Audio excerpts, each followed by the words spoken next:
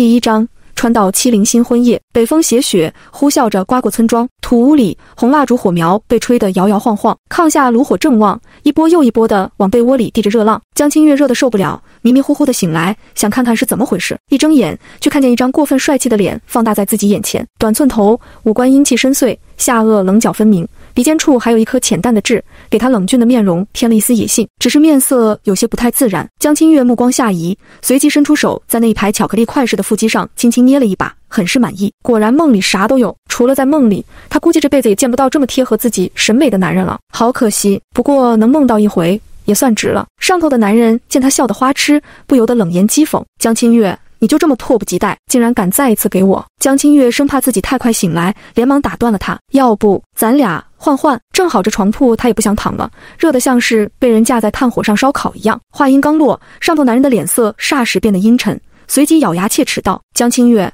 你别后悔。清晨，江清月重新恢复知觉时，只觉得浑身像是被坦克碾压了似的，火辣辣的疼，尤其是嗓子干得像是千年老树皮，稍微一点就要冒火了。水，江清月的动静吵醒了同在一个炕上的男人。只见他面带隐隐怒气，直到看到江清月身上斑驳的红痕，这才微微缓和了少许。正打算翻身下床倒水，谁知道被子一掀，床单上点点玫红立马捕捉住了男人的目光。只见男人眼底疼得升起一层怒火，拳头忽地攥紧。江清月，你给我解释一下，这是什么？江清月睡得正不踏实。听见一声怒吼后，便立马惊醒，一睁眼，眼前的场景顿时让他愣住了。四面灰土墙，纸糊的窗户，一张矮桌，两把矮凳，一张炕，唯一亮色的就是两根快要燃尽的红蜡烛，还有墙上贴了一张喜字，再无其他装饰。而昨天梦里的那个男人，此时正怒气冲冲地看着自己，手指还指向他身旁的床单。顺着他手指的方向看过去，江清月顿时人麻了，竟然是来真的。直到这时，江清月才发现自己脑子里多了一段不属于自己的记忆。从那记忆来看，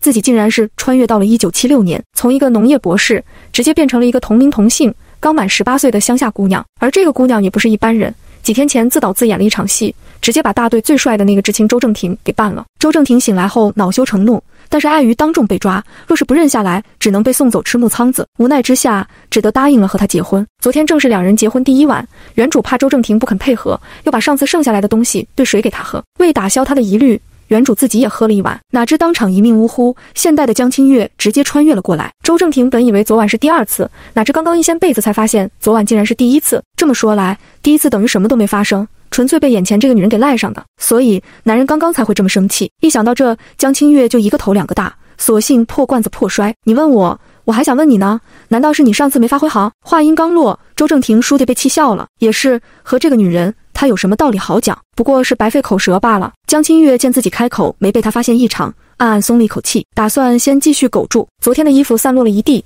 江清月环顾四周，也没发现自己的干净衣服在哪，便朝着男人喊道：“周正廷，你能不能帮我拿身干净衣服？”怕他不答应，又故意娇滴滴地喊了句：“我动不了，身上酸死了。”周正廷咬了咬后牙槽，脸上有些不耐。之前你急吼吼的要搬进来，除了一对蜡烛、一张喜字，什么都没带过来。难不成你自己都忘了？怕他又生什么幺蛾子？周正廷也懒得和他废话，直接把地上的衣服捡起来，往他边上一丢，赶紧穿好衣服起来。等下我陪你回一趟娘家拿行李。江清月伸手去接衣服，身上的被子突然滑落，男人看了一眼，吓得赶忙转过身去，僵直了背，赶快穿。等下回娘家，你记得问清楚回城的事到底什么时候能办下来。江清月手上的动作一顿，回城，怪不得这男人突然那么反常，要和她一块回娘家呢。听见身后的疑惑声，周正廷蹙着眉头转了过来，你什么意思？话音刚落，便发现他上身的衣服还没扣上，连忙又转了过去。江清月，你不要和我耍什么花招。昨天你亲口和我说的，你已经说服了你爸，只要带上你一起，马上就能帮我办回城。周正廷一边说着，一边脑海里还不断播放着昨天晚上的画面。在昨晚之前，他从来就没考虑过带他回城的事，但是过了一晚，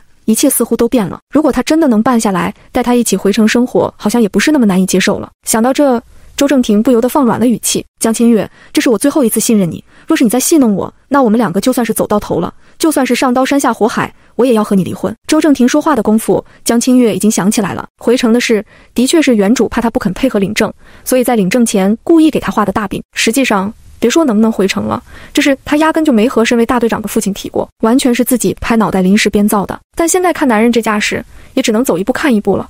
等回去先问问看父亲再说。万一要是能办呢？想到这，江清月便连忙穿好衣服，忍着酸痛下了床，先做饭。一会吃过饭，我就回娘家帮你问。第二章。收拾屋子。等穿上老棉鞋，脚实实在在地踩在屋里的土坷垃地上，江清月这才彻底接受了自己穿越的事实。眼下这间屋子原本是村里闲置的老房子，为了能够在最短的时间搬出来结婚，原主只仓促地收拾了下，就直接搬了进来。拢共就一间大屋子，里面囊括了两人睡觉的炕。吃饭的桌子，剩下的地方都是还没来得及收拾的旧东西，乱七八糟的堆在角落里。做饭的地就是在屋子进门的地方，用半面墙隔开的一张灶台，墙面上已经被烟熏火燎的发黑了。灶台后面还有口水缸，散落的一捆柴，连张案板都没来得及准备。一圈看下来，除了脏乱，就只能用一贫如洗来形容了。就算是老鼠来了，都要摇头跑，更何况从现代穿过来的江清月。只不过他现在哪也去不了，只能硬着头皮留下来。江清月深呼一口气。含着泪指了指床铺，周正廷，你把床铺收拾下吧，床单换下来，我先去做饭。说完，便扭头去了灶台，缸里没水，江清月又指挥起了周正廷，你去外面铲点雪进来烧水。周正廷正不情愿地收拾着床铺，听见他又开始指挥自己，不由得横眉冷对，你自己没长手。江清月也不客气，那一会饭做好了，你吃不吃？周正廷抿了抿嘴，他在大队里是出了名的好吃懒做，从未见他下地上过工，也没见他去过河边洗衣服。这样的人会做饭，但是肚子早就饿得咕咕叫，自己又是个不会做饭的，只能服软。粮食都是我带来的，我凭什么不能吃？江清月双手掐腰，正要和他争论，听见这一句后，顿时败下阵来。好家伙，自己连颗米粒都没带来，那是没啥好说的。想着直男一般都是吃软不吃硬，江清月便态度软了下来。那什么，我现在身上疼死了，去外面一吹，指定要感冒，感冒不是还要花钱买药吗？周正廷见他突然像是变了一个人。就像是见了鬼一样，麻溜拿着盆出门铲雪了。昨天大雪下了一夜，外面的雪已经堆得很厚。江清月想着水井那么远，这才想着要煮雪水用。等第一锅热水煮好，江清月直接用来刷锅、洗碗、清洗灶台，顺便把屋里唯一的矮凳、矮桌给擦了擦。清洗完，江清月又朝外面的男人喊了句：“周正廷，帮我把脏水倒出去。”已经吃过几次亏的周正廷不愿意和他多说一句。直接闷不作声地把脏水倒了出去，霎时间门口的雪便化成了黑水。江清月又烧了一锅，重新涮了一遍碗筷后，这才把剩下的热水都舀到了盆里。天冷，一会你洗床单用热水吧。周正廷刚刚踏进屋里，就听见他不咸不淡地来了这么一句，不由得冷笑出声。这女人算盘怎么每次都精准地打到自己身上？她这一早上进进出出，饭没吃上，活倒是没少干。谁说她要洗床单了？他一个大男人。怎么好意思洗那个地方？江清月不搭理他，洗干净锅后就开始淘米下锅。看着灶台边仅剩的半袋子米、一袋子面，还有一箩筐的土豆红薯，江清月不由得疑惑：周正廷，你一天能挣多少公分？怎么才剩这点粮食？周正廷只觉得自己太阳穴一直突突跳个不停，又忍不住咬牙，那也比你一天没下过地的女人强。江清月见他真被气到了。想想这一早上的相处，他应该也不会怀疑了，便打算不再作妖，而是弯腰又摸了个红薯，洗干净去皮切块，放锅里一起煮。江清月小的时候在奶奶乡下的家里住过一段时间，所以烧土锅、烧炕这些活对他来说都不在话下。等红薯稀饭做好，江清月一扭头，这才发现男人正在院子里扫雪呢，而刚才他死活不愿意洗的床单，此刻也正在院子里迎风飘荡着。江清月抿嘴笑了笑，看来这个男人也不是太差。周正廷回来吃饭了，听见他的声音，男人还吓了一跳。似乎对他的声音有阴影似的。等男人进了屋，发现灶台上自己碗里装了满满一大碗的红薯稀饭，不由得微微诧异，竟然没糊。这女人竟然真的会做饭。再仔细一看，原本黑漆马虎的灶台竟然被擦得干干净净。而这女人此时正端着一小碗红薯稀饭坐在桌边，吃得一脸淡定。要知道，这女人原本是出了名的邋遢又贪吃，除了好看一无是处。两人结婚前。知心点的人还都起哄说自己傍上了大队长的女儿，大队里最好看的对话，以后有的福享了。他很清楚，实际上众人暗地里都在拿这事当笑话，都庆幸自己因为长得不够帅没被当靶子。没想当这女人竟然和传言的也不尽相同。等周正廷心不在焉的吃完早饭，竟然破天荒的从炕上的柜橱里拿了盒桃酥出来，给把这个带上。虽然这场婚事非他所愿，但生米已煮成熟饭，该有的礼节不能一点没有。江清月只当他是为了回城的事，想也没想就拿着了。等出了门。男人又恢复冷漠脸，一言不发地走在前面。江清月心底有些忐忑。周正廷毕竟和原主不熟，没认出来也是正常。可一会要见的，可是原主的一大家人。不知道会不会被人发现，但与其费尽心思去模仿，不如直接认错，说自己痛改前非，要和周正廷好好过日子。江清月一边思考，一边低头走路。前面的男人半天没听到动静，回头一看，就见他低着头，一副受气小媳妇的样子，走路的姿势也和之前大大咧咧的不一样。难不成身上还在疼？看到周围指指点点的目光，周正廷不得不停下来等他。江清月，你好好走路。江清月这才回过神。哦了一声赶上了他。两人刚并肩走，一旁村里的大妈们就哈哈笑着开起了玩笑。哟，清月这是回娘家呢，手里还拎着好东西。周知青，你咋不替清月拎着？没看人家腿都软走不动了，哈哈哈。周正廷蹙起眉头，准备去接过来，又听人起哄，这嫁了人就是不一样哈。昨天两人看着还不熟，今天就热乎上了。第三章，一起回娘家。周正廷抿着嘴。冷着脸，不知该接还是不接。正尴尬间，村口又走来几个年轻的男男女女，正是之前和周正廷同一个知青点的知青们。几人看到周正廷要主动帮江清月拎东西，都不免震惊。毕竟之前周正廷一提到江清月就咬牙切齿的，怎么今天竟然会陪她回娘家，还会主动帮她提东西？正廷，你们这是回娘家？江清月闻声看了过去，见是和周正廷一起下乡的知青，便微微颔首着，朝众人笑了笑，算是打招呼。众人见他这样，更是像见了鬼一般。正廷，可以呀。有你的，才过了一晚，这小日子就过得蜜里调油似的，把全村最难缠的女人给收拾得服服帖帖。几人说完，顿时哈哈大笑，只有唯一一个穿着红棉袄的姑娘没有笑，还一脸气愤地把周正廷喊到一边：“周大哥，你结婚的事，家里人知道吗？要是他们知道你在这穷乡僻壤的地方结了婚，会是什么反应？你现在这个样子和自暴自弃有什么区别？难不成你以后就打算留在这里一辈子？”周正廷本就心烦意乱，又被人突然劈头盖脸一顿说，心中更是堵得慌。方如云同志。我结婚的事，只要你不说，今世就没人会知道。方如云和周正廷的妈妈是一个单位的，这次下乡的地点也是他们一块商量着报的。来之前，周正廷他妈一直嘱咐他要照顾着点。周正廷虽然嫌他是太多，但是平时也一直是客客气气的。没想到他今天会这么咄咄逼人，他有什么立场质问自己？方如云见周正廷面露不悦，不由得软下口气：“周大哥，我也是为了你好，之前的事错了就错了。但是只要以后你和他保持好距离，总归还是有机会摆脱他的。你若是狠不下来心。”就要被拖累一辈子了。周正廷抿了抿嘴，还没开口，就看见站在一旁的江清月冲自己喊：“周正廷，还走不走？”方如云见状，忍不住嘲讽地撇了撇嘴：“这女人真是粗俗，一口一个全名喊着，生怕别人不知道周大哥你叫什么。”周正廷很不喜欢她这种对自己私生活指指点点的样子，哪怕那个人是他同样讨厌的女人也不行。更何况他对不熟的人也是习惯叫人全名的，便不客气地丢了句：“方如云，我的事不用你操心。”管好你自己的嘴就行了。方如云反应过来时，人已经跑远了，只能气得直跺脚。你好心没好报。江清月这会心里正忐忑着一会回家的事，完全没把刚才两人的互动放在心上。见周正廷过来后，就径直走在前面，看得周正廷又是一头雾水。之前他最不喜欢方如云，每次见了都要吵上两句。今天他和方如云甚至单独一块说了话，他竟然一点反应都没有。这女人不会再憋着什么坏吧？两人一前一后的回到江家时，正好家里人都在院子里。父亲江宝业是这里的大队长，为人正直。原主做出那样的丑事后，这父亲就再也没搭理过他一句。这会见两人来了，径直丢下手里的活计，扭头就进屋去了。母亲王秀芝倒是个心软的，加上从小就对原主十分宠溺，所以见到丈夫进屋后，连忙上前打圆场。清月。周知青，你们俩来了，赶快坐着陪娘晒晒太阳。难得一个大晴天，我们都在院子里晒东西呢。除了母亲，原主的大哥江卫国和大嫂张爱英态度还算和气。在江清月的记忆里，两人一直都是老实本分的人，平时做事也勤快，有一对儿女，生活算是美满。江清月进来后，就爽利的喊了人：“妈，大哥，大嫂。”还没喊到二哥二嫂，就听见二嫂刘春兰哼了一声，转身进了屋。到了门前，还不忘瞪了一眼丈夫江卫民：“卫民，你来一下。”我有事找你，把闺女儿子都叫回来。见这态度，江清月就顿时想了起来。这二嫂原本脾气就火爆，原主出嫁前两人经常为了鸡毛蒜皮的小事闹得不可开交，如今连原主的爹都不搭理她了。这二嫂觉得有人撑腰，自然更是有底气了。气氛正尴尬，三哥江卫东就笑着走了过来：“妹夫，你别见怪，二嫂她那人就那样，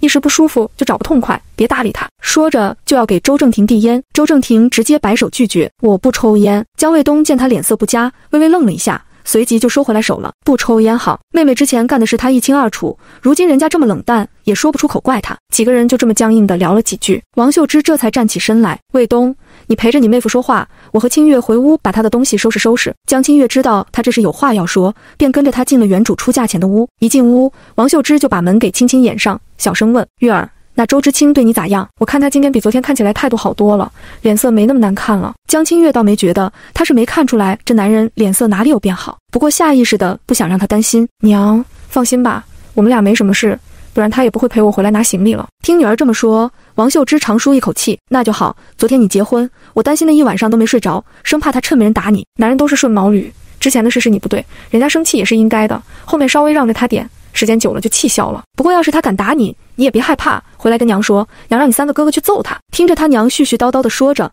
一会要顺着他，一会又想着打他，江清月忍不住笑了出来。之前心底那些烦闷也稍稍散了些。见江清月笑了，王秀芝嗔怒地哼了一声，亏你还笑得出来。都结婚了，还和以前一样没心没肺的。娘跟你说啊，你要抓紧时间怀个娃，等有了娃，那周正廷心也就定下来了。第四章，真没有回城名额。提到生娃，江清月顿时笑不出来了。昨天晚上他们已经，万一要是中了，可怎么办？不过很快江清月就镇定了下来。因为他想起来了，原主的大姨妈结婚前才刚刚走干净，或许就是因为来了大姨妈的原因，所以第一次作案的时候两人才没成。凭借他虽单身但丰富的生理课知识，这个时候应该是安全期，问题不大。况且就算是担心，也没办法可以补救了。娘，你说的我都记下了，放心吧。现在结了婚以后，我也知道以前的性子行不通，以后会慢慢改的。王秀芝愣了一下，随即想明白了，怪不得她刚才总觉得闺女哪里变得不一样了，果然结了婚就成熟了，知错能改就好。你也别怪你爹心狠，他这次是被你气狠了，几天都没怎么好好吃饭。他一辈子要强，现在被整个村的人背后说闲话，心里难受啊。我知道，我不怪爹。这次你结婚什么都没来得及准备，不过这嫁妆钱我是老早和你爹替你攒好了。王秀芝说着，从口袋里掏出了二十块钱，先给你二十块，等没有了再问娘要，娘都给你攒着呢。怕你乱花，江清月望着手里塞进来的二十块钱，鼻头忍不住一酸。早上出门的时候还在感慨自己身无分文，现在就有了二十块。虽然钱不多，但是被人担心惦记着的感觉真好。而且按照这年代的物价，二十块钱也不少了。粮食的事你不用担心，等晚上天黑以后，我再让你三哥悄摸的给你送过去。现在大白天的，要是被你二嫂看到了，又要翻白眼；被村里人看到，又该说闲话了。江清月有些纠结，虽然很想有骨气的拒绝。但是可惜人穷志短，家里那点粮食都是周正廷的。虽然早上吃的时候他没说什么，但是等回去后知道回不了城的事，保不准会如何，自己也实在没脸再吃他的。眼下只能先厚着脸皮靠爹娘救济，等以后自己挣了钱再还了。我爹能同意吗？你管他！再说了，你真以为父女能有多大仇？他只是气你，不是真恨你。我爹生气也是应该的。娘，我想去看看他，和他认个错。听到闺女要认错，王秀芝像是被雷劈了一样。从小到大，她也从来没和谁低头认过错呀。好好。总算是懂事了，你快去吧，我把这行李收拾好，等吃了饭再走。娘，饭就不吃了，我和爹说会话就走。出了房门，江清月硬着头皮敲了敲爹娘那屋的门。爹见里面没动静，江清月想着缩头一刀，伸头也是一刀，不问个清楚，周正廷那边也没法交代，回去又没个安生，不如现在来个痛快，便直接推门进去了。一进屋，江宝业正坐在凳子上烤着炭盆，抽着烟袋，听到动静也不抬头看一下。爹，江清月又喊了一声。这才认真开口，我知道错了，之前是我鬼迷了心窍，稀里糊涂犯下大错，以后我再也不敢了。江宝业虽然没有抬头，但是明显能看出来神色有些松动，大概是因为第一次见闺女这样。过了好一会，才叹了口气，光知道错有什么用？关键是以后你打算怎么办？江清月像个接受批评的小学生，一本正经地保证道：“以后。”我会和周正廷好好过日子的。等开了春，我也下地挣工分。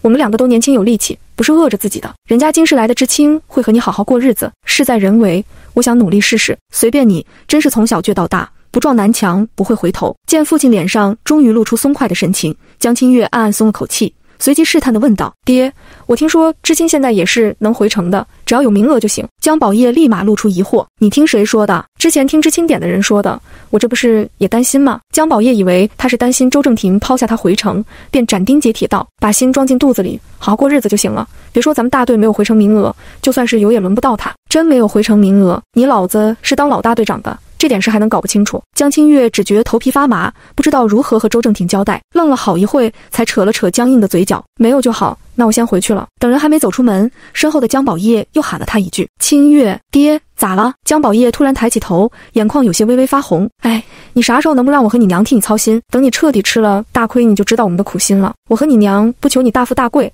只要别再折腾，好好过日子就行。江清月鼻头一酸，心中既委屈又感动。爹，你放心，我和你保证。不管以后咋样，我都会好好的。出了门，江清月把泪意忍了回去，接过母亲递来的包袱，就准备要走。周正廷坐如针毡，也连忙起身帮着一块拿东西。两人还没出远门，刚才一直躲在屋里的二嫂刘春兰突然走了出来，一脸不善的盯着两人手里的包袱。这么多东西拿得下吗？江清月正是烦闷，语气也不好。二嫂是想帮我们送回去，还是想来检查包袱的？要不要我抖开给你看看？刘春兰冷哼一声，正要说什么，突然就被二哥江卫民给拉住了。你干啥，妹子？你别理他，回去吧。等有空，二哥去看看你们。出了江家，江清月一言不发地往家走。见他心情不好，周正廷便也没再问什么，一步一步地跟着后面回去。江清月步子迈得有点急，加上心里有事，一不留神就滑了一跤，路面上都是冰，这一跤摔得很结实，痛得江清月龇牙咧嘴了好一会。等缓过来，江清月原本混沌的思绪突然就变得清明了起来。他想好了，回去就跟周正廷摊牌，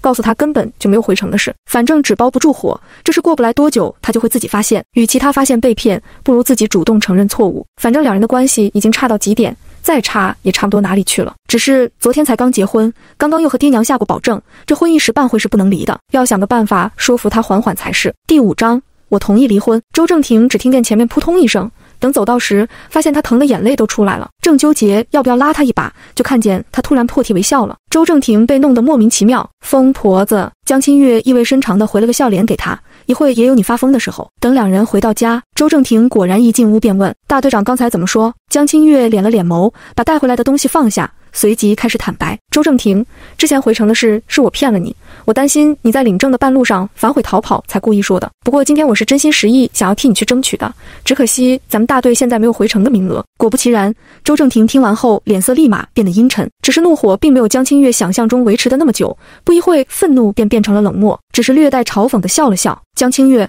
你果然每次都能把我耍得团团转。随即又补充道：“好在我本来也没对你抱什么期待，现在这样也好，以后我们谁也不欠谁的，离婚吧。”好，我同意离婚。不过什么？听见江清月毫不拖泥带水的同意离婚，周正廷彻底愣住了。他之前费了那么大劲，千方百计的把自己给骗了结婚。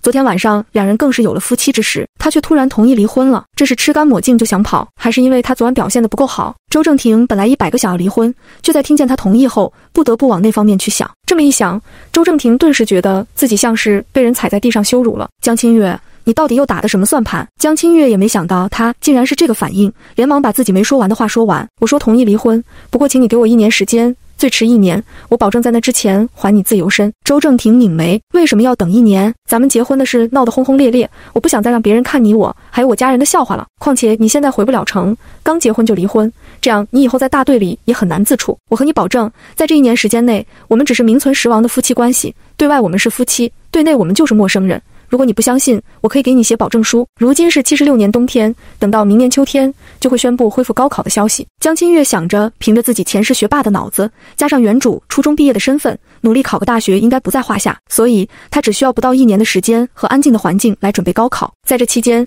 他也会尽力督促周正廷学习。如果他能考上，也算是替原主还了欠他的债。到时候两人分别考上大学，拿到录取通知书后，顺路就去把结婚证换离婚证，一拍两散，各自飞，也不用听村子里人的闲话。这个计划是他当前能想到的最完美的计划了。听完江清月的理由，周正廷内心复杂极了。一方面，他恨不得马上能和江清月一拍两散，一辈子都不用再见面；另一方面，他也知道马上离婚是不可能的。别的不说，大队长的证明就绝技拿不到手。虽然不想承认，但江清月的一年计划的确是目前最好的办法了。但是他在这女人身上已经栽过太多次跟头了，如何还能再信她？偏偏不信又不行。想到这，周正廷便顿觉颓然，脸上神情忽明忽暗了好一会，才一言不发地摔门而去。等人一走，江清月彻底累得瘫坐在炕上，看着男人刚才的表情，便知道他应该是会同意了，只是需要时间消化，去外面吹吹冷风，静一静也好。江清月稍稍休息了一会，便起身准备给家里来个大扫除。既然还要在这里住上一年，那就好好收拾收拾，过好一天算一天。江清月先把刚才从家里带过来的几个包袱一一打开，里面都是原主的衣服。看得出来，原主出嫁前在家里还是比较受宠的，衣服都比较新，没什么磨损。更是一个补丁也没有，除了大大小小的衣服，里面还有一床棉被。这床被子很及时，不然他晚上睡觉都没被子了。毕竟他估计这辈子都不会再和周正廷睡一个被窝了。另外的包袱里就是洗脸洗脚盆，还有两条崭新的毛巾、茶缸、梳子、镜子、雪花膏等洗漱用品。至于私房钱，那是一分没有的。看来原主也是存不住钱的，也难怪他娘说先给二十，剩下的帮他存着了。江清月环顾一周，屋里没有衣柜。只有一个炕柜，一般已经被周正廷用锁锁上了，另一边还是空的。江清月便把衣服放了进去，剩下的盆之类的都放在了柜子上面。归置好东西，江清月这才腾出手，拿起镜子细细照了起来。早上做饭的时候，他就从水面上大概看到了原主的长相和自己很是相像。这会一照镜子，更是惊奇的发现两人简直是一模一样，一样的瓜子脸。大眼睛，樱桃小嘴，虽然长在乡下，但因为不下地，所以皮肤也是一样的白皙无瑕。只不过原主要稍稍清瘦一些，大概是不用熬夜看书赶论文，头发也比自己的好太多，两根粗黑的辫子快要及腰，乌黑光亮的很是好看。不过看到这么好的一对辫子，江清月却爱不起来。之前因为科研忙，她习惯了利落的中短发，打理起来方便，而这里呢？大冬天擦个澡都费劲，更何况是洗这么长的头发，没有吹风机洗头简直是要命。不如等以后有机会去县里看看能不能找到收辫子的地方卖掉吧。照完镜子，江清月看着屋里角落里堆的一大堆杂物，又认命地站起来去收拾没用的破烂，被他一股脑的丢了出去当柴烧。墙壁角落里的蜘蛛网也都被他一一清理干净。清理完，又把屋里的地仔仔细细地扫了一遍。看着原本一团糟的屋子被他清理得干净利落，江清月觉得很是解压。第六章。夫妻变室友，眼看快到晌午，周正廷还是没有回来。江清月也不打算继续等下去，准备先把午饭给做起来。娘家接济的粮食要到晚上才能送来，现在就只能先用周正廷的粮食煮饭。江清月看了看仅有的那点的东西，便打算捏几个杂粮面窝窝头，再炒一个土豆丝。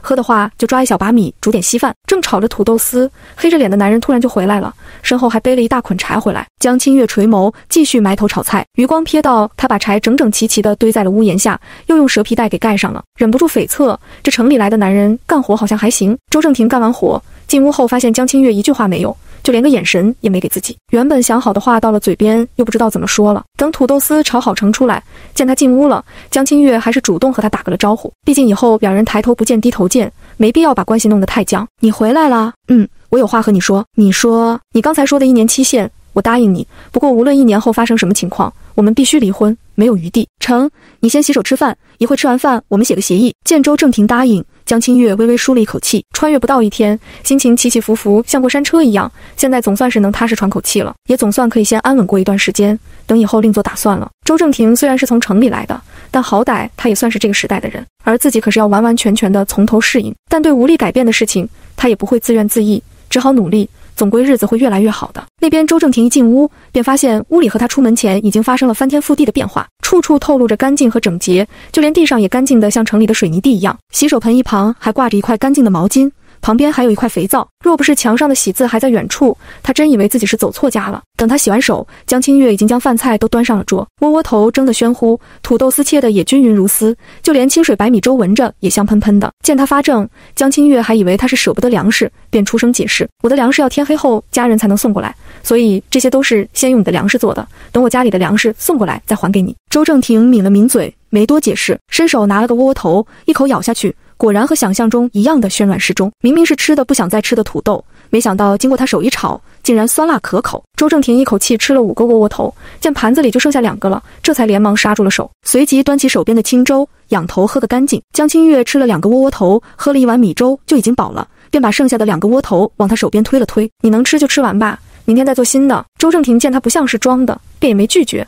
但还是诧异，他的饭量竟然只有这么一点。早上吃的少就算了，没想到中午也就吃了这么一点。他突然有些疑惑，这样的一个人怎么会被传成了好吃懒做的人？想到一会要你协议，江清月便又开了口：“你那有没有纸和笔？”周正廷没应声，而是把剩下的半个窝窝头全部塞入口中，随即擦了擦手，打开了他那边的炕柜。江清月没有偷窥别人东西的兴趣，便趁着他拿东西的功夫，把碗筷都收拾端去了厨房，随后才返回：“我先写吧。”写好给你看看，不行再改。吃了人家的口软，周正廷虽然担心江清月会在协议上搞什么花头，但是仔细一想，他也顶多是个初中毕业的，而自己高中毕业了，在这上面他坑不了自己，便放心让他去写。江清月接过信纸，坐回到刚擦干净的矮桌边，提笔写了下协议书：一、双方均承诺在一年时间内办妥离婚手续，无论何种原因不得拖延或反悔；二、在此期间，对外双方仍是夫妻关系。对内双方承诺互不干涉对方的私生活，不勉强对方做不愿意做的事。三、为了友好共处，双方协商分配家务如下：江清月负责做饭、洗碗、收拾打扫；周正廷负责烧火、挑水、砍柴，衣服各洗各的，粮食、钱票等贵重物品互不占用。江清月考虑到原主初中毕业的身份，特地把协议写得简单明了。写完后，便直接递给了周正廷：“你看看有没有别的要补充？”周正廷正看得入神，突然见他伸手过来。竟一时没反应过来，刚才他低头写字的时候，浑身散发着一种岁月静好的恬静和温柔。别说在江清月这个村姑身上，就算是之前再惊世，他也没见过这样气质的姑娘，所以刚才忍不住就多看了两眼。周正廷，嗨嗨，我看一下。说着，周正廷便立马接过协议书，认真的看了起来。短短三行，一目了然，十分清晰，没有什么猫腻，倒显得他刚才的想法有些龌龊了。没问题，那我再誊抄一遍，一式两份，我们分别签字。周正廷抿了抿嘴。不明白他为什么还要那么麻烦，要给自己留一份，难不成他还会反悔？等另一份誊抄好，两人依次签好名字和时间。一人一份，这才算结束。拿到热腾腾的保证书，周正廷还觉得自己晕乎乎的，不知道哪里出了纰漏，怎么会那么轻易的就拿到了他的离婚保证？但是白纸黑字都签过了字，难不成又是在戏耍自己？反正现在也没办法离婚，多一重保障总比没有的强。想到这，周正廷便小心翼翼地把协议书折好，打开炕柜，把协议书和结婚证一起妥帖收好，到时候离婚的时候。两个都能用得上。收好协议书，江清月也长舒了一口气，好歹算是为自己争取到了一年的时间。不过和一个异性在一个屋里生活一年也不是那么容易，地方有限，眼下两人还要商量下分割地盘。周正廷，公平起见，这炕柜我们一人一半，还有这炕也是一人一半。第七章。搭伙过日子，听他这么说，周正廷这才想起晚上睡觉的问题。屋里就只有一张炕，而且这里的冬天比京市还要冷，不睡炕根本熬不过去。眼下也只能一人一半。成，你东西多，靠着炕柜那边睡吧，我睡另一边。那好，我想在中间拉根绳，用床单隔起来。可以吧？周正廷冷嗤一声，求之不得。那劳烦你帮忙敲个钉子，我来拉绳。两人说干就干，仿佛晚一秒都显得自己不够干脆。等床单一拉，炕顿时就被分割成了两个世界。江清月很是满意，穿越后第一次舒心的笑了一会。没事，你先去挑水吧。水缸里连洗碗的水都没有了。周正廷从小就不喜欢被别人安排，不过这次倒是难得的配合。成，我现在就去挑。周正廷一连跑了三趟，把水缸倒满了才停下来。等江清月刷完锅、洗完碗，扭头一看。周正廷又不知道哪里去了，不过他不在家，自己也落得轻松。不然就一个屋子，两个人也只能大眼瞪小眼、干瞪着了。昨晚的折腾，加上今天的忙活，江清月正觉得有些累。见他不在，自己正好可以上炕睡个午觉。可能是实在太累，江清月这一觉睡醒，外面的天色都暗了下来。醒来后依旧没看见周正廷的身影。江清月刚起身穿好衣服，就听见了有人敲门，以为是他回来了。等一开门。才发现是自己的三哥江卫东。三哥，你来了。嗯，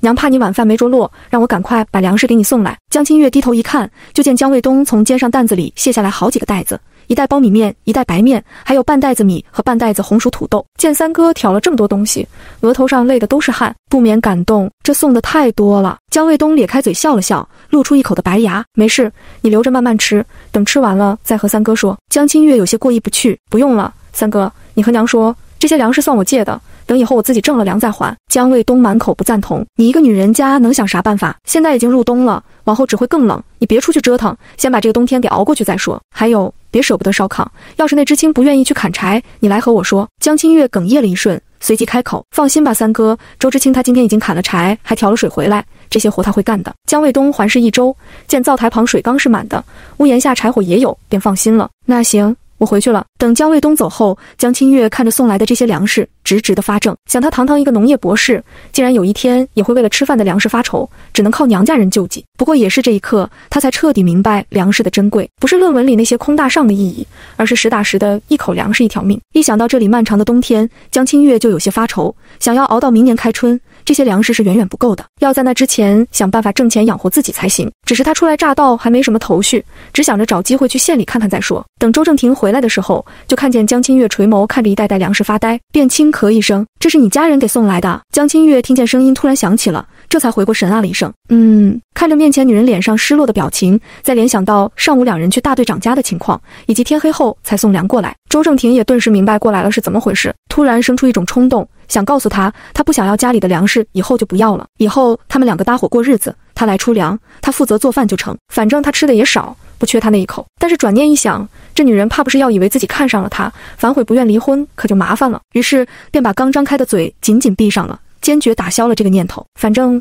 大不了以后多去县里买点粮食回来，只要家里不缺，他兴许就不会再去娘家要了。想到这，周正廷连忙把自己刚弄来丢在院子里的两只野鸡给拿了进来。果不其然，江清月一看到野鸡，顿时眼前一亮：“都是你抓的！”那语气满是不可置信和惊叹。周正廷也有些飘了：“嗯，下午去了一趟后山抓的，晚上就吃这个吧。”江清月嗯嗯点头：“你想怎么吃？”周正廷想了一下，当地的人喜欢用野鸡炖蘑菇。他吃过两次，觉得还不错，便直接提议：“小鸡炖蘑菇，你会烧吗？”江清月干笑两声：“会是会，但家里没蘑菇啊。”也是，那等明天上山去找点蘑菇回来。都下了雪，山上还会有蘑菇吗？周正廷一怔，仿佛他才是那个本地人一样。当然有了，你们这里的冬蘑最是出名，最适合用来炖鸡了。江清月有些不好意思：“我以前没怎么上过山，那明天我们一块去吧。今天就先煮个鸡汤，下点手擀面咋样？”成，你看着做就是。自从来到这里，江清月便自动开启了会过日子的属性。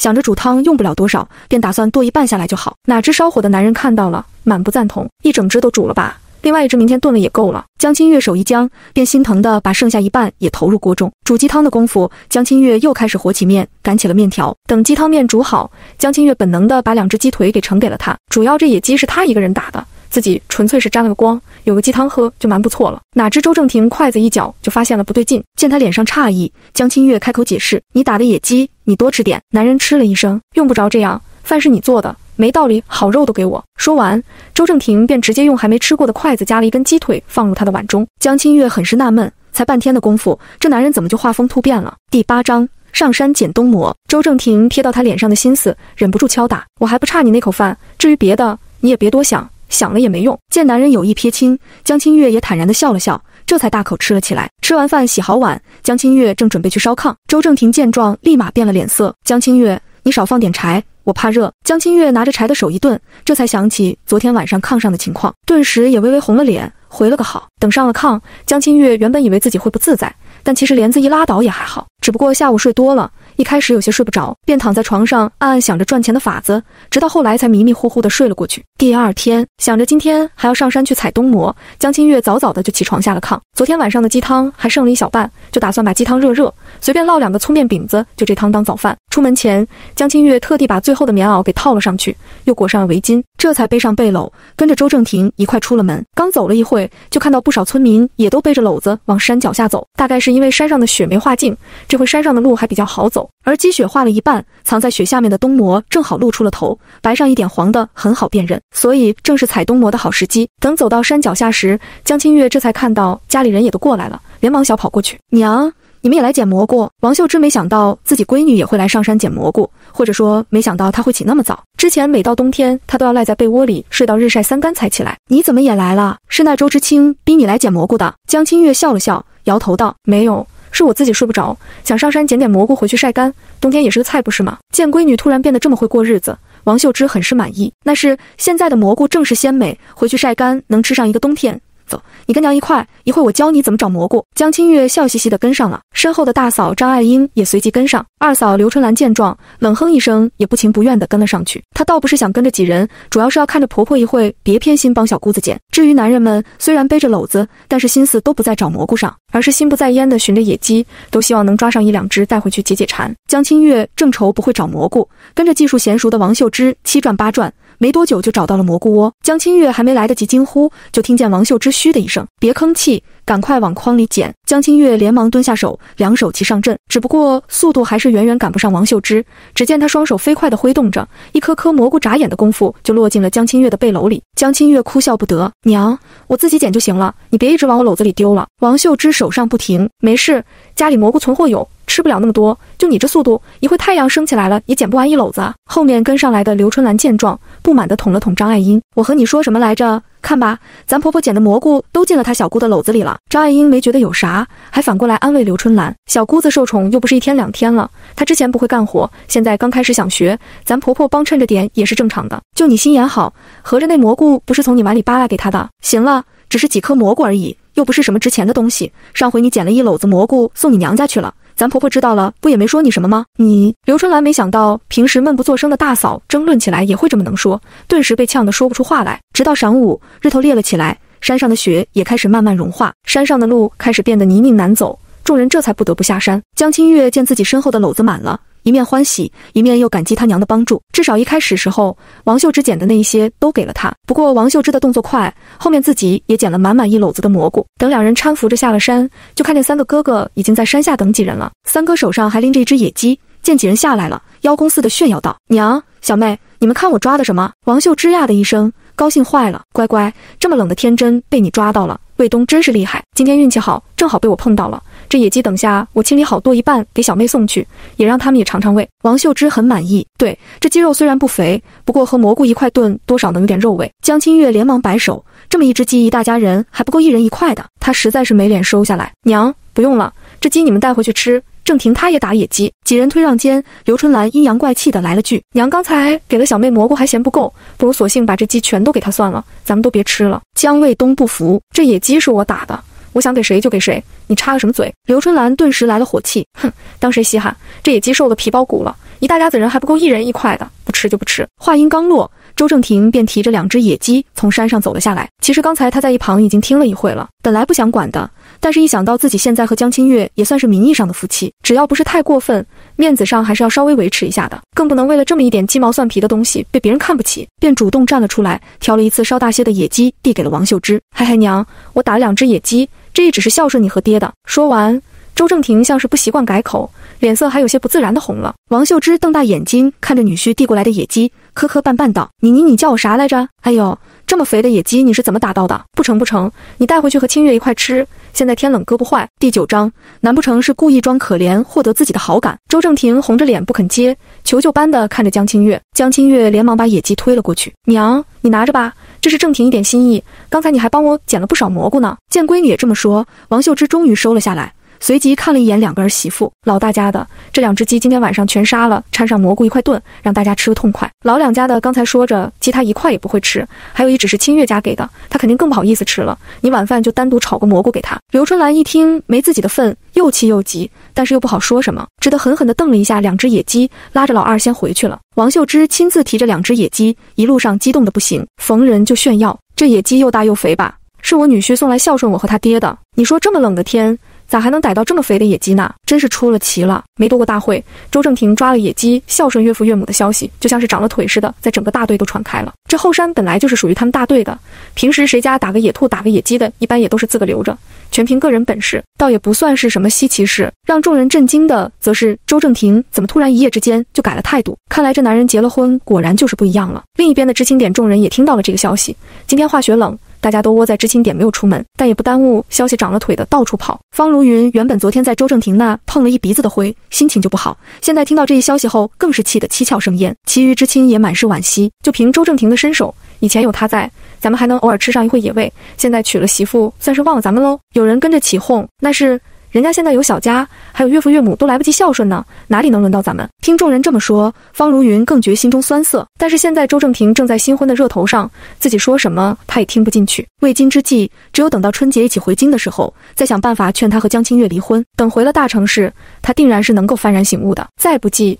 家里父母也都会规劝。想到这，方如云便开始默默期待尽快放假。另一边，江清月对周正廷刚才的行为很是感激。若不是他及时出现，他们一家人非要当众为了一只鸡吵翻不可。如今他主动站出来，不但缓解了他的尴尬，也让江家人在村子里抬起来了头。之前逼婚风波也总算是翻篇了。仔细想想，周正廷在这些吃食方面其实还是很大气的。既然他肯出手帮忙，自己也不会让他白忙乎一场。他心心念念的小鸡炖蘑菇必须全力安排。一回家，江清月放下篓子就开始忙活着做饭。昨天晚上那只鸡是已经处理干净的，江清月就打算先用那只剁了焖上。只是在现代的时候，江清月买的都是剁好块的鸡，第一次剁整鸡有些犯怵，下了几次狠手都不理想。眼看着好好的鸡马上就要被他剁得七零八碎的，周正廷连忙拦了下来：“我来剁吧。”你去忙别的。江清月如释重负，连忙将刀交到了他手里，自己则是把刚才捡的一篓子蘑菇全部给倒了出来，挑掉杂草碎叶，拾了一小盆洗了今天炒，剩下的全部都铺到院子里的簸箕上晾晒。等忙好这些，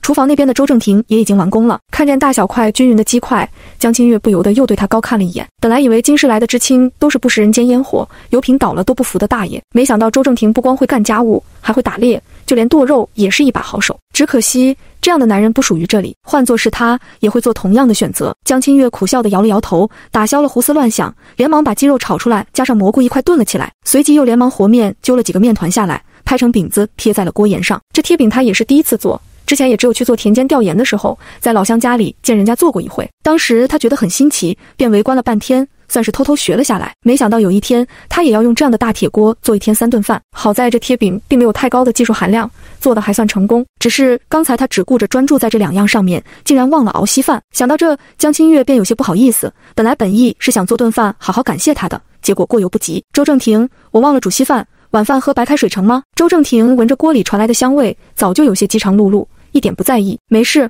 我那还有麦乳精，等下冲了喝便是。说着。周正廷便扭头去开了自己的柜子，从里面拿了一罐麦乳精，递给了江清月。这东西江清月在电视里见过，也知道在这年代能喝上麦乳精的都算是条件好的家庭了。就好比原主家，虽然在大队里生活条件算是好的了，但是平时也不会买麦乳精来喝。江清月略带好奇地接过麦乳精，随即拿起热水，用周正廷的碗给他冲了一碗。等饭菜上桌，周正廷看着江清月面前的一缸子的白开水，微微皱起了眉头。难道刚才自己没说清楚？他都把麦乳精整罐递给他了，他竟然还不肯给自己冲一碗？难不成是故意装可怜，获得自己的好感？周正廷敛了敛眸，想到自己今天已经做的已经出乎了自己的计划，若是再继续这样，这个女人只会越发得寸进尺，绝技不能让她有这种错觉。想到这，周正廷便收回目光，一言不发地吃起饭来。而对面的江清月似乎完全没有什么异样，见他尝了小鸡炖蘑菇，还有些紧张。味道如何？和你之前吃的是一个味吗？周正廷点了点头，味道是对的。其实严格上来说，比他之前吃过的任何一次小鸡炖蘑菇都要好吃。明明是一样的东西，家里也没有多少调料，怎么他做出来的味道就是可口一些呢？就连这贴饼也是软硬适中，让他吃完一个又忍不住接着拿起另一个。第十章。一起去上河宫。和他不同，江清月只吃了一个饼子便停下了手。他一直以来晚上都吃的比较少，再加上这饼子又是死面的，吃多了他怕晚上不好消化。刚才冲麦乳精的时候，一方面他的确是不好意思再吃周正廷的东西，另一方面也是因为他觉得这麦乳精太过甜腻，晚上喝的话估计要胖一圈不可。周正廷见他就吃了这么一点，就不再吃了。忍不住蹙起了眉头，就吃这么一点。江清月嗯了一声，这饼子大，我吃一个就饱了。你喜欢吃就多吃一点，不用管我。周正廷轻哼一声，好像谁稀罕管他似的。他只是看不惯这女人吃饭的样子，和猫一样吃两口就饱了。江清月，你之前不是嚷嚷着说要去上工吗？你就吃这么点饭，以后怎么有力气上工？江清月伸了个懒腰，正准备先去洗漱睡觉的，听到周正廷提到上工，不免诧异。现在冬天不是地里没活吗？等以后有了再多吃点也来得及。你不知道队里明天要去上河工，今天你娘没和你提？江清月呀了一声，还真是不知道。或许他娘压根就没想到自己要去上工，所以提都没提。江清月正愁着没机会挣粮食，一提到可以去上工，那点困意顿时无影无踪。明天就要去吗？有没有工分？发不发粮？周正廷见他刚才还像个猫似的打瞌睡，听见要去上工，突然就来了精神，不免觉得好笑。这女人从来没上过工的。怎么突然对这个感兴趣了？难不成真的是怕粮食不够吃？不过见他那么好奇，周正廷还是如实告知：这次挖的河道距离咱们大队不远，早上去，晚上回来，自己带干粮，一天一个人补助二斤粮食。除了粮食，工分也是有的。江清月一听，不光有粮食，还有工分，立马就心动了，便立马积极起来。那我们早点睡，明天我和你一块去上工。周正廷想也没想，便拒绝了。上河工的活累，你干不了。江清月不想放弃，随即问道：上河工都是男人去，没有女人吗？那倒不是。男女都有，那不就成了？别的女人能干，那我也能干。周正廷都有些后悔和他说那么多，万一明天去了干不了，也不知道他会不会做出什么出格的事，便出声警告：随便你，要去便去，到时候干不了别哭鼻子。江清月立马保证：你放心，到时候丢人也是我一个人，不会连累你的。为了上河宫，江清月特地早早睡了。又早早的起床，早上不光要做早饭，还要做中午吃的干粮。望着家里寥寥无几的食材，江清月打算早午饭都做玉米饼算了。拍好的玉米面饼用一点点油煎的干干的，就算是凉了，吃起来也不会觉得油腻，还带一点甜丝丝的味道。周正廷起来的时候，看到的就是他在外屋灶台前忙活着做玉米饼，昏黄的煤油灯映着灶堂里的火苗，很是温馨。锅里丝丝的油声和飘出来的缕缕香气，也让人心情大好。周正廷披上军大衣就去挑水，等水挑回来，江清月那边也忙活好了，指了指盆里用盐巴抓过的野鸡，和他商量，这两天天天吃鸡也有点腻了，这只我腌了，你帮着挂在屋檐下晒干吧，等冬天没菜的时候再吃。周正廷没意见。嗯了一声，就帮着去挂起来。江清月趁空把刚做好的玉米饼端上了桌，又喊道：“早上来不及熬稀饭，我给你冲一碗麦乳精，配着玉米饼喝吧。”好。周正廷刚洗干净手坐下，看见他又只冲了一碗麦乳精，终于没忍住问了句：“你不喜欢喝这个？”江清月不好意思地笑了笑：“我没喝过，谈不上喜欢不喜欢。既然你喜欢喝，就留着给你冲吧。”周正廷抿了抿嘴，拿起他的碗，舀了两勺麦乳精进去：“那就尝尝。既然他都主动给自己冲了。”江清月觉得再拒绝就有点矫情了，便端起碗尝了一口，一股浓郁的奶香味扑面而来，喝到嘴里更是滋味香甜。江清月原本以为自己不会喜欢这种甜腻的东西，没想到却意外的好喝，大概是这几天吃的太朴素了吧。肚子里实在也没有什么东西，大清早喝上一碗麦乳精，顿时觉得浑身暖乎乎的，和早上刚做好的玉米饼更是绝配。放下碗，不由得长长喟叹一声：“好喝。”周正廷见他哼哧哼哧的，一边吹着麦乳精，一边小口的喝着，眼睛满足的眯成了一条缝，嘴角不由得跟着上翘了翘。喜欢喝的话，你就冲着喝呗，喝完了我再去买，下回我来买吧，不然老是喝他的也不好意思。江清月话音刚落，周正廷就没忍住轻笑出声：“怎么了？这个要多少钱一罐？八块啊。”这么贵，江清月知道这东西贵，但没想到这么贵。想着手里仅有的二十块钱，忍不住肉疼。不过话都说出去了，江清月也不打算赖。那等我攒了钱再买，在那之前我们省点喝。周正廷迟疑了一下。没想到这姑娘这么实心眼，不光是贵，这东西还要糖票，你有吗？江清月深受打击，在现代从来没有为吃穿发愁的她，竟然会被一罐麦乳精给难住了，不由得微微叹了口气。我现在喝多了，觉得好像也就一般，我还是更喜欢喝白开水。见他突然又改了口，还一副认真的样子，周正廷突然胸腔震动了起来，像是在强忍着才没笑出声来。江清月不满地白了他一眼，很好笑吗？周正廷连忙压制住嘴角，摇了摇头，没有没有。吃完早饭，两人简单收拾了下，就准备出发去上工。临出门前，周正廷见他连副手套都没有，想要提醒，但是转念一想，那玩意好像也只有女知青会戴，村里的人从来没见过谁下的戴过，便只好作罢。反正他兴许只是心血来潮去看看，到了地方被吓退也是极有可能的。第十一章，好像挺关心你的。这次上工的河道在村里的外围，大概要走个三四里地的样子，因为近，村子里便也没有先集合。而是直接到了河边，再安排分工。等江清月跟着周正廷一前一后的到了目的地，恰好看到了爹娘、三个哥哥和大嫂几人，也同时看到了江清月。王秀芝吓得脸色都变了：“月，你咋来了？娘，我来上工。瞎胡闹！你哪能干得动这个？赶快回去！娘，我想试试。见闺女坚持，也不像是来闹着玩的。”一旁的江宝业就开了口：“既然清月想干，你就让她试试。”大队里的女人来了大半，我闺女怎么就不行了？他倒是觉得闺女结过婚以后，一直在往好的方面去改变。作为父母，不能拖她的后腿。王秀芝见当家的都这么说了，也不好再说什么，只得嘱咐江清月：“等下你跟着我们一块干，大家能相互帮衬着点。”江清月求之不得，连忙答应了下来。随后问道：“娘，你年纪大了，怎么还来干这么重的活？”提到这个。王秀芝就气不打一处来，还不是你二嫂耍滑头，早不疼晚不疼，偏偏要出门上河工了，说是肚子疼，我就让她今天留在家里看孩子了。闻言，江卫民不好意思的挠了挠头，娘，你别气，等我回去再说说他。没过多久，大队里该来的人都到齐了，江宝业喊了一声，众人就开始准备干活。江清月也连忙跑去和周正廷打了招呼，我留着和我娘他们一块干，你等晌午来找我吃饭吧。周正廷没多说什么，嗯了一声，就扭头去找其他知青搭伙了。这次上河工，大队里的男知青都来了。女知青倒是没看到一个。挖河的分工很明确，清淤、挖泥和拉车子的活是最重的，一般都是男人来干。女人一般分到的都是装车或者推车的活计。江清月干的就是装车的活，把几个哥哥清理出来的淤泥往车上装。为了让妹妹能轻松点，几个哥哥挖的时候已经尽量把泥往岸上甩了。可即便如此，干了一上午的江清月还是累得快受不了了。她自认自己也不娇气。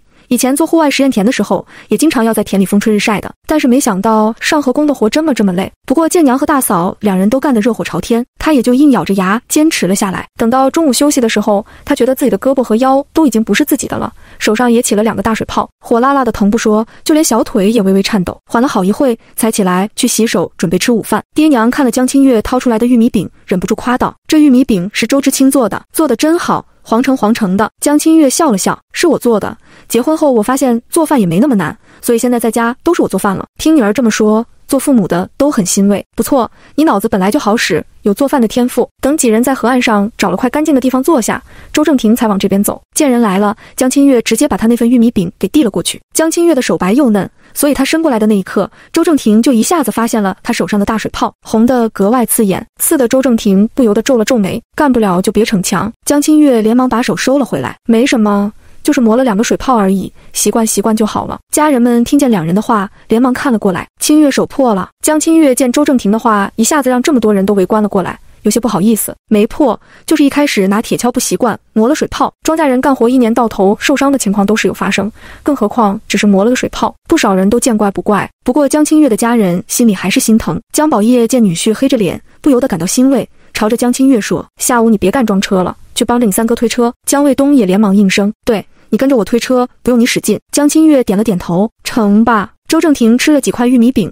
猛灌了几口水。随即不见了踪影。等到开口的哨子再次响起后，这才突然又跑了过来，丢下了一双半新不旧的白手套给江清月。一会戴上这个，江清月感激地笑了笑：“你从哪里弄来的？谢谢呀。”周正廷咂了咂舌：“我是怕你手破了不能洗碗。”江清月看见两人的互动，江卫东笑嘻嘻地围了上来：“小妹，这个周知青看着好像也不错呀，对你挺关心的。”江清月干笑两声：“还可以。”等一车淤泥装好，江卫东便在前面拉，江清月在侧边推车。从河道上坡，速度必须要快，稍稍慢了可能就要滑下来。江清月不敢松懈，只得憋着一口气使劲往上推，一连运了好几车。正当江清月觉得自己稍稍摸到了一点点窍门的时候，却突然一个打滑没站稳，在上坡的时候突然滑了一跤。娘家人见状，纷纷丢下手头的活围了上去。月儿，没事吧？怎么摔倒了？其实江清月并没有摔疼，河道上都是烂泥，倒是身上的衣服已经脏得不能看了。只是突然摔得这么狼狈，再有这么多人围观，江清月一下子就尴尬了，连忙站了起来。没事没事。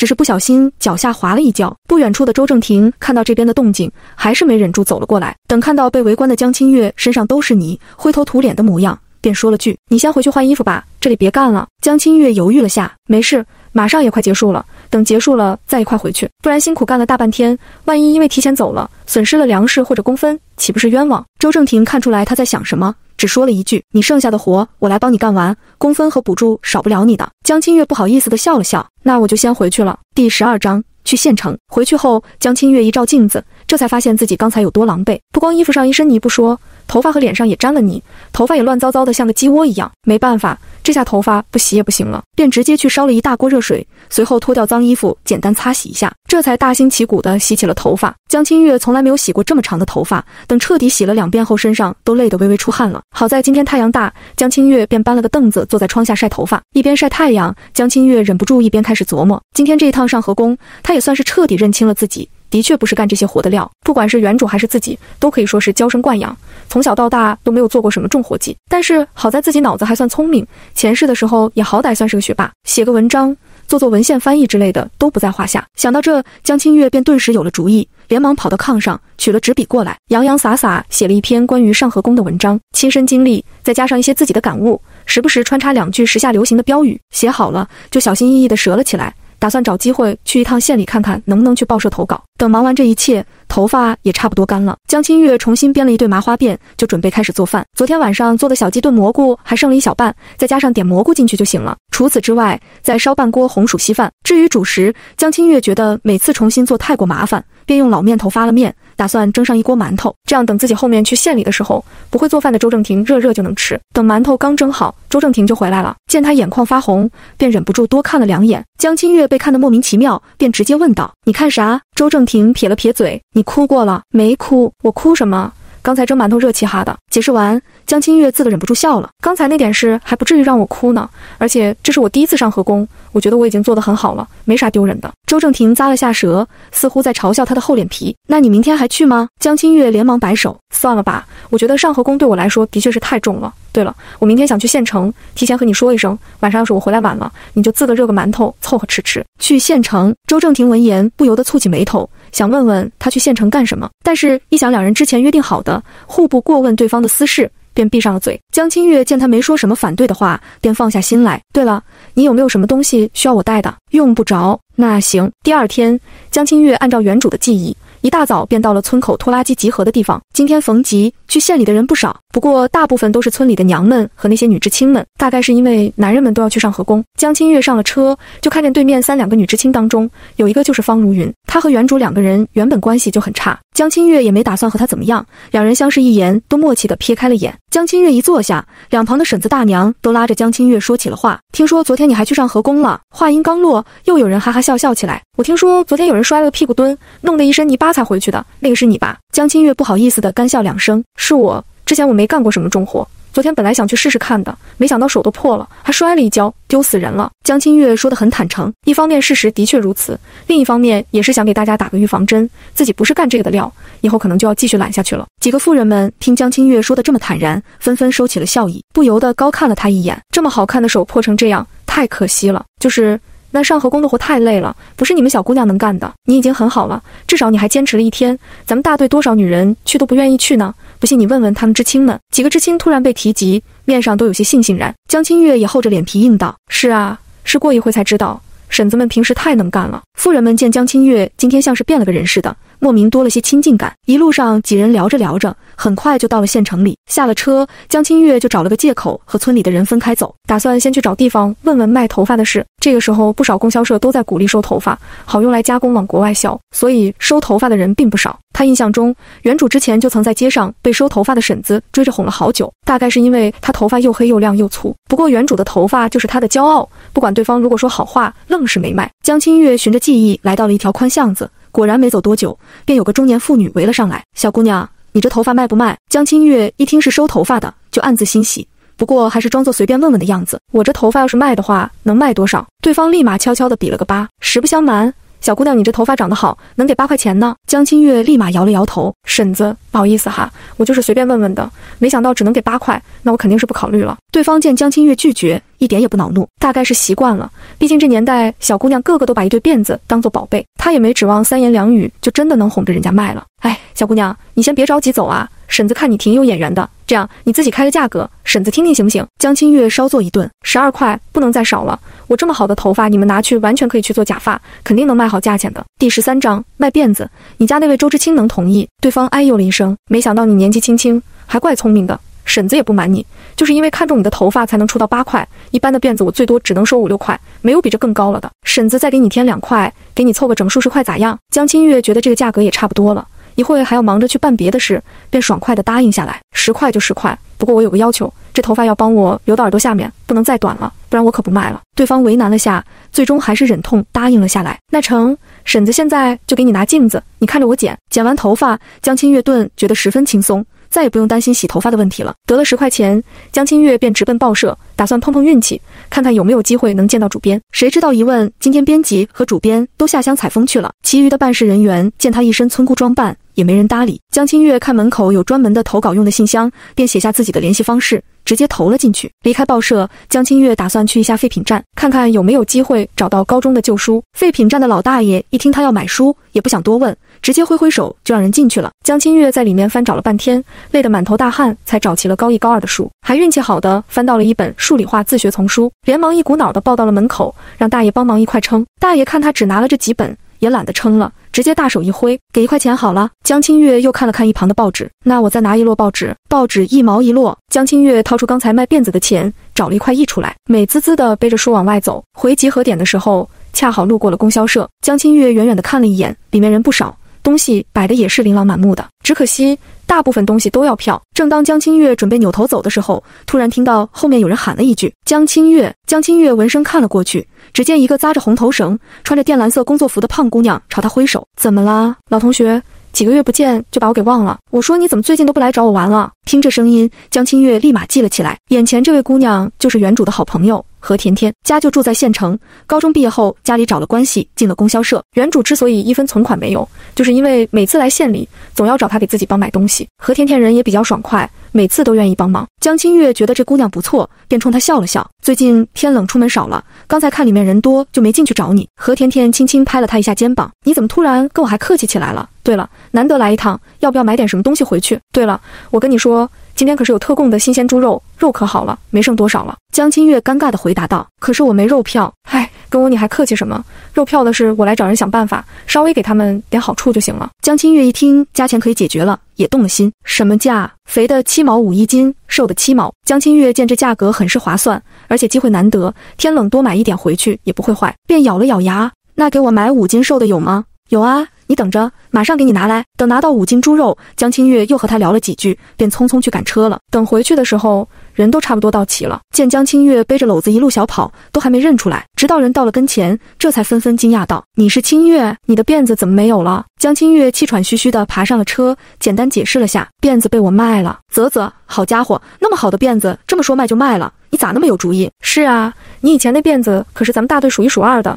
怎么突然就卖了？你家那位周知青能同意？江清月尴尬地笑了笑，那有什么不同意的？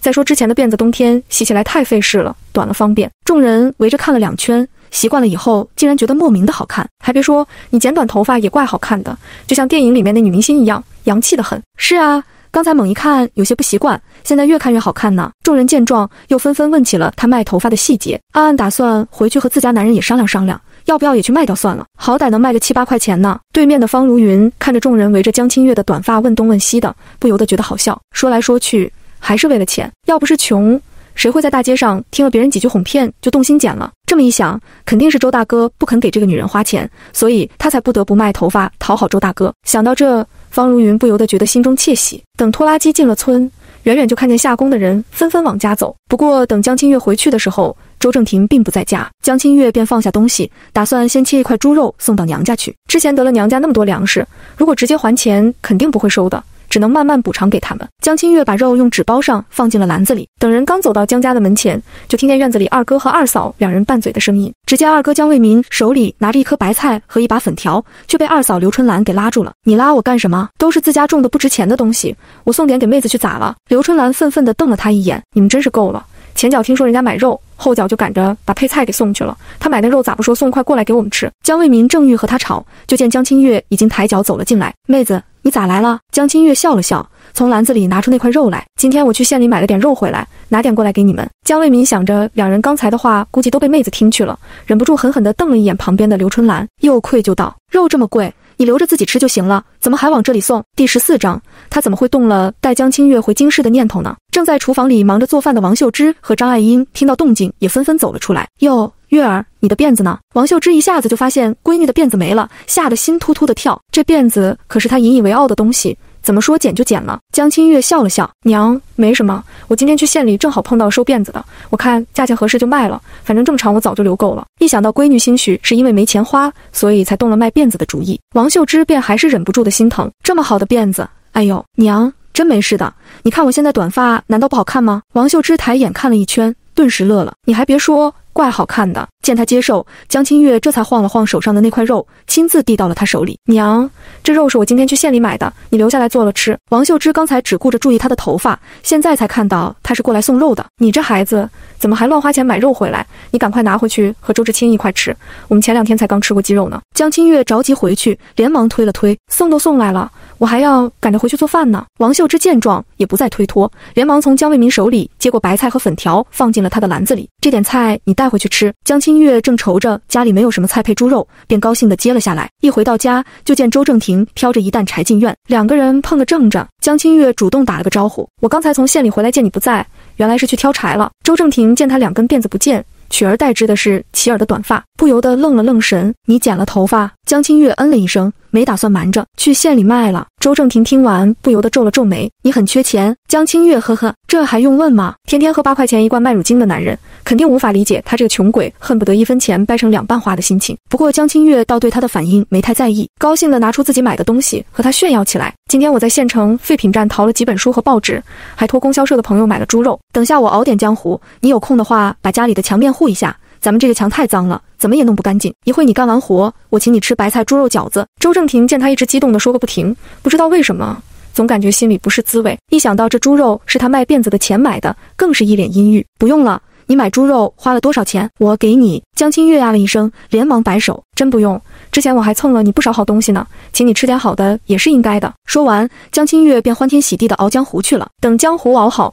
周正廷也没再说什么，开始满屋子的糊起墙来。而江清月呢，也洗干净手，舀了两勺白面，准备和面擀饺子皮。周正廷听着他一边哐哐哐剁肉，一边嘴里哼着小曲，而自己呢，一边闻着香味，一边糊着墙，不知不觉心情也跟着轻快了起来。等墙糊好，江清月忍不住发出一声赞叹：“周正廷。”这还是咱们的家吗？看起来完全变了个样，像个新房子似的。周正廷见他那么容易满足，不由得觉得好笑。这样的条件，就算是新房，那他到了京市，指不定要稀奇成什么样呢？等周正廷反应过来自己这个念头时，也不由得吓了一跳。他怎么会动了带江清月回京市的念头呢？江清月这会已经把饺子盛了出来，见他还在发愣，便忙喊道：“周正廷，你发什么愣呢？”赶快下来洗手吃饺子了。周正廷嗯了一声，连忙灰溜溜地跳下炕来。江清月包的饺子虽然简单，只有猪肉白菜，还有一点点盐巴，但是吃起来却格外的鲜美。周正廷一口气便炫了一盘。江清月自己也是没想到，什么调料都没有的饺子，竟然也能有这么好的滋味。看来还是因为条件太差了，难得吃顿猪肉都格外的香，不由得感慨一声：要是以后天天能吃饺子就好了。周正廷吃了一声，天天吃饺子也会腻的，你就没能有点别的追求？江清月暗暗在心底给他翻了个白眼。他的追求多了去了，他吃过的好吃的也比他多了去了，只是现在不是条件不允许而已。吃完晚饭，江清月便小心翼翼地用拧干水的帕子擦起了今天买回来的书，擦干净后又抚平了折损的页角，这才仪式感十足地开始看书。周正廷看着他这一连串的动作，十分的不解：“你这看的是高中的书？”江清月嗯了一声：“对了，等你空的时候也一起看看吧。”就当复习复习了。周正廷一头雾水，看高中的书干什么？江清月想了想，转过头认真的看向他。今天我在县里听有人在说，以后有恢复高考的可能。反正我也不是干活的那块料，我就想着读书试试看，万一我要是这块料呢？周正廷蹙起眉头，你听谁乱说的？道听途说的消息，你怎么能听风就是雨呢？你先别着急否定，其实仔细想想，我觉得还是有这个可能的。这话你出去可不要乱说。我知道，我就只和你一个人说过。周正廷，你想想，万一要是真的恢复高考，你回城的事就稳了。周正廷怔了一瞬，虽然很难接受，但态度明显缓和了下来。八字还没一撇呢，以后再说吧。别呀，这样吧。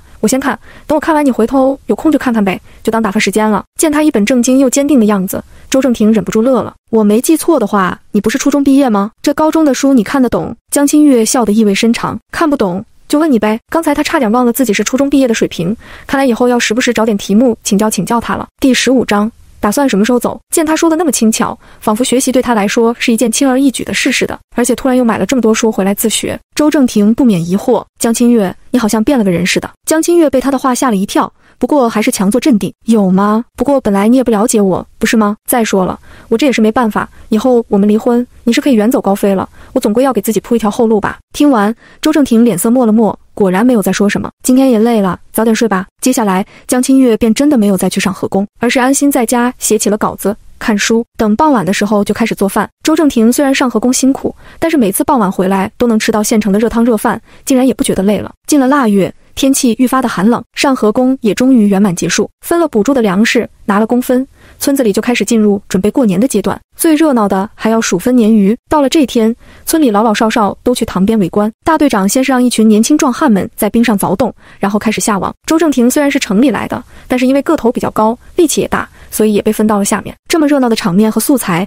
江清月也自然不会错过。正当他在岸上看得津津有味的时候，方如云不知何时站到了他身侧。江同志，再过不久，我和周大哥就要回京市了，你会跟着我们一块回去吗？江清月侧过脸。见来人是方如云，不由得蹙起眉头。他这话里话外的意思，说的好像自己是外人一样。虽然是事实，但就是莫名的令人不爽。况且明明知道自己和周正廷刚刚结婚，金氏那边还不知道情况，根本不可能这么贸然过去的。明知故问，纯粹是过来给自己找不痛快的，便故意回了句：“最近白天晚上都太忙了。”我和郑婷还没来得及商量呢，说完还回了个蜜汁微笑给他。方如云咬了咬牙，差点脱口骂了出来。见周正廷拎着分好的鱼过来，便连忙重新换上笑脸。周大哥，昨天收到家里的来信。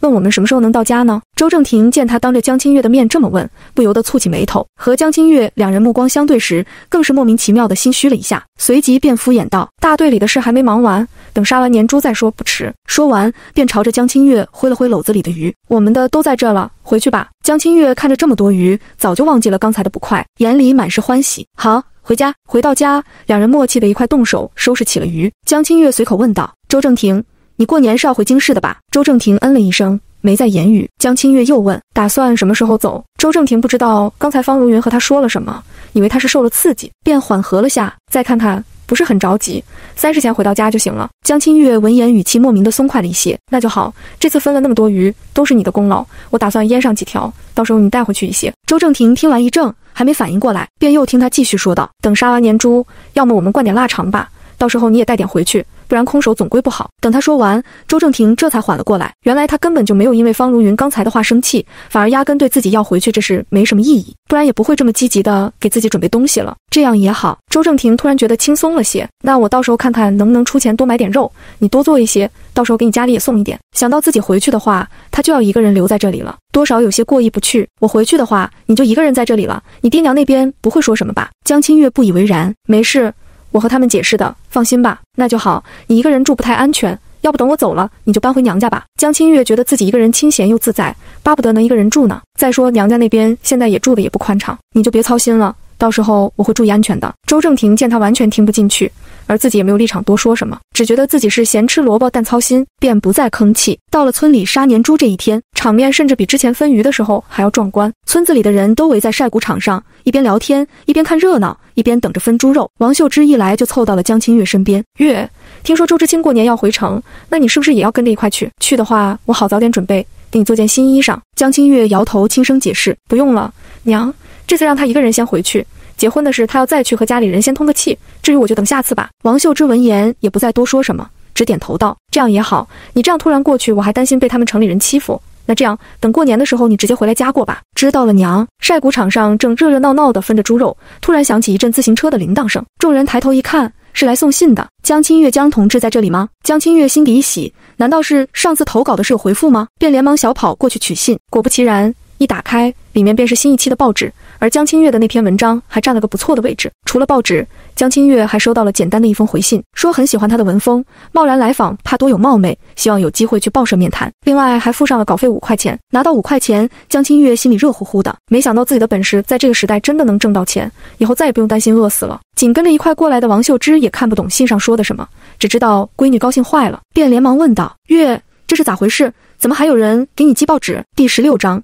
文章刊登了，江清月没打算瞒着自己投稿的事，便如实解释道：“之前我写了篇文章，拿到县里报社投稿，被选中了。现在文章刊登了，这是寄来的稿费。”王秀芝大吃一惊：“啥？你写的文章上报了？乖乖！”说完，王秀芝便连忙将丈夫江宝业给叫了过来。当着这么多人的面，江清月有心低调也来不及了。霎时间，江宝业就带着江清月几个哥哥一块围了过来。当家的，你快来看看，刚才送信的说清月写的文章被选中了，还上了报，还有稿费呢。你看看是不是骗子？王秀芝还处在不可置信当中，江宝业也好不到哪里去。这个女儿她是知道的，之前上学的时候。水平也就是个中等，怎么么可能有这么大的本事？不过等他仔细看完来信，又看了看江清月写的那篇文章，的确写的是他们大队发生的真实事情，脸上的疑惑顿时化为狂喜。的确是清月写的文章登报了，写的都是咱们大队上河工的那些事。江宝业这一喊，立马惹得其他人纷纷围观起来。江宝业觉得自己脸上有光，逢人问便挨个解释起来，弄得江清月很不好意思，但又不得不谦虚地站在一旁任人围观。这送信的也是的。早不来晚不来，偏偏赶到全村人都在的时候来。早知道他就先不拆开了。周正廷看到这边的动静，也没忍住过来查看。江宝业见他来了，连忙把信递了过去。正好清月他娘怕他一个人去报社不放心，你是知识分子，跟着一块过去看看，我们也放心。周正廷看完后，眼底闪过一丝诧异，不过很快就掩饰了下去。行，正好我要买车票，明天我带清月一块去县里。等分完猪肉，周正廷又掏腰包自己多买了一些，打算带回家做腊肠，因为家家户户都分了肉。所以不到天黑，村子里便飘香四溢，到处都是肉的香味。江清月也打算趁机解解馋，便和周正廷商量，要不然晚上做碗红烧肉吧。周正廷也正有此意，两人一拍即合，江清月便痛快地割了一块五花肉下来，切成方块，凉水下锅煮开后，用热水冲洗干净，再重新下锅翻炒。虽然只有一点点糖和盐，但不知道是不是因为这时候的猪肉都是吃草长大的。煮出来的肉很香。为了配合红烧肉，江清月还特地蒸了两大碗白米饭。江清月难得吃了大半碗的米饭，剩下的都让周正廷给解决了。第二天，考虑好今天要正式去见主编，江清月出门前特意收拾了一下棉袄，外面又套了件列宁装，又找出一对红色的发卡，把短发乖巧地别在了耳朵后面，再戴上围巾，还真有一副知识分子的感觉。周正廷见他在镜子面前照了半天，忍不住催促：“你是去谈写文章的？”又不是去相亲，江清月不以为然地哼了一声：“你懂什么？第一次见面要给人家留个好印象，这样以后合作才能顺利。我是怕去晚了，拖拉机上就没位置了。”江清月这才立马跳了起来：“那赶紧走吧。”等两人走到村口集合点的时候，拖拉机上果然几乎已经坐满了。知青们刚放了假，都打算在今天去县里买火车票，顺便再买点特产什么的带回城。几个知青见周正廷来了，连忙往里面挤了挤。周知青，快，这里还有点空，过来挤挤吧。周正廷用眼神瞄了一眼。觉得两个人勉强应该能坐下，便让江清月先上去，自己再坐在最外面。因为车上太满，两人不得不紧紧地靠在一起。好在冬天穿的厚，棉袄靠棉袄也不觉得尴尬。哪知车子突然开动，江清月还没坐稳，便突然一个趔趄往后仰，被周正廷连忙给拉了回来。谢谢呀，抓稳了，小心点。两人的互动明明就一瞬间的事，却被旁边其他几个男知青给看得一清二楚。周知青，你抓紧你媳妇啊，一会路上更颠。就是。知道你们感情好，不用顾忌我们，不好意思，都是血气方刚的年轻人，开几句玩笑也无伤大雅。只是坐在另一边的女知青倒没有那么放得开了，尤其是方如云，见到两人那么亲密的靠在一起，心里更不是滋味。所以当男知青问周正廷是不是打算带江清月回城过年的时候，便立马忍不住跳了出来。周大哥的家里还不知道两人结婚的事，怎么能突然这么带回去呢？阿姨若是知道了，估计这个年都气得吃不下饭了。方如云的话音刚落，周正廷便面色一沉，声音透着一股子寒气：“这是我的家事。”和你无关。方如云被当众呛得一噎，脸色也顿时红了个透，咬唇委屈道：“我只是好心。”其他知青见周正廷脸色难看，也都纷纷劝了起来。都是一个知青点的，随便聊聊而已，不用放在心上。就是别伤了大家的和气。江清月坐在周正廷和大家中间，尴尬地说：“也不是，不说也不是。”便只好低头装哑巴。原本以为周正廷不会再吭气，没想到他过了一会，继续朝刚才那个提问的男知青回声道：“我和江同志才刚结婚，这次来不及准备，等下次再一块回去。”江清月一怔，不明白他这话是什么意思，是单纯的为了气方如云，还是给自己解围？江清月本来就不在乎别人的笑话，不过他这么说了，好歹也能暂时堵住别人的嘴。他求之不得。等到了县城，周正廷下车后，还顺手扶了一把江清月，随即便带着他往县里走。你们看，周正廷结完婚，果然是不一样了。以前哪见过他这么贴心？看来两人的关系真的还不错。我觉得也是。要不然怎么会陪他一块来县里呢？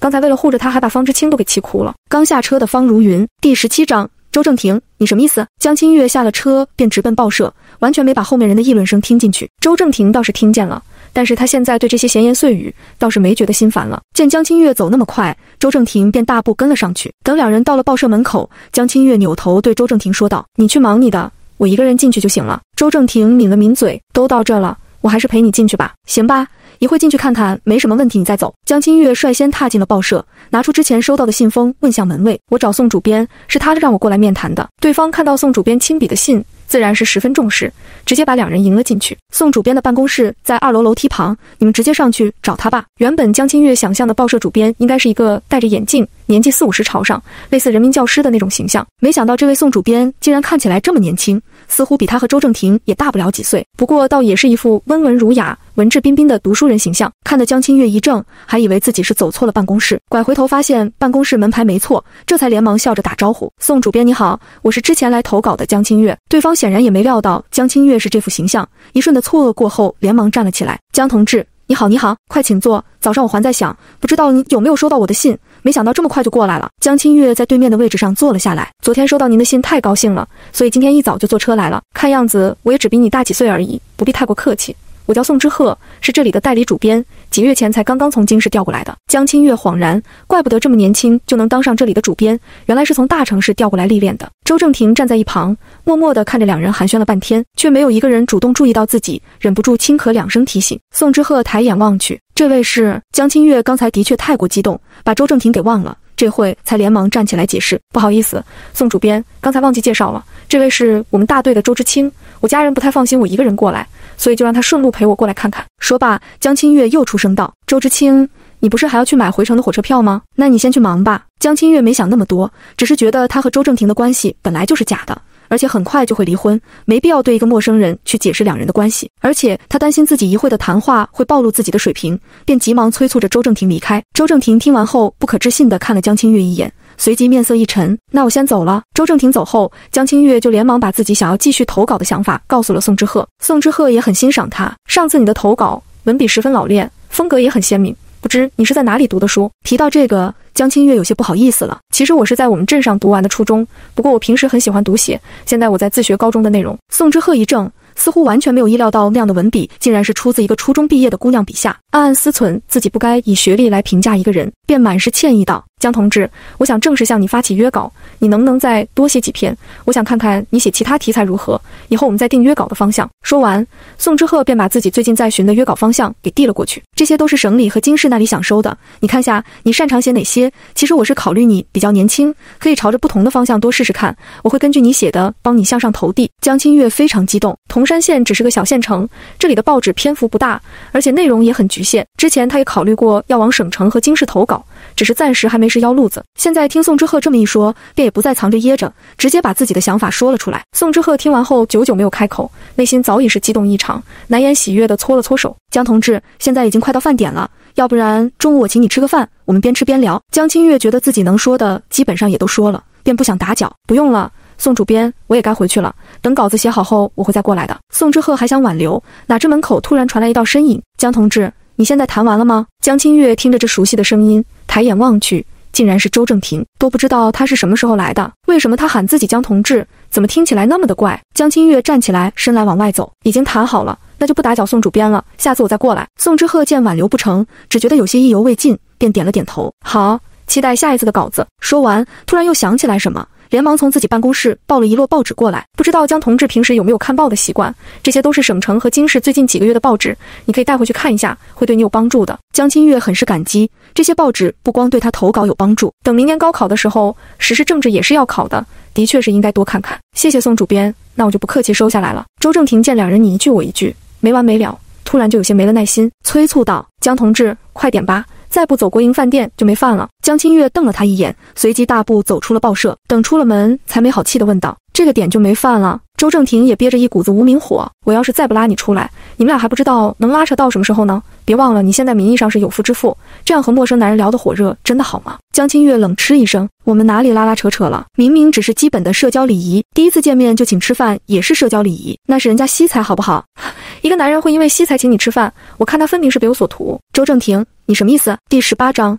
我们已经结过婚了。江清月的一声质问，立马让他清醒了过来。周正廷这才猛地醒悟，他刚才是怎么了？怎么搞的？好像是拈酸吃醋的小媳妇一样。刚才他站在门口，见两人有说有笑的，就忍不住来气。还有刚才江清月说是自己只是同一个大队的知青时，更是恼火。这一发现让周正廷暗自懊恼不已。江清月，你别想太多，我只是提醒你注意下分寸，毕竟流言蜚语猛于虎。江清月撇了撇嘴，我知道了。以后会注意的。周正廷暗暗松了口气。今天谈的如何？约稿还算顺利吗？嗯，还行，挺好的。后面回去我再继续努力。江清月，你写稿的本事是和谁学的？这还用学吗？都是自己脑子里琢磨的呗。江清月不想继续这个话题，便连忙转移道：“对了，今天你特地陪我过来，我请你吃饭吧。”周正廷勾了勾唇：“你有票吗？”江清月大受挫败：“我带钱了，要么我出钱，你出票。”周正廷嗤了一声：“用不着。”带你吃饭的钱还是有的，跟我走吧。等两人步行来到国营饭店，还没进门，便有一阵阵香味从里面飘了出来。第一次进来，江清月还有些摸不清楚怎么点餐，便晕晕乎乎的被周正廷带到了窗边的一张桌子边。你先在这坐着占位，我去排队点饭。你想吃什么？我也不知道这里有什么。算了，那我看着点吧。反正你也不挑。江清月坐在桌边，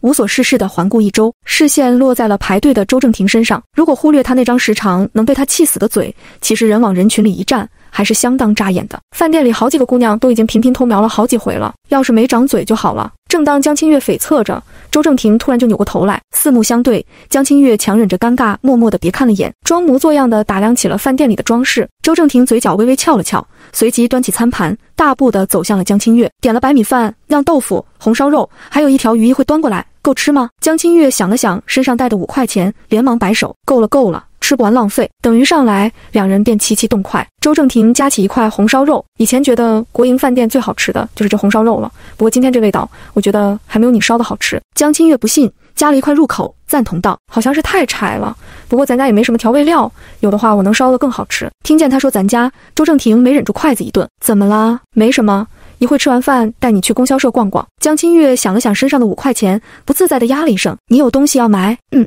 反正现在车子还没到点，你快去看看呗。”好吧。江清月打算回去后把身上的五块钱给周正廷，就当是请他吃这顿饭了，便暗暗下了决心：一会去了供销社，绝对不买东西了。哪知两人刚进供销社，周正廷便直接走到柜台前，给我拿一盒麦乳精。江清月默默心疼：“你马上就走了，暂时就不要买了吧。”没事，我不在的时候。你要是懒得做早饭，也可以冲着喝。江清月一怔，他这是买给自己的。周正廷什么时候变得这么关心自己了？当着这么多人的面，江清月也不好意思说太多，只想着回去的时候再和他算账平分吧。要完麦乳精。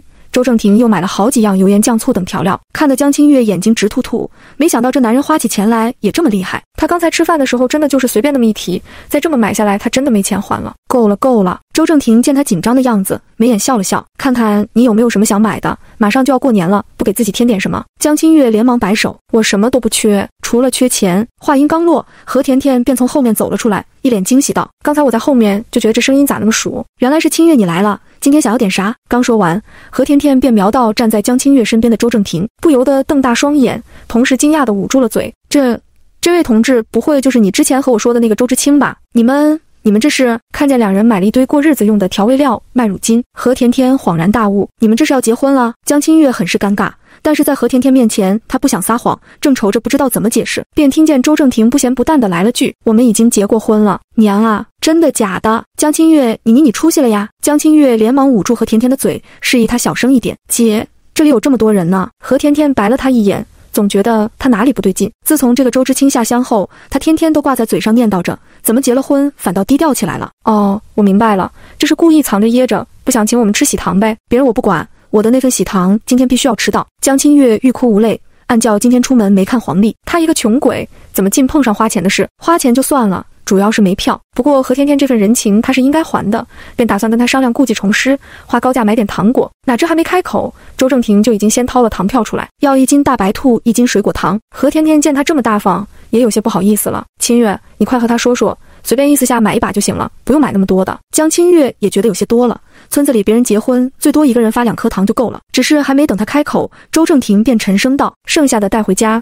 留你慢慢吃。”第十九章，干嘛突然对自己这么关心？话音刚落，何甜甜便一脸羡慕地看向江清月：“清月，真羡慕你。”嫁个好男人，江清月干笑着扯了扯嘴唇，还没开口，便又听见何甜甜继续说道：“对了，马上就要过年了，咱们供销社刚从沪市来的红色呢子大衣可好看了，要不要看看？咱们的县一共可就来了两件货，要不是我太胖了穿不上，我砸锅卖铁也要买的。”见何甜甜一边说，还一边给自己使着眼色，江清月顿时明白，她这是要宰周正廷啊！可真是她的好姐妹。这一次，江清月说啥也不愿意。坚决拉着周正廷要走，我看时间也不早了，我们怕晚了回大队的车子就要走了，下次我们再过来啊。周正廷站在没动，看看呗，不看了，我现在又不缺衣服穿，再说呢子大衣在乡下不合适，不方便干活，我是真的不想要。看江清月急得都快哭了，周正廷当然明白他是担心什么，一件呢子大衣送他也不是送不起，只是两个人的关系的确不太适合，便点头同意了下来。那就看看别的。你们这有没有围巾？这里的冬天太冷。周正廷见江清月一直围着同一条围巾，便突发奇想，想要给她换一条。有的，有的。何甜甜连忙从柜台上取了一条红色的围巾，你摸摸这围巾多暖和，绒乎乎的。清月皮肤白，戴红色最好看。江清月本想拒绝，但看了一眼那围巾挺漂亮的，想着衣服买不起，一条围巾还买不起吗？便问道：“这围巾多少钱一条？六块，不要票啊。”什么围巾这么贵？羊绒的，你摸摸能戴好几年呢。江清月微微叹了口气，已经算不清楚今天一共花了多少钱了。但一想到接下来马上要接的稿子，还是咬牙点了头，就要这个吧。等买好围巾，何甜甜直接帮着江清月戴好。啧啧，真好看，这围巾太适合你了。要不要再看看别的？闻言，江清月连忙拉了拉周正廷的胳膊：“甜甜，我们真的要赶不上车了，下次我再过来找你玩哈。”说完，便强行拉着周正廷跑了出去。一出门，江清月便连忙松开了手，面露尴尬：“刚才我钱没带够，等回去咱俩再一块算。”周正廷用舌尖顶了一下腮帮子：“回去再说。”等两人快步来到集合点，几个知青都已经陆陆续续上了车。见周正廷手上提着的东西，还有江清月脖子上红得让人挪不开眼的围巾，忍不住纷纷问道：“你们这是买了多少东西呀？”这围巾真好看，你们是在哪买的？和众人的好奇不同，方如云见两人买了这么多东西，只觉得怒从心来，仿佛就跟花了他的钱似的，恨不得直接把江清月的围巾扯下来戴在自己脖子上。但是来的路上他已经得罪过一次周正廷，现在再开口只会自讨无趣，便偷偷使了个眼色给身边的同伴。那人很知趣地问了一句：“周知青。”你票买好了吗？什么时候的火车票？周正廷脸眸道：“二十七走。”说完，不自觉地看了一眼江清月，却见他好像一点反应都没有似的，低头在想着什么。而一旁的方如云不由得暗自窃喜，刚才他纠结了半天才买了二十七的，没想到真的被他给猜对了。其实江清月也听到了几人的谈话，不过他对周正廷哪天走并没有太在意。现在他一门心思就在算他那点账，之前王秀芝给他的二十，加上卖辫子的十块。还有稿费五块，一共身家就三十五块。第一次去县城买猪肉花了三块五，买书买报花了一块一。今天两人在国营饭店吃饭，差不多要五块。麦乳精八块一罐，一半就是四块。乱七八糟的调味料一半是两块九。糖果一共两块五，围巾六块。光是今天这一趟就花了二十块四毛。等回去把这些钱给周正廷，自己手上全部就剩下十块钱了。年前他还要去县里交一次稿，赶上年关，这些稿子寄到京市和省城，估计最快也要年后才能拿到稿费吧。也就是说，他要靠这十块钱过个年了。也罢，反正周正廷不在，他一个人也好凑合。周正廷见江清月眉头微皱着在想事情，却完全猜不透他在想什么。不都说女人喜欢逛街买东西吗？怎么今天买了这么多东西，他还是不高兴？难不成是嫌自己走得太早了？担心一个人在家害怕，两人一路上都没说话，一直到下车回到家。江清月第一件事就是把自己的钱给找了出来。周正廷，今天的午饭说好是我请你的，麦乳精和调味料咱俩一人一半，再加上糖果围巾，我一共欠你二十块四毛，这里正好，你看下，就是那个票，我现在还不了你，等以后有了还你。周正廷正高兴地收拾着东西，听他这么说，顿时觉得一盆凉水泼了下来。你一定要算这么清吗？江清月呀了一声，现在能算清楚的话，还是算清点好，以后时间久了怕算不清了。周正廷抿了抿。嘴不用给那么多，围巾算我送你的，午饭也是我说要请你的，就当你给我做腊肠的手工费了，其他一人一半。江清月想也没想便拒绝了，灌点腊肠不算什么，况且你还说要留点送我家人的，足够了。周正廷没忍住被气笑了，行，那以后还是算清楚点吧。从县城回来，江清月便忙着在家写稿做腊肠，空闲的时候都在读书看报。大队里放假。周正廷却整天鲜少在家，不是上山套野鸡，就是蹲坑打狍子。江清月见他天天往家带东西，还以为他是准备带回城里的，便都帮着一块烟上挂了起来晾干。没想到过了两天，他又开始往家里搬米面粮油，还有鸡蛋。江清月看得发懵，你又不在这过年，买这么多东西干啥？我这两天吃不行吗？吃得完吗？明天你就走了，吃不完。留着我过完年回来吃呗。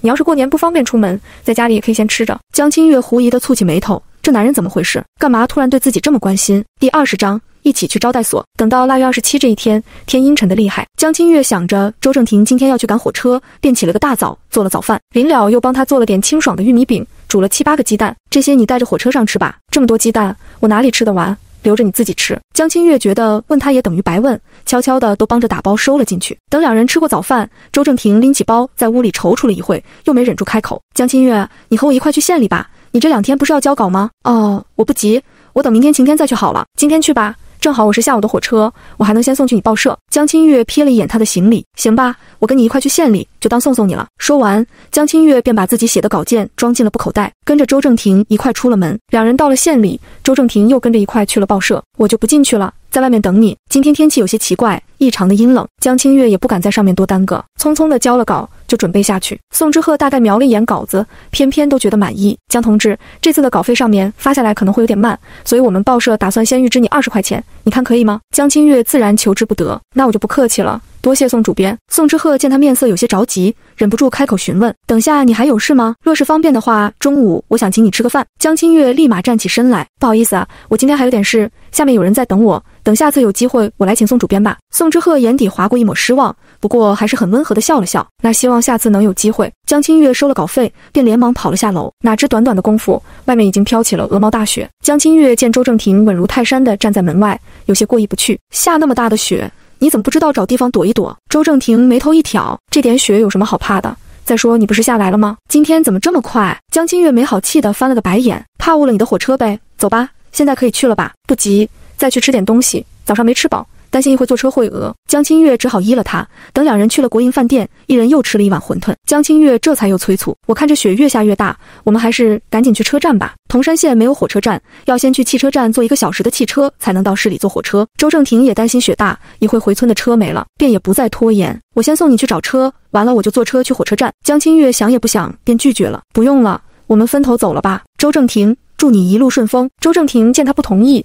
取下头上的帽子，递给了他，戴上这个。你那车没有棚。江清月这次没再拒绝，出了门便大步往集合点走去。周正廷见他背影，没有一丝犹豫，也拎起手边的行李，大步往车站走去。刚才江清月也是担心回村的车子没有了，所以才特别着急。出了国营饭店，便往集合点跑。哪知去到时候，村里的拖拉机早就已经开走了，不由得暗自懊悔，一定是村里人怕雪下的太大不好走。所以提前回去了。刚才他和周正廷一块提着行李出来的，估计以为他也要去赶火车呢。早知道应该打个招呼就好了，但懊恼也没用。现在雪越下越急，只能先避一避，等一会雪小了再想办法回去。想了想去处，江清月便打定主意去供销社找何甜甜。万一真的雪下太大回不去，晚上也能跟他挤一挤。正当江清月在路上走着，突然马路对面有人喊了自己一声：“江清月！”江清月抬眼一看，竟然是周正廷。你不是去车站了吗？雪下的太大了，路上不好走。车都停了，那怎么办呀？你下午还要赶火车呢。没事，明天再回去就是。反正三十还没到。江清月无法理解他这随性的松弛感。那什么，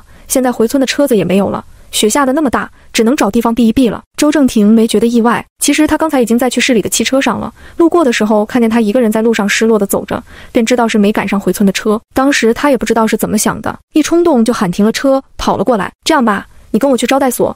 反正我也要坐明天的车，就不回村了。我们去那避避雪再走。江清月呀了一声，似乎有些纠结。那有什么？不是和回家一样吗？江清月想想也是，之前两人在一个屋檐下生活了这么久，一起去招待所又怎么了？等两人来到招待所，周正廷连忙掏出出门用的介绍信，开了一间房。原本江清月还不觉得冷。等一进了房间，这才发现刚才自己脸都已经冻僵了，直到现在才慢慢暖和，恢复了知觉。周正廷见他身上的衣服被雪浸的都湿了，连忙从行李里拿出自己的干净衣服：“我出去弄点热水，你先把外面湿的衣服脱了，换上干的，免得着凉。”说罢，周正廷便连忙出门去楼下要了热水上来，又花钱让招待所给煮了一小锅姜汤。再回去时，江清月已经换好了衣服，坐在床边，就是脸色还有些发白。周正廷连忙盛了一碗姜汤给他：“快喝下去，暖暖。”要是着凉就麻烦了。江清月老老实实接了过来，小口吹着喝完了一碗姜汤下肚，江清月顿时觉得浑身暖洋洋的，甚至还起了瞌睡。周正廷见状，贴心的把被子抱了过来，要么你进被窝睡一会吧，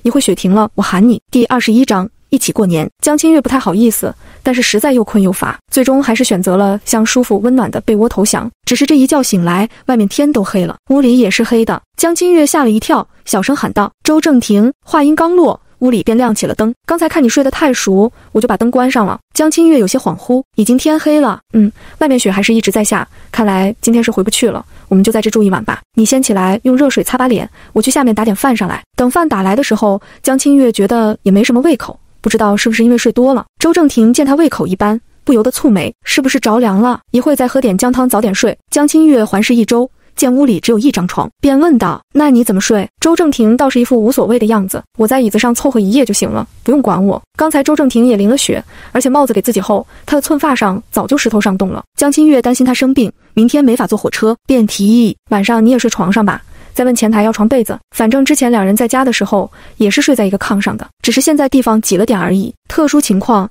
凑合下算了。听江清月这么说，周正廷眼底闪过一瞬间的错愕，随即耳尖慢慢红了下来，匆忙的把吃完的碗筷收了收，磕磕绊绊道：“知道了，我现在就下去要。”下了楼，周正廷又磨磨蹭蹭的把借来的碗筷洗了半天，这才去了前台要被子。前台大妈一脸疑惑的看了看周正廷，随即才拿了被子给他。周正廷手心都是汗，抱着被子在外面深呼吸了好一会，这才慢慢推门进去。一进门便发现床上传来了平稳的呼吸声，这女人。已经睡着了，他怎么那么能睡？匪侧归匪侧，周正廷还是轻手轻脚的把抱来的被子放在了一边，小心翼翼的脱去外衣钻了进去。一躺下去，周正廷只觉得那些尘封的画面突然扑面而来，闭上眼也无法挥去，和那些回忆斗争了半天，刚刚有了睡意，突然听见身旁的江清月在低低一语：“江清月，你怎么了？”周正廷接连喊了几声，江清月却像是陷入了梦魇当中，一点也叫不醒。周正廷紧张的伸手去摸了摸他的额头，这才发现他额头滚烫。起了烧，睡意顿时被惊散。周正廷连忙翻身下床，取了毛巾给他退烧。雪下的太大，没法去医院。周正廷又跑到楼下找前台，见退烧药没有，便要了点白酒，准备回去给他物理降温。等江清月再醒来的时候，只觉得浑身软绵绵的，声音也有气无力的。我这是怎么了？周正廷见他醒了，本能的伸手附在他额头上。长舒一口气，终于退烧了。江清月这才迷迷糊糊地想起来昨天夜里的一些片段，有个声音一直在喊自己，还有人在给自己擦拭。想到这，江清月便有些不好意思。昨天晚上是你照顾了我一夜。周正廷轻嗯一声，昨天夜里雪太大了，没办法去医院，招待所用墨药，只要用白酒。说着说着，周正廷突然脸一红，随即快速地撇开了昨天夜里的那些画面，避重就轻道：“用白酒给你降的温，我还是再带你去医院检查一下吧。从昨天开始你就不太对劲。”江清月撑着坐了起来。摇头道：“没事，不用去医院检查。我就是昨天在外面吹风冻着了，现在已经彻底好了，真的没事了，真的。对了，你不是还要去坐车吗？你赶快走吧。”周正廷见他真没事，便起来开始收拾东西。我不回去了，我先送你回家。那怎么行？你和家里人都说好了。要是不回去，他们该担心了。没事的，等下我去发个电报回去。等年后空了，我再请假回一趟家。再说现在雪那么大，路上也不安全。江清月想想也是，便没再拦着他。不知道是因为觉得自己害江清月生了病，还是觉得昨晚他做噩梦的样子太过可怜。回去的路上。周正廷突然变得格外的贴心，还拿出自己的军大衣给他包裹得严严实实的。一回到家，还主动烧了炕，让他进被窝休息。江清月又睡了一觉，这才觉得整个人都彻底恢复了。想到周正廷要留下来过年，江清月觉得也不能太过糊弄，病一好便开始张罗着准备过年。考虑到江清月生病刚好，周正廷主动担起了里里外外所有打扫的活计。江清月只要负责准备过年要吃的东西便好。年前的时候，两个人攒了不少的鸡鱼。肉、蛋和香肠，还有之前家里人给的粉条，自己晾晒的蘑菇和土豆。只有两个人吃的话，已经很丰盛了。村里的人是看着两人一块出去一块回来的，都暗地里开玩笑，说是周知青舍不得媳妇一个人在家里过年，所以又从车站跑回来了。家里人得知后也十分高兴。江清月没告诉他们自己生病的情况，只敷衍的说是因为下雪耽误了，所以家里人也自然而然以为周正廷是真的要借口回来了。不过毕竟是新婚，能在一块过年。大家都觉得很欣慰。之前两人送了那么多肉和腊肠过来，所以年前王秀芝又让姜卫东光明正大的送了不少白菜、酸菜和萝卜过去。到了三十除夕这一天，周正廷不知道从哪里弄来的鞭炮，在屋外放了一串，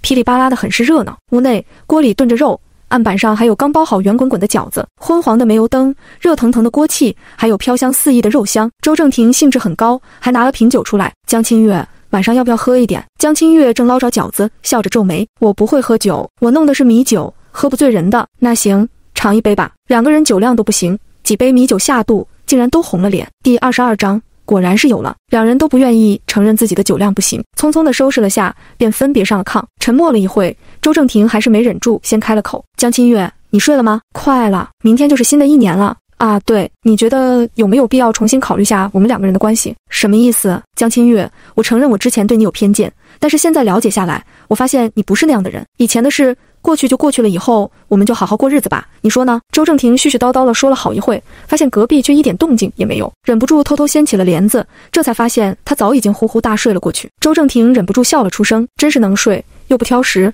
太好养了。因为昨天晚上熬了夜。两人又喝多了些酒，一直到天彻底大亮，两人才被门外敲门声吵醒。江清月头昏的厉害，见周正廷起来去开门，没忍住又睡了过去。等再醒来时，大太阳都已经出来了。而周正廷正忙着收拾东西，江清月连忙坐了起来。怎么了？周正廷手上的动作一顿，刚刚收到家里的加急电报，我母亲生病住院，我现在要立刻回去。闻言，江清月连忙穿上衣服下了炕。你先别着急，一定会没事的。说着，便匆忙起身，帮着周正廷一块收拾行李，确认好钱和介绍信都装上了。江清月就要出门，我去帮你找车。不用了，大队里我刚才已经去说过了，就在村口等我。我走了。说完，周正廷面上又有些不舍。朝着江清月认真嘱咐道：“我不在家的时候，晚上睡觉记得锁好门，要不就是回娘家睡去。我刚才留了号码在桌上，有急事给我打电话。还有，看书不要看太晚，对眼睛不好。你发烧刚好，就不要出门送我了，以免又吹风冻到。”说完，周正廷便拎起行李要走，等迈过了门槛，又扭头朝着江清月喊了句：“江清月，你在家等我回来。”我有话和你说。说完，便大步走了出院门。江清月目送他的背影消失在门外，等看不见了，这才关上门，回到了屋里，心里却一直提心吊胆的忐忑不安，也不知道今天初一路上会不会顺利，能不能买到今天的火车票。希望周正廷母亲的病不会太严重。胡思乱想了一想，江清月重新打起精神，把昨晚的残局收拾干净，打算早午饭就热碗饺子一块吃了算了。等饺子热好，闻到那肉味，江清月差点一个没忍住要吐了出来。不过想着或许是昨晚米酒喝多了难受，江清。月也没想太多，最后还是随便冲了碗麦乳精喝了下去。一直等到了初五，江清月觉得实在是等不下去了，便打算去县里给他打个电话问问情况，顺便再去医院做个检查。这几天他不光早上起得晚，白天也很嗜睡，胃口也不太好。等来到了县城，江清月第一个就奔向了邮局，好不容易拨通了周正廷家里的电话，却一直无人接听。江清月心底一咯噔。难道一直都还在医院，还是外出不在家？江清月见电话打不通，只得先去医院做检查。等见了医生，说了症状，医生第一反应便问例假多长时间没来了。江清月心头一紧，连忙算了算，回道：确实快一个半月了，但是我之前例假时间也不太准。那医生倒是没说什么，有没有怀孕做个检查就知道了。我先开个单子，你交了钱就直接去做检查吧。等检查的时候，江清月还一直处在懵了的状态，不会真的是有了吧？等做完检查，江清月坐在椅子上等结果的时候，突然一阵嘈杂的喧哗声打断了他的思绪。只见一群人围着医生在歇斯底里的哭喊着，扭打在一处。仔细一听，竟然是因为他们的姑娘刚刚做了流产手术，但因为手术操作不当，术后感染去世了。这会家里人一块来找医生闹事，争执持续了好一会，直到有公安介入，也稍稍平息。全程目睹了整个过程的江清月也看傻了眼，没想到这么一个小的手术竟然也会死人。那如果真的有了？这个孩子是要还是不要呢？如果告诉了周正廷，他会不会直接拉自己来医院做掉？一想到两人的关系，还有现在自己的处境，江清月不由得觉得有一团郁气萦绕着心头，怎么也散不去。正在这时，出报告的窗口已经接连喊了好几声自己的名字，江清月连忙回过神去取报告。等看到上面的加号时，只觉得脑子一嗡，再拿给医生一看。果然是有了。江清月稳了稳心神，把心底的疑问问了出来：“医生，如果这个孩子我不打算要的话，什么时候来医院比较好？”对方不可思议地看了一眼江清月：“你没结婚？”江清月吓了一跳：“结了，结了。”去年底刚结的，结了你还考虑打掉干什么？实话和你说，就你现在的身体能怀上就是万幸了。现在不要，以后想要恐怕就难了。你自己考虑清楚，回去和你爱人也商量商量。江清月点了点头，站起身来准备回去。离开医院后，江清月突然生出了一抹异样的情愫。来之前，她从来没有往怀孕上面想过。在出来时，肚子里已经有了个新生命，这种感觉真的有些奇妙。原本她也不属于这里，不知道什么原因被突然带了过来，孤单单的一个人。这会却突然有了新生命的羁绊，只是现在的江清月还没想好要怎么处理，只能打算先走一步看一步，暂时不要告诉其他人，等周正廷回来后再说。回到家后，江清月就本能的开始关注起了身体，不让自己过于劳累。除了自己的一日三餐、看书写稿之外，其余时间能睡就尽量多睡，哪怕是没有胃口，也会强迫自己多吃一些。第二十三章。选拔老师。在江清月焦急等待周正廷回来的时候，大队里年后也发生了一件大事，那就是上面批了大队建小学的申请。这消息一出来，大队里热闹了好几天，很快就开始拉砖盖起了房子。江清月得知后也很高兴。本来他正愁着年后开春要不要下地干活挣工分，如今要盖小学，那自然而然也要选拔老师。如果能当上小学老师，不光不用下地，每天还能拿十个工分，不用再为了粮食发愁了。等知青们陆续回来后，大队长就开始组织小学的老师报名工作。知青们听到大队里要建小学，也都很兴奋，几乎倾巢出动来大队长家里报名。江清月一大早也收拾好了过来，大家本以为江清月是回娘家。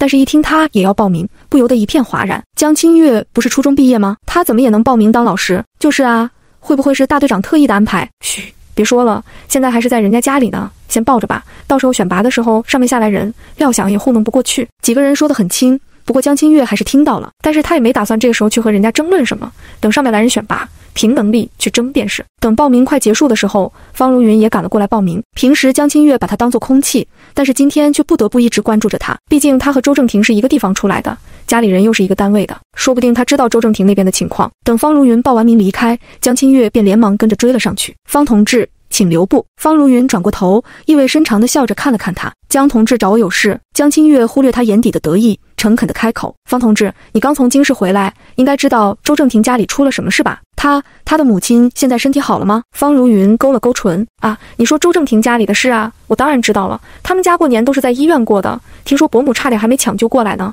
不过现在应该是挺过来了，你就等着周正廷回来亲自告诉你呗，应该很快了。他什么时候回来？那我就不清楚了。他没有给你联系啊？江清月敛了敛眸，没有。方如云嗤笑一声，劝你一句，不是你的东西不要抓住不放。不然只能自食其果。江清月没有搭理他的话，满脑子都是想着周正廷的母亲已经救了回来，周正廷很快就会回来了。知道这些就已经足够了。至于别的，等周正廷回来，他再亲自问他也不迟。报完名没多久，县里就亲自派了两位领导下来选拔小学老师，大家都很激动。不管是报名的知青们，还是村里的人，都围着小汽车看热闹。江清月怕挤着自己。远远地站在了一旁，不过也有些好奇，县里派来的领导如何？会不会因为他的学历把自己拒之门外？江清月正踮着脚尖望去，突然就看见一道熟悉的身影从车上走了下来，竟然是宋之鹤宋主编。江清月震惊的同时，宋之鹤也已经看到了人群中的他了。四目相对，两人微微点了头，便默契地别开了。看来他兴许是看到了自己在名单上，不想让别人误会自己找关系走后门吧。等大队长带着两人来到了公社，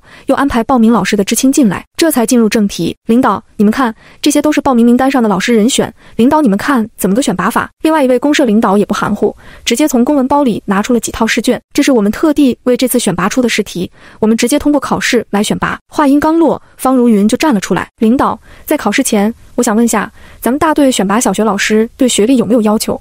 比如没上过高中的也可以报名参加考试吗？公社领导被问得一愣，宋之鹤抿了抿嘴。沉声道：“我们选拔老师的标准主要是看文化水平和能力，文凭不是绝对的，而文化水平完全可以通过我们试卷考察出来。”方如云被呛得一噎，总觉得这领导好像是在故意针对他似的。想到一会的选拔，便也不敢声张了。宋之鹤的目光在几个知青身上来回看了一圈，再次沉声问道：“还有人有异议的吗？”众人纷纷摇头，都觉得这领导有点凶。没有了，没有了，就开始考试。公社领导带来的试卷是张综合卷。里面有语文、数学和时政，通通都出在了一张试卷上。看起来是费了一些心思选的题目，但是对前世学霸、最近又开始看书看报的江清月来说，显得有些过分简单了。只见他一气呵成，笔动起来就一直写个不停，一口气写完后，又仔细检查了一遍。这才上前交了试卷，其余人见江清月交了试卷，都有些摸不清头脑，不过还是纷纷加快了自己的速度。等试卷全部上交完毕，两位领导便当场批卷子打分。等待成绩的时候，有人忍不住问向江清月：“你刚才怎么写的那么快？”还没等江清月回答，一旁的方如云便笑道：“肯定有很多不会的呗，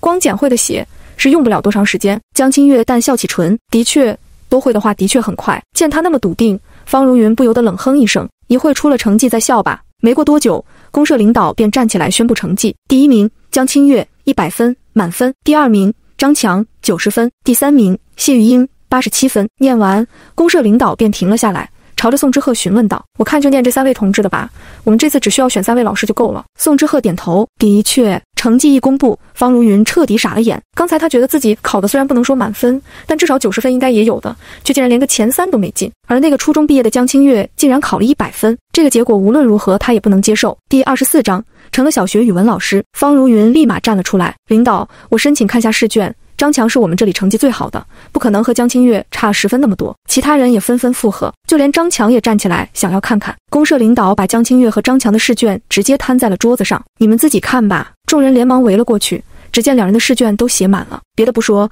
光是看试卷来说，江清月的字体清秀，卷面干净。看起来就比张强的舒服很多。再看里面内容，许多理解题的答案，张强写的太过简单，浮于表面，的确没有江清月答得深入。宋之赫见众人脸上不甘心的神情，忍不住补刀：“张强同志，你不必觉得不服气，你和江同志的差距本就不是十分。你考九十分，是因为你只能考九十分；江同志考一百分，是因为试卷只有一百分。”张强看过江清月的试卷后，终于是无话可说了。可方如云却不甘心就此作罢：“领导，我怀疑江清月作弊，这题目他早就知道了。”不然他不会写得那么快那么流畅的。这一次，其余人都不敢再附和，毕竟质疑作弊，也就等于质疑领导和大队长勾结，提前泄露题目了。江清月也立马想到了这一点，目光生寒地看向方如云：“方同志，这种脏水不是你嘴巴一张一闭就能随意泼的，清者自清。若是你不服气，我们可以让领导现场出题目来重新考便是。”方如云说完后，也意识到自己的话有不妥之处，再看看两位领导面上都已经黑沉下来，更觉得后悔，只得小声嘀咕：“我没有怀疑两位领导的意思。”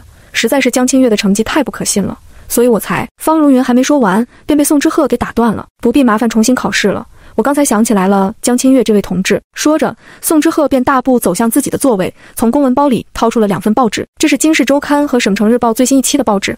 我说江清月这个名字怎么那么耳熟？这上面分别有一篇文章的作者就是江清月。说着。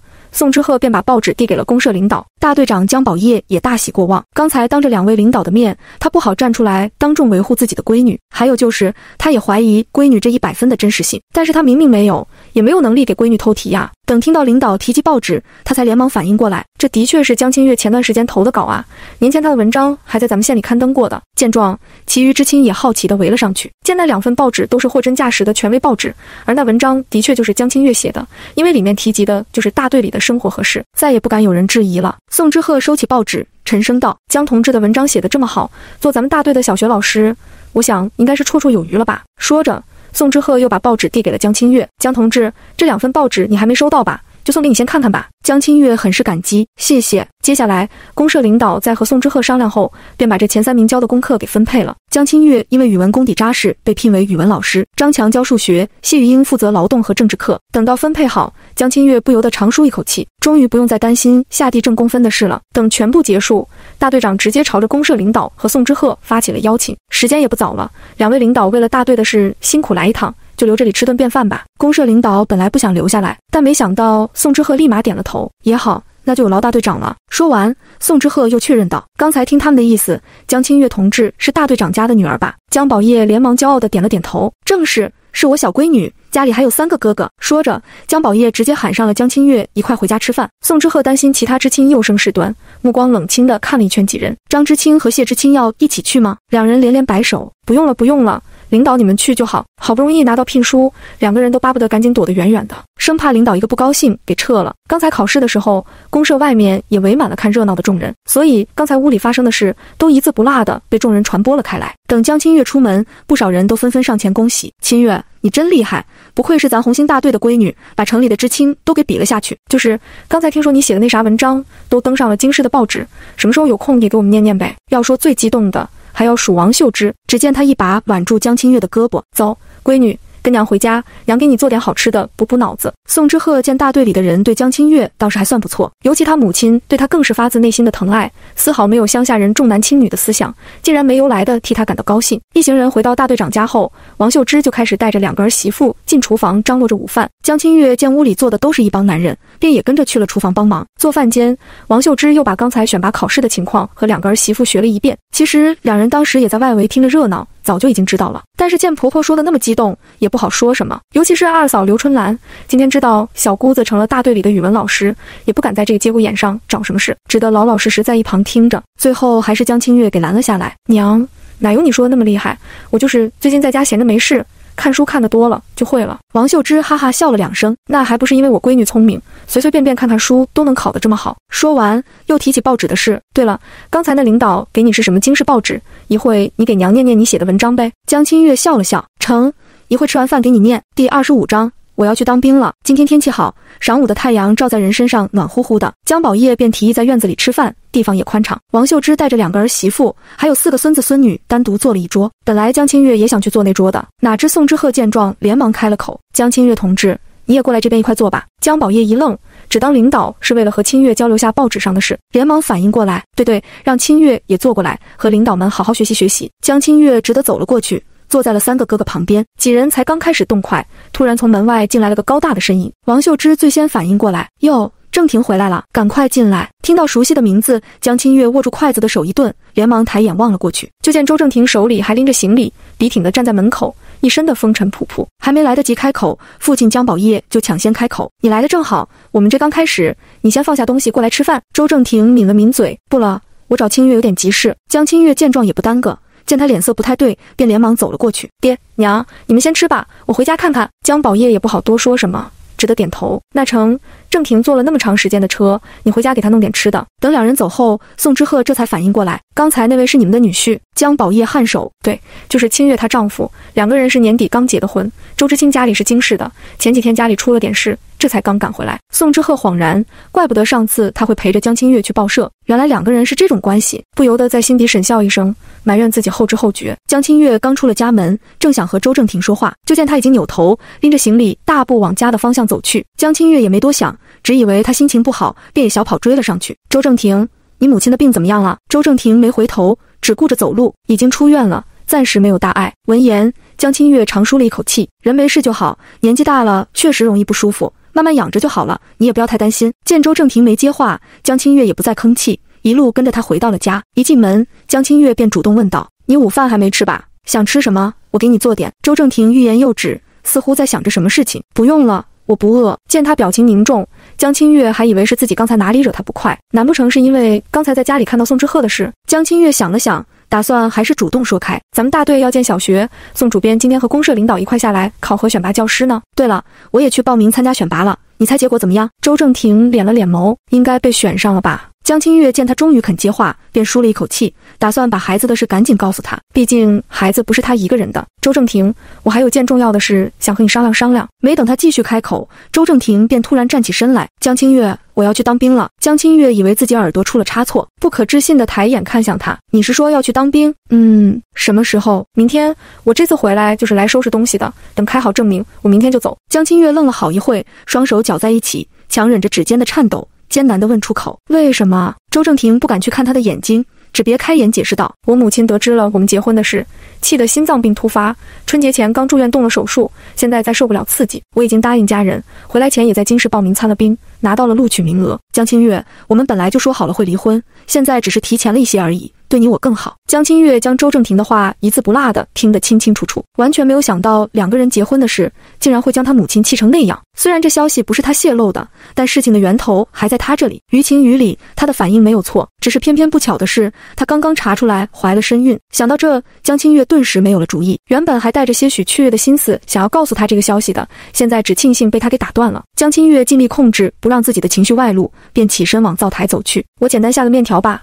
你会边吃边说，面条是江清月早上出门的时候擀好的，当时也是想着，万一他今天突然回来，还能吃口热乎的热汤面。现在想想自己的行为真是可笑。趁着煮面，江清月快速的让自己冷静下来，思考着以后的路该怎么走。这个孩子，他还是想留。一是上次在医院受到的冲击实在太大，他实在没勇气在现在的医疗条件下去做手术。就算没有生命危险，医生也说了。他现在的身体状况，若是流产，怕是再难要孩子。二来，他只身一人来到这年代，本就是不可思议。这孩子或许就是上天注定来陪伴他的吧。按照预产期，这孩子出生下来没多久，也该通知恢复高考了。到时候坐好月子再去参加高考，时间上也刚刚好。只是在他离开这里去外地上大学之前，这孩子还要有个父亲才行，否则闲言碎语就能将他娘俩给溺死了。如果按照之前两人的协议，也是今年冬天才能离婚。这样一来。时间倒是刚刚好，到时候只要周正廷能从部队拿到离婚批条，两个人在县城碰上一面，把婚离了就行。孩子的事也不会让他知道，到时候自己带着娃去上大学，辛苦是辛苦点，总归能想到办法解决。大不了就说孩子的父亲没了，反正在外地也没有人会多嘴管你的过往闲事。想到这，江清月便暗暗下定了决心，打算去和周正廷谈判。为了能够说服他，江清月还特地给他的面条里握了个荷包蛋。第二十六章。这次离开后应该不会再回来了吧？等面端上桌，两人相对而坐，江清月便主动开了口：“周正廷，你母亲生病住院的事，不管怎么说，源头的错在我，我很抱歉。至于你说要去当兵，我尊重你的决定，但是你之前报名的时候填的是离异吧？”周正廷本来在低头听着他说话，闻言突然一怔，随即抬眼看他：“我目前是已婚。”当然填的是已婚。江清月叹了口气，那恐怕我们暂时还不能离婚了。周正廷不解，为何？你想，那你申请表上填的已婚，等去部队报到复审的时候又是离异，你觉得审核能通过吗？我可以解释，怎么解释？说你因为拿到了当兵的资格，所以立即和我办理了离婚手续。你觉得部队的领导不会质疑你的人品吗？周正廷被说得哑口无言。江清月顿了一下，随即又道：审核只是一方面。如果我爹知道你现在要去当兵，这个离婚的手续他也不会给你写的。你耗得起时间吗？周正廷面色黑沉，明显是被说中了心思。那你说怎么办？江清月敛了敛眸，我们还是按照之前协议说的，等到今年春节你休假回来再去离婚吧。到时候你只要和部队领导拿到离婚批条，我们可以直接办理离婚手续，不需要经过我爹。听了江清月的建议，周正廷不知怎么的。好似暗暗舒了一口气，成，那就等春节回来去办离婚手续。见他答应了下来，江清月淡淡的笑了笑。好，事情谈完，江清月也不想再面对着他，便起身坐到了炕上。你快点吃吧，一会吃完回去找我爹开证明去不对。周正廷这时才发现桌上只有一碗面，你怎么不吃？江清月随意敷衍了句，刚才在娘家的时候吃了一点，不太饿。周正廷用余光瞥了他一眼。只觉得才短短十多天时间，他好似比之前要消瘦了许多。但是两人现在的关系也不适合再出言关心什么的。周正廷便低头垂眸，开始吃面，只吃了一口，筷子便突然一顿。刚才看他谈话的时候头头是道，很是淡定，却没想到竟然把面条给忘记了放盐。周正廷只微微怔了一下，随即又低头大口吃了起来。等一碗面条吃完，江清月也放下手里的报纸，站了起来。家里的客人应该也走了。我们现在就过去找我爹吧。周正廷嗯了一声，紧跟着江清月出了门。等两人刚来到大队长的家门前，就见宋之赫正带着公社领导出了门，准备开车返程。看到了江清月和那个知青一起过来，宋之赫明显愣了一下，随即还是选择大大方方的上前打招呼：“江同志，我们准备走了。过两天有时间，你看能不能再去报社一趟，我好让人把剩下的稿费发给你。”江清月本以为二十块钱已是一口价了。没想到还有超了预支的部分，连忙高兴地应了下来。好，等忙完这两天，我就去报社找宋主编。那行，我们就先回去了，再见，宋主编，再见。两人说话的时候，周正廷就默默站在一边，看也没看两人一眼。宋之赫只觉得哪里怪怪的。却说不上来，只是客气地和他点头示意，随即便开车离开了。等人走后，江清月和周正廷两人便回了娘家。一开始是周正廷单独进去和江宝业谈的，等周正廷出来后，江宝业直接把江清月给叫了进去，劈头盖脸地问道：“他周正廷想干什么？亏我之前还觉得他对你的态度变了，怎么才回了一趟京城就闹着要去当兵？那你以后怎么办？”见父亲这么生气，江清月心里也不好受，不过还是出声劝道：“爹，当兵报效祖国是好事，男儿志在四方，你就让他去吧。再说。”我现在当当了小学老师，以后风吹不着晒不着，挣的也足够我吃了，有他没他都一样。见闺女这么说，江宝业忍不住叹口气，道理我都懂，可是他这一走，什么时候才能回来？江清月也很迷茫，不知道该如何和父亲解释。不出意外，周正廷这次离开后，应该不会再回来了吧？见闺女这么低沉，江宝业竟反过来安慰：“你也不要太难受了，等他以后在部队混出息了，可以把你接过来随军的，兴许用不了多久呢。”江清月苦笑了下，嗯，爹。我知道了，你赶快给他出证明，让他早点去报道吧。江宝业无奈地叹了口气，还是把证明给开了出来。出了门，江清月一下子就看到了站在院子里的周正廷。才过了短短几天，这男人又变得和最开始那样让人陌生了。原来他临走前两人之间相处的变化，竟然都是他的错觉吗？不过江清月不是那种拎不清的人，从这男人迫不及待要离开的这一刻，两人便彻底成了陌生人。江清月径直朝他走了过去，将证明递了过去。你先回去去收拾东西吧，我陪我娘说会话。周正廷嗯了一声。转身就出了大门。为了让母亲放宽心，江清月陪着他说了好一会话。到最后，王秀芝是宽心了，反倒是开始劝他：“你爹刚才也说了，周知青去当兵是好事，兴许过不来多久就会接你过去随军的，你也别和他闹别扭了。”江清月哭笑不得：“娘，我没有和他闹别扭，那你怎么还赖在这不走？天色也不早了，早点回去帮他收拾收拾，明天还要出门呢。走的时候你把中午剩的这块肉带上，回去好好的弄点吃的，别吵架。”江清月心知也待不下去了。只得站起来往家里走，磨磨蹭蹭的回到家，江清月也不进屋，直接洗手开始准备晚饭。擀的面条还有剩，江清月便简单的煮了个面，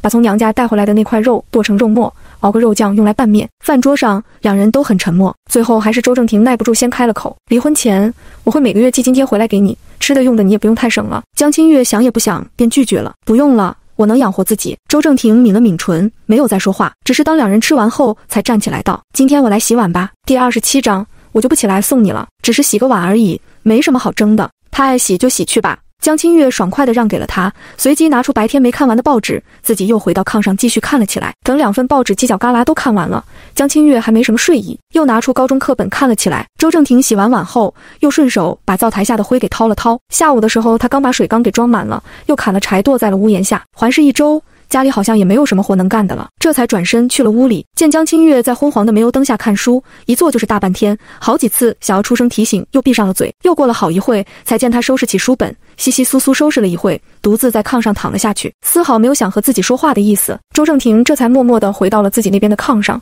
脱衣躺了下去。一合上眼，便忍不住回想起今天他对自己的态度。一开始在江家，他看到自己回来时，脸上是忍不住的惊喜；得知自己要去当兵后，也只是一刹那的震惊。从那以后，这女人就变得无比的冷静，仿佛自己的事完全和他再无关系。一想到这，周正廷便难掩失落。但是这一切都是自己的选择，开弓已无回头箭。这一夜，周正廷一直没有合上眼，但是怕吵醒他，生生的睁着眼躺到了早上。江清月昨天夜里睡得也不太踏实，加上最近睡懒觉睡习惯了。也没打算起来，听见周正廷起床洗漱的动静，默默地把头往被窝里缩了缩，直到他洗漱完，又响起了一阵窸窸窣窣收拾行李的动静。一阵沉默过后，江清月都以为他已经走了。刚从被窝里露出头，就看见他拎着行李站在屋子的中央，直勾勾地盯着自己的床铺，似乎在等自己醒来。见自己动了，便来了句：“江清月，我走了。”江清月只好装作刚刚醒来的样子：“嗯，好，一路顺风，我就不起来送你了。”周正廷似笑非笑：“不用。”你继续睡吧，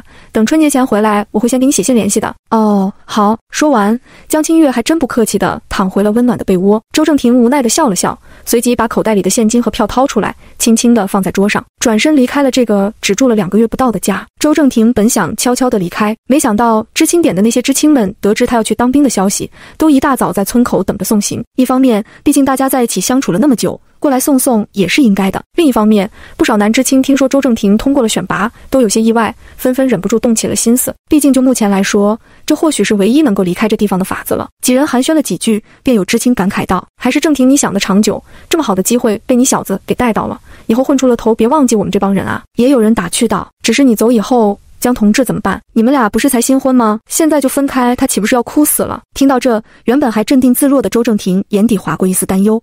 不过很久就压了下去，随意的和众人敷衍了几句，就准备走。哪知才刚转身，方如云不知道从哪里跑了出来，快步追了过来。周大哥，你等等，你昨天不是才刚回来的吗？怎么这么快就走了？你这不是还没有和江清月离婚吗？周正廷见来人是方如云，立马换上一副生人勿近的冰冷模样，眼底也满是戾气。方如云，我再一次警告你，少管闲事，也不许去招惹他。要是被我发现你干了什么，或者又去和我家里人嚼什么舌根。绝对会让你吃不了兜着走。方如云满脸委屈：“周大哥，我已经解释过了，我真的只和我妈说过你结婚的事。我是真的没想到他会告诉你妈。够了，方如云，不要把人都当成傻子。与其有这个时间，不如好好想想你家里的那摊子烂事。若是我把你父亲那点事举报上去，你猜你下次回去还会有家吗？”一听周正廷提到自己的父亲，方如云顿时被吓得脸色惨白。你你是什么意思？就是你想的那个意思。回来前我特地调查取了证，所以不要来惹我身边的人。否则，说着，周正廷就直接给了他一个警告的眼神，随即大步离开。方如云被吓得踉跄一下，差点没站稳摔倒，幸好还是后面来的知青扶了一下。方知青，你刚才和周知青说了什么？他怎么那么气愤，像是要把你生吞活剥了似的？方如云连忙摆手否认，没有，没有，是他不高兴，我过来送行。也是，周知青已经结了婚，现在又去了外地。你就不要再惦记他了。方如云攥了攥紧手指，死死咬住了唇瓣，怎么也想不通事情会变成现在这样。他本来打算和周正廷一块回京的时候再劝他，但是当天大雪，周正廷看见江清月淋雪，就奋不顾身地跑了下去。也没有回京，他是实在气不过，回家后才在母亲面前加油添醋，把江清月设计逼婚的事给抖了出来。母亲不负嘱托，又去江家添油加醋的把周正廷的事给说了一遍。哪知道周母心理素质那么差，得知儿子在乡下又是被人下药，又是被人逼迫成亲，气得直接进了医院。周家人又直接把周正廷喊了回去。当时他忍不住窃喜，这次周正廷肯定会为了母亲的病和江清月做个彻底的了断。谁知道他竟然没有和江清月离婚。而是去当了兵。另一边，江清月对村口这边发生的事毫不知情。等周正廷走了以后，他便起床开始洗漱、做早饭。虽然周正廷走了，但是他和肚子里的孩子还是要继续生活的。早在昨晚，他就已经想通了，一个人也没什么大不了的。这地球离了谁都是一样的转，关键还是自己要能立起来才行。第二十八章。努力挣钱才是王道。昨天吃的不多，所以今天早上江清月觉得格外的饿，吃了两碗红薯稀饭，又吃了两张鸡蛋饼，江清月这才觉得彻底饱了。吃饱饭，江清月就打算收拾收拾，准备去县里报社去领剩余的稿费去。不光是领稿费，江清月还想问问看有没有其他的活可以接。不光是养孩子要钱，以后去外地租房子上大学都是要钱的，所以现在能多存一点，便多一份安心。等宋之赫见到江清月时，还是掩饰不住的吃惊，毕竟两人昨天才刚见过。今天他就来了，江清月也有些不好意思，我是不是来得太快了？宋之赫轻笑，那倒没有。说着，便把剩下的十元稿费交给了江清月。拿到稿费，江清月又厚着脸皮开始要活。宋主编，除了投稿，咱们报社还有没有别的活适合我干的？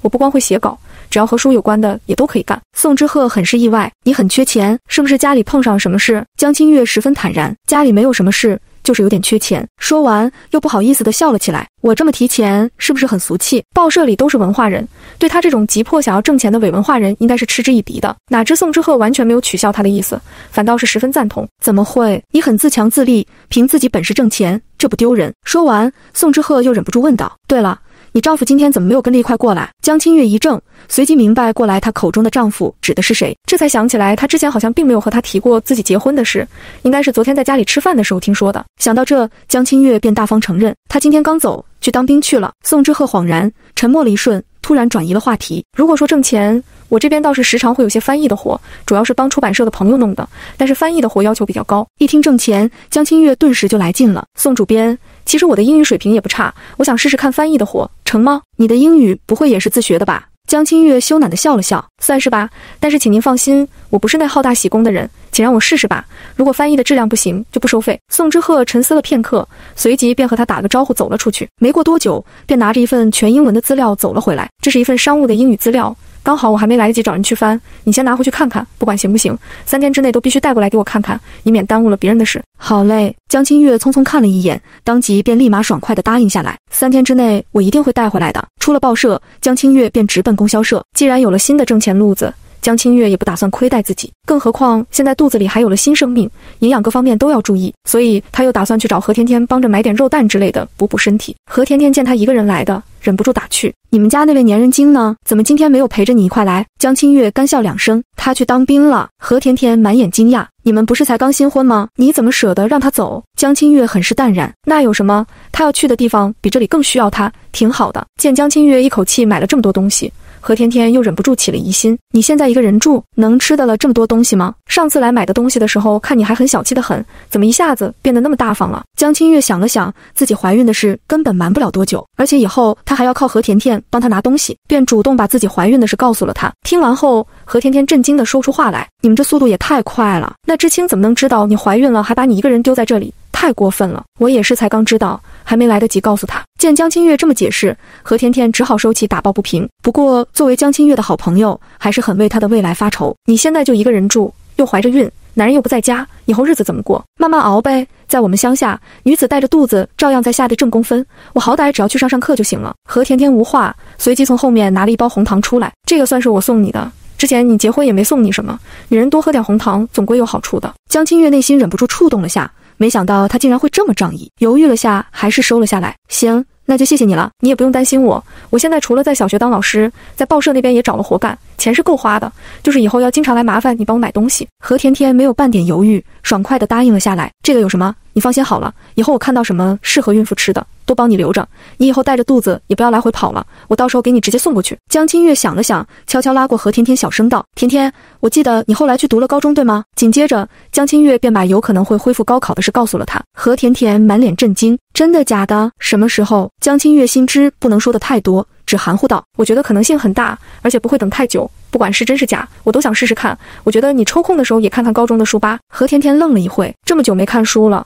我都不知道自己还行不行。江清月鼓励道：“那有什么？至少你还是上过高中的，我才初中毕业呢。这样，下次你来我家找我，我们俩再仔细聊聊。”何甜甜也知道这是敏感，不适合在大庭广众之下细说，便点了点头：“行，等过两天我去你那找你，我们再聊。”第二十九章，小姨出事。何甜甜是个急性子，听了江清月的话后，越想越是激动。第二天就请了假，拿着自己的高中课本去乡下找了江清月。这是何甜甜第一次过来，见她一个人住了一个小院，房子也只有一大间。但是收拾得非常干净整洁，不由得感慨：其实你这样也挺好的，一个人住清静，不像我，看着是在城里，其实还要和那么多人挤在一层楼里，住的憋屈。江清月笑了笑，以后没事的时候，你可以经常来找我玩。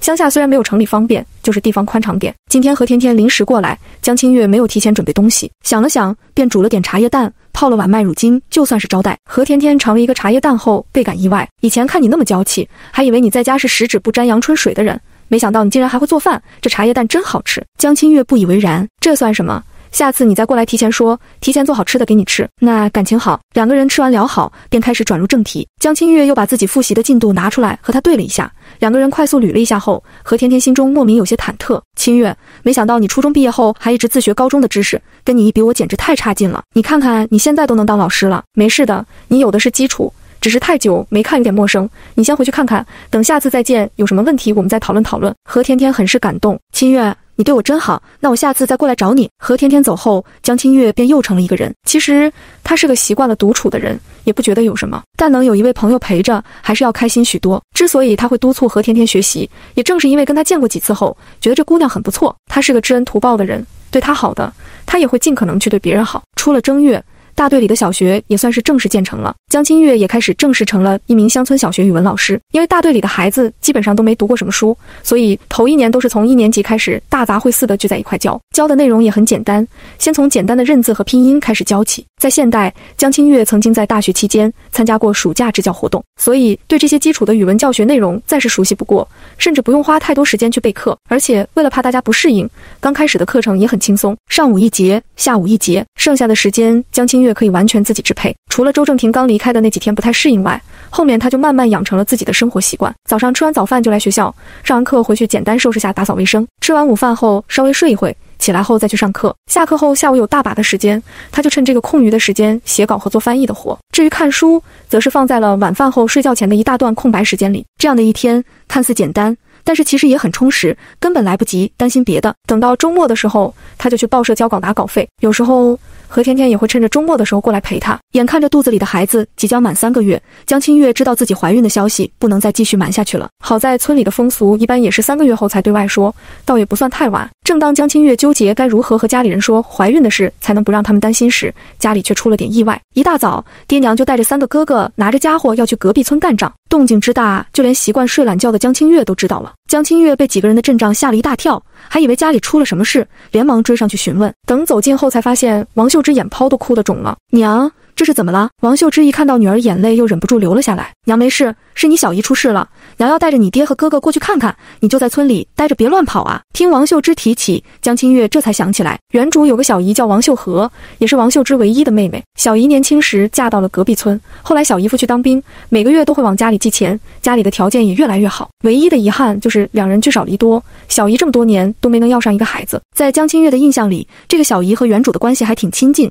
因为就住在隔壁，原主小的时候还帮着带过她。娘。小姨家出什么事了？王秀芝提到这个就哽咽，还是三哥江卫东开口替她说了。小妹，咱小姨夫前段时间出任务的时候船翻了，人坠海找不到了，现在下落不明，上面已经送来了抚慰金，认定了牺牲。江清月一听，心底也顿时一咯噔，也顾不上收拾。哥，我跟你们一块过去看看。几人见江清月要去，心想她和小姨的关系不错，到时候还能帮着安慰，便同意了下来。行，你一块去。到时候去的时候，你躲远点，以免打起来伤到你。江清月不解，你们这提着家伙是要去打架？提到这个，王秀芝便气得不打一处来，还不是你小姨那对公婆，之前每个月把你姨夫寄来的津贴霸占着，不给你小姨就算了。现在人没了，还闹着要把你小姨赶出家门，好独占全部的抚慰金。你姥爷姥姥去的早，舅舅也是不顶用的，娘家没人给你小姨出头，我这个当姐的却不能装看不见，所以今天才要过去讨要个说话。江清月恍然，算是彻底明白了怎么回事。知道了，娘你也别伤心了，一会咱们先去看看小姨再说。若真是被欺负了，咱们也不怕他们。对，小妹说的对，咱们犯不着怕他们，大不了把小姨接回来，咱们大队。第三十章。和清月做个伴。等一家人刚走到隔壁村村口，就远远的听见哭天动地的吵闹声从一户院子里传来。王秀芝听见声音，连忙小跑了过去。坏了，那就是你小姨家。江清月的三个哥哥一听，也快步冲了上去。江清月不敢跑，只得在后面快步追了上去。等到了门口，就见小姨家里里外外都围满了这个村里的人。院子中央，一个老婆子仰面躺在地上，哭喊着：“我那命苦的儿子啊！”死连个尸首还没找到，媳妇就上赶着来欺负我们老两口。说完，又往旁边一个妇人身上扑。你这个克夫的女人，进了我们张家那么多年，连个娃都生不出来，还不赶紧滚出我们张家！话音刚落，王秀芝就冲了上去，一把掀开那老婆子，把底下的王秀和给救了出来。妹子，你没事吧？王秀和原本早已形同枯槁，见姐姐王秀芝来了，才忍不住放声大哭起来。姐。国华人没了，人没了。王秀芝连忙把人搂在怀里安慰了一回，把人交给了江清月后，这才劈头盖脸的朝着那老婆子骂了起来：“你骂谁是克夫的？国华人是怎么没的？你心里没数？要不是你逼着他去当兵，又不准我小妹去随军照顾。”他能出这事？还有，你骂我妹子不能生，这是我要和你好好掰扯掰扯。国华一年到头在家几天，我妹子天天在家里被你搓磨，身体就差成什么样了？要不要问问你自己村里的人？那老婆子说不过他，正想继续撒泼打滚，王秀芝直接拿起锄头往地上一立，来躺，往我这刀口上躺。今天我把儿女都带这了，你想耍赖没门？对方一看王秀芝的无赖劲，也不敢再躺，扭头找了大队长。大队长，这其他大队的人来咱们村闹事。你管不管？村里的张大队长本来就不想管这摊子烂事，但是现在见隔壁红星大队的大队长江宝业都来了，还是站了出来。江大队长，原来你们和这张家是亲戚啊！都怪我以前不知道。江宝业冷哼一声，其他的客套话也不用说了，你就说这是怎么解决吧。张国华人现在尸骨未寒，家里人就这么迫不及待的把人媳妇扫地出门，是什么道理？江清月也在一旁帮腔，爹。直接报案吧，这是关系到烈士家属。张大队长害怕担责任，不想出面也能理解，还是直接让公安同志来判定吧。一听要报案，张大队长顿时慌了，连忙劝道：“这都是家务事，大家在一块说开就好了，哪里用得着兴师动众的报案呢？没必要把事情闹得这么大嘛。”这事啊，其实说来说去都是张家人太贪心了，想独占抚恤金呢。老婆子一听就不乐意了，牺牲的是我儿子，和他王秀和有什么关系？凭什么给他一分钱？江清月不想跟这种人胡搅蛮缠。坚持要报案，抚恤金怎么分配是国家决定的，不是你觉得怎样就怎样。吞并别人的抚恤金是犯法的，还是直接报案解决吧？老婆子一听说是犯法的，被吓了一跳，还想坚持什么？被一旁的老头子拉了拉，两人嘀嘀咕咕的商量了半天，才又道：“我们不是那意思，都是一家人，钱放在我这里保管也是为他王秀和好，以后他缺钱了再问我，要不也是一样。”王秀芝拍手叫绝，真没见过你们这么不要脸的老人！刚才还说一分钱不给，现在变成了给我妹子保管；刚才还说要赶我妹子走。现在一听要分钱，又不让人走了，呸！想得美！今天这钱我妹子分定了，这家我们也不带了。江清月扶着王秀和，心中也很气愤，不过还是问向他：“小姨，这个家不带也罢，你跟我们回去吧。”王秀和两行泪落了下来，不为别的，主要是你姨父他。小姨，姨父和你感情一向那么好，以前你在家受欺负没告诉他，若是他现在泉下有知你过的什么日子，肯定会支持你离开的。听到这，王秀和便忍不住哽咽了，缓了好一会才道：“好，我走。”那老婆子见王秀和又走。心知拦不住，又起了别的心思。国华在家排行老三，从小他大哥二哥就对他照顾多。现在他出了事，这钱怎么说也要分成四份，给他大哥二哥哥留一份。江清月无语，这种胡搅蛮缠的人根本没法和他讲道理，不过是多费口舌。爹娘，我看咱们还是一块带着小姨去县里找公安解决，别在这浪费时间了。江宝业表示赞同，朝着一旁的张大队长喊道：“张大队长，你也跟着我们一块去派出所说下情况吧。”张大队长连连摆手，朝着那老两口喊道：“叔。”婶子，你们这是干啥呢？那抚恤金本来就有你国华媳妇的一半，你赶紧拿出来给人家，不然一会公安来了，一个都跑不掉不说，一分钱你也捞不着。一番恐吓，老两口终于怕了，不情不愿地从屋里掏出一半抚恤金来，确认过金额没错。江清月和王秀芝又带着王秀和回屋里收拾东西，江宝业又逼着对方的大队长把他的粮食分了出来，全部理清之后，这才彻底算是断了干净。小姨，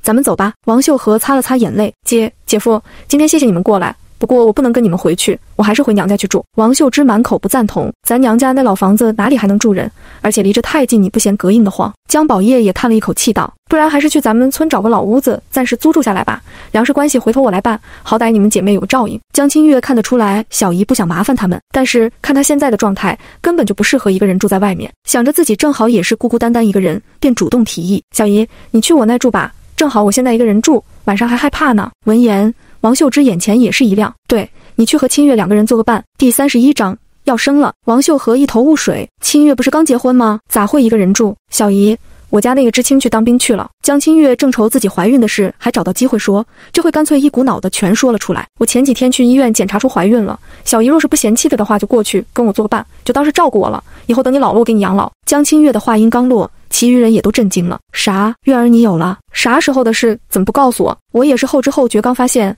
还没来得及和你们说。江清月一撒谎就容易脸红。好在大家现在的关注点并不在这，好在刚才没有打起来。要是碰到了，你可怎么办？就是刚才你也跟着我们跑那么快，要是闪到了怎么办？一听说江清月有了，王秀芝和王秀和两姐妹立马一边一个。搀扶着他走路。见小姨眼泪彻底止住了，江清月顿觉欣慰了许多。如果这孩子的到来能暂时让小姨忘记那些伤痛，也算是好事一件。小姨辛苦操劳了半辈子，到头来却孤孤单单一个人，连个自己的家都没有。以后两个可怜人作伴，日子兴许能好过点吧。一晃几个月过去，转眼就到了九月，正值秋收。红星大队里上上下下，男女老幼都在忙着抢收稻子，除了挺着大肚子被迫在家待产的江清月除外。还不到晌午，正在地里割稻子的王秀和不放心，趁着休息的空档跑回来看看。见他好好的坐在屋里，顿时觉得一颗心放进了肚子里。自从几个月前搬进来，王秀和已经把江清月和他肚子里的孩子当成了自己最大的精神寄托。每天看着江清月的肚子一点点大起来。心里就顾不上再去想别的了。一开始，江清月还不让王秀和去上工，让他在家歇着。但是家里一共就那么点地方，每天也没什么活计要干。江清月禁不住他软磨硬泡，这才让他去下地上工。如今眼看就快要到了预产期，王秀和一边放心不下江清月的身子，一边又惦记着抢收的事。听见动静，江清月抬眼看小姨又跑了回来，忍不住嗔怪道：“小姨，你怎么又回来了？你看我现在不是好好的吗？你就别担心了。”王秀和腼腆地笑了笑：“我是口渴了，回来喝口水。”早上出去的时候忘记带水了，江清月也不拆穿他。现在外面热，小姨就在家里休息一会，等下午再去干吧。王秀和犹豫了下，随即点头答应。成，那我把午饭给做了，一会吃完饭我再回去。江清月知道自己劝也没用。索性就让他去忙了，自己继续低头写起了刚才写到一半的稿子。王秀和见状，忍不住劝道：“昨个你娘还在让我盯着你，不要一直盯着书看，以后年纪大了眼睛会坏的，多注意休息。”江清月笑了笑：“没事，我马上就写完了，还差一点。”几个月相处下来，王秀和也知道他的脾气，也是倔驴一个，劝多了也没有用，只是忍不住叹气。我看孩子他爹不是每个月都会寄津贴回来吗？够花就行了。你也别太累了。提起周正廷每个月寄回来的津贴，江清月忍不住苦笑。既然没打算把孩子的事告诉他，那这个钱他也不会用的。包括之前他走之前留下来的那些钱和票，以后总归有机会会一起还给他。他们两个之间还是算清楚点比较好，省得以后再纠缠不清。至于周正廷每次寄钱回来时附上的那寥寥几句是信又不像信的东西，他也从来没有回过。既然好不容易断清楚了，就没必要再写什么信联系了。不过这些江清月还没和其他人说过，所以王秀和这么问。江清月也只能敷衍了事，以后花钱的地方多着呢。趁我现在还没生，就多攒点钱，等以后坐月子，我就不写了。王秀和听完点了点头，也是，手里有钱，心里不慌。再说你这一下子怀了两个，以后开销也大。你说你这两个是男孩还是女孩？江清月笑了笑，不急，很快就会知道了。说完，江清月也忍不住伸出手摸了摸自己的大肚子，提起这个。王秀和就不能不着急，这眼看着要生了，还他爹真的不回来。江清月嗯了一声，他部队忙走不开，不回来也没事。我这不是还有小姨你们吗？再说医院那边也联系好了，等到了预产期，我们就提前过去注意。放心吧。王秀和矮了一声，那咱们明天就去医院吧，早点住进去也早点好放心，毕竟是双胎，马虎不得。江清月拿他没办法，只得点头答应。成，明天咱们就去医院看看医生怎么说。见他答应。王秀和便放心的去做午饭。江清月加快手上的速度，快速把今天要交的稿子写好，又检查了一遍，确定没有错别字，这才叠好收了起来。正准备站起来活动一下，突然肚子一阵剧痛，像是岔气了一样。江清月一个没忍住，闷哼了一声。王秀和听见动静，连忙从灶台前跑了进来。清月，怎么了？江清月想起在医院听医生说的临产的症状，心中暗叫不妙。小姨，我好像要生了，要生了，出血了没？羊水破了没有？江清月摇头，都没有。只是阵痛，王秀和长舒一口气，拿着锅铲就往外跑。你忍住，我去叫人。话音刚落，人影已经消失在门外了。王秀和一口气跑到了稻田边。姐，姐夫，清月要生了。王秀芝刚才还在嘀咕，怎么妹子回去半天也不回来，还在琢磨着是不是清月那边出了什么状况，正打算割完这点，晌午回家路过的时候去看看。没想到果然还是有动静了。一想到去医院的路还有个把钟头，王秀芝也慌了。清月他爹，快，你和卫东去摇拖拉机。老大，老二。快去你小妹家帮忙！第三十二章龙凤胎。江卫东跑得飞快，去把大队的拖拉机直接开到了家门口，随即又铺了厚厚的稻草在拖拉机上。老大媳妇也帮着拿被子和生孩子要用的东西往车上放。王秀芝一边嘱咐着老大老二把江清月往车子扶，一边又朝着大媳妇喊道：“老大家的，把被子全铺在下面，不然路上要颠受不了。”江清月这会已经过了好几次阵痛，渐渐淡定了下来，见家里人乱成一锅粥，连忙出声劝娘。别着急哈，我现在还好，咱们开慢点就行了。说着，江清月就要扶着车架往上爬。正在这时，一辆小汽车在江清月家的门前停下，下来的人正是宋之赫。自从江清月带着肚子不方便去县里，宋之赫便在每个周末亲自过来收稿子。今天正好是周日收稿的日子，宋之鹤的车子刚停下，另一边何甜甜也踩着自行车来了。他也是一到周日就要过来一趟，陪江清月看看书、聊聊天、送送东西、蹭蹭饭啥的。谁知道今天来晚了点。竟然门口围了这么多人。何甜甜连忙冲了过去：“清月咋了？”宋之赫被他喊声也吓了一跳：“你们这是要去医院？”话音刚落，又一阵阵痛袭来，江清月没忍住闷哼一声：“没事，我要生了，正赶着去医院呢。”宋之赫听完，连忙开了后车门：“快！”坐我的车吧。王秀芝和王秀和两姐妹相视一眼，连忙把江清月扶上了车。小汽车不颠，多少能比拖拉机舒服点。何甜甜见状，也赶紧上了副驾驶。宋之赫一上车，就拉着四个女人就往县里奔。后座上，王秀芝和王秀和一直试图给江清月做心理疏导。清月，别怕，这还早着呢，时间来得及。你要是疼就喊，对你要是疼就掐小姨的手，别憋岔气了。江清月快要被两人逗笑，不过每当阵痛袭来的时候，还是忍不住闷哼一声。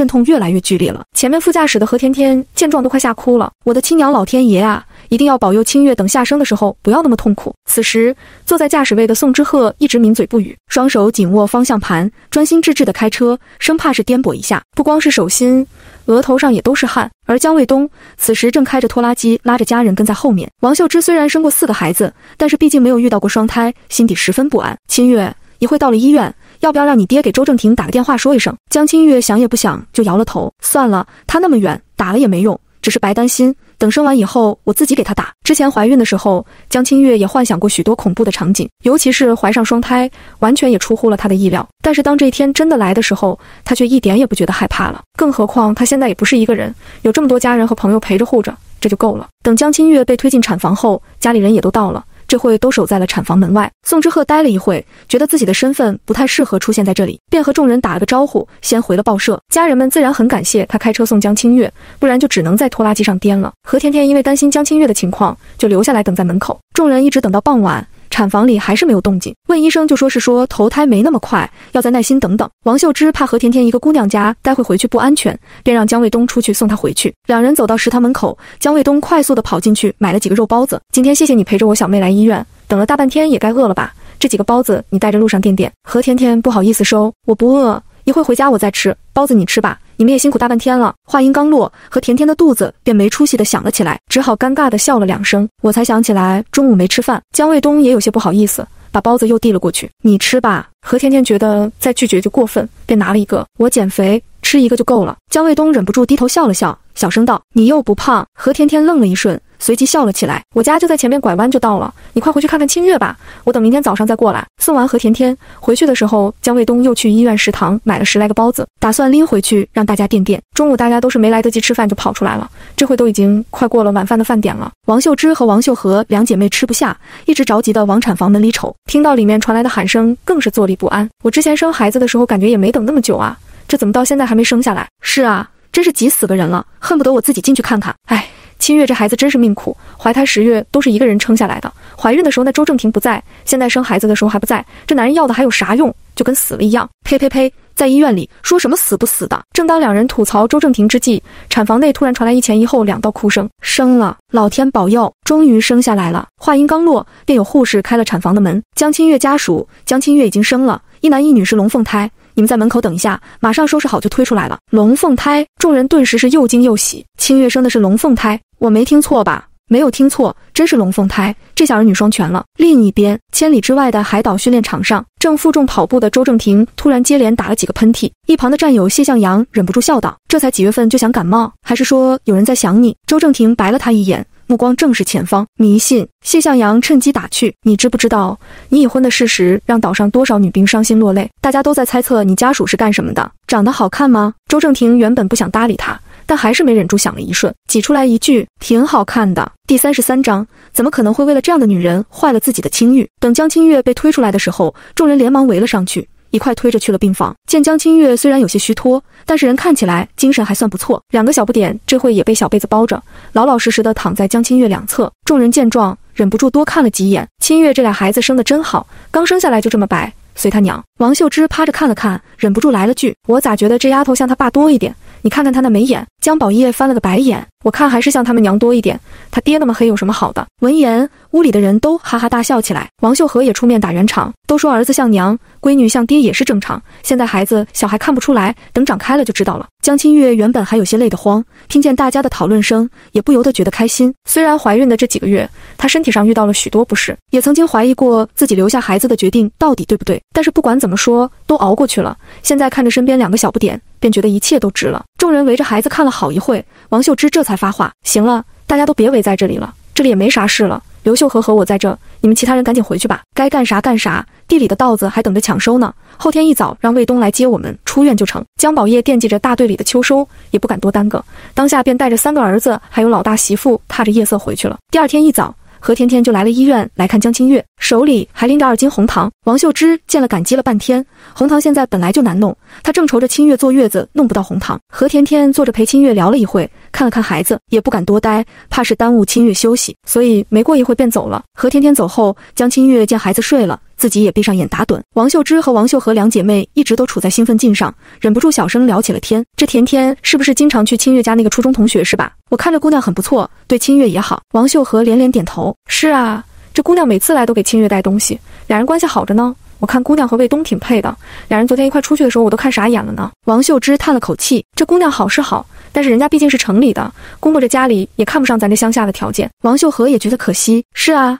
其实卫东也是个好孩子，你也别着急，等忙完秋收再托人给介绍介绍。嗯，是要抓抓紧了。清月现在孩子都俩了。对了，明天出院要不要去请那位姓宋的报社领导来帮着送一下？王秀芝连忙摆手，不要麻烦人家了。再说了，那宋主编还是个单身，和清月走太近不好。村里都已经有人在嚼舌头了。江清月本来就没睡着，这会听到两人在聊宋之鹤，立马睁开眼反驳道：“娘。”那宋主编就是我的领导，人家去村里也是体恤我带着肚子来回跑麻烦，今天就是碰巧了，根本就不是你们担心的那样。不过江清月想了想，又继续开口：我们确实不应该麻烦人家领导了，让卫东也接我们就行了。虽然他不认为自己和宋之鹤的相处有什么不对之处，但是村子里的确是容易赚闲话的地方，还是选择回避最安全。反正孩子生了下来以后去交稿，他直接去报社就行了。王秀芝见闺女这么说，也放心了下来。娘当然相信你，这不是担心以后会出事吗？不过这宋主编上次的确帮了咱们。大忙，到时候我让你爹买点东西给他送去道谢。宋清月嗯了一声，没再说话。门口，宋之鹤听到几人的谈话，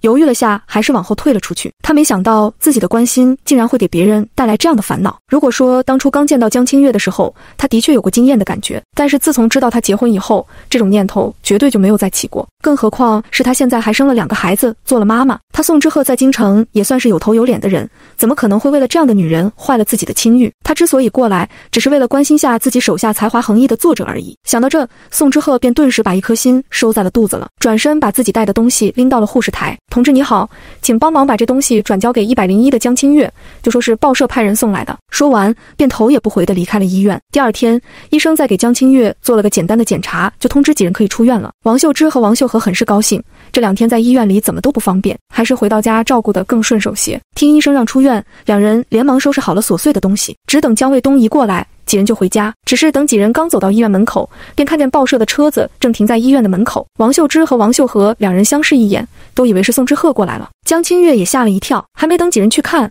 车子的门却突然被打开，随即从里面下来了个女人。江清月定睛一看，这不是报社负责审稿的马大姐吗？江清月笑着问道：“马大姐。”你怎么来了？马大姐人也很爽快，连忙打开车门招呼几人上车。听说你今天出院，我怕你们回去不方便，特地找宋主编批了假借了车，我送你们回去吧。江清月自知自己和马大姐关系并没有那么亲密，但是也想不通她怎么会过来接自己。还没等她细想，王秀芝和王秀和出千恩万谢地扶着她上了车，和江卫东打了个照面，几人便乘着马大姐的车往村子里回。见马大姐开车开得那么稳。几个人都很吃惊。马大姐，没想到你车技这么好。马大姐笑了笑，以前我也是开过拖拉机的，后来才进了报社，也算是我们报社为数不多会开车的人。所以大家伙一听说你今天出院，才一致推荐我来的。江清月恍然，没想到平时点头之交的大伙，竟然也会这么热情。第三十四章。村里的风言风语，另一边红星大队的晒谷场里，众人都在忙得热火朝天，打稻谷的打稻谷，晾晒的晾晒。就在这时，有人伸手捅了捅刘春兰，听说你小姑子清月生了，还是个龙凤胎。刘春兰没好气地哼了一声，但是又怕同在晒谷场上的家里人听到，只得小声嘀咕了句：“人家命好得很，生龙凤胎不是正常吗？”那倒是。生产那天可把你们家人忙得不轻吧？我看一开始还弄拖拉机啥的，后来怎么是小汽车给接走的？刘春兰当时不在场，也是后来听自己男人说的。不过她不想替小姑子说话，便含糊道：“是县城的领导亲自接走的，说是碰巧过来赶上了。谁知道到底是怎么回事呢？”听她这么说，一旁的几个妇人都忍不住抿嘴笑了笑。我看那车子好像就是上次选拔老师的领导开过来的，我也看见了，这车子好像来找过江清月好几次了。你们说？那领导不会是看上了江清月吧？一旁的方如云听了也冷哼着笑道：“这有什么会不会的？肯定是的呗。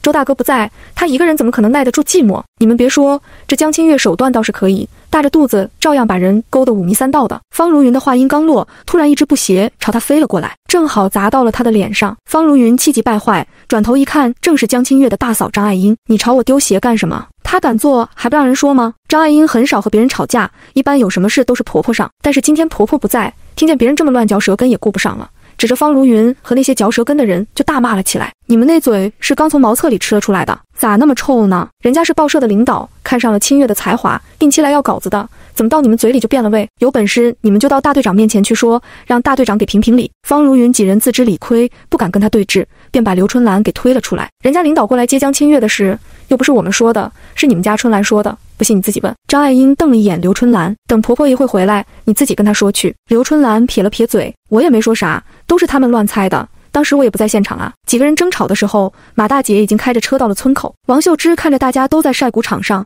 便喊了句：“马大姐，麻烦你在路边停一下，我和家里人说一声。”等小汽车缓缓停下，王秀芝摇下车窗，这才看见大儿媳妇张爱英气得脸通红，和一旁的几个女人在掰扯着什么，连忙下车走了过来。爱英。这是咋了？张爱英一看婆婆来了，顿时有了主心骨。娘，你可回来了。接着，张爱英便把刘春兰和方如云几人刚才说的话给复述了起来。王秀芝一听，顿时气得伸手要去撕刘春兰和方如云，让你们嘴贱乱说，看我今天不打死你！王秀芝的举动很快引起了晒谷场上其他人的注意。江宝业和三个正在打鼓的儿子也远远的看到了。爹娘，他这是干啥？咋一回来就打人？不好，赶快去看看。等几人赶了过去。一问原因，才知道是咋回事。老二江卫民连忙把刘春兰给拉了出来，气得打了他一巴掌。那是咱妹子，你咋能这样跟别人一样在背后乱说？刘春兰不可置信地瞪了他一眼。啥叫我乱说？那小汽车坐的不是吗？别人不会长眼，自己看。刘春兰的话音刚落，方如云等人也看到了路上的小汽车，纷纷附和：“就是，不是我们乱说，是他江清月自己行的不正。前两天生孩子说是赶巧，那今天怎么还专程让人送回来？”王秀芝冷笑两声，拉着刘春兰就往路上走。走，我带你，你瞧瞧，看看是谁开的车。正在这时，车里的马大姐也听不下去了。直接开了车门走了出来。你们这些女同志怎么背地里净嚼舌根呢？就你们刚才的行为，江清月都可以去妇联告你们的。还有，江清月同志是我们报社的特约作者，也是我们领导特别重视的人才。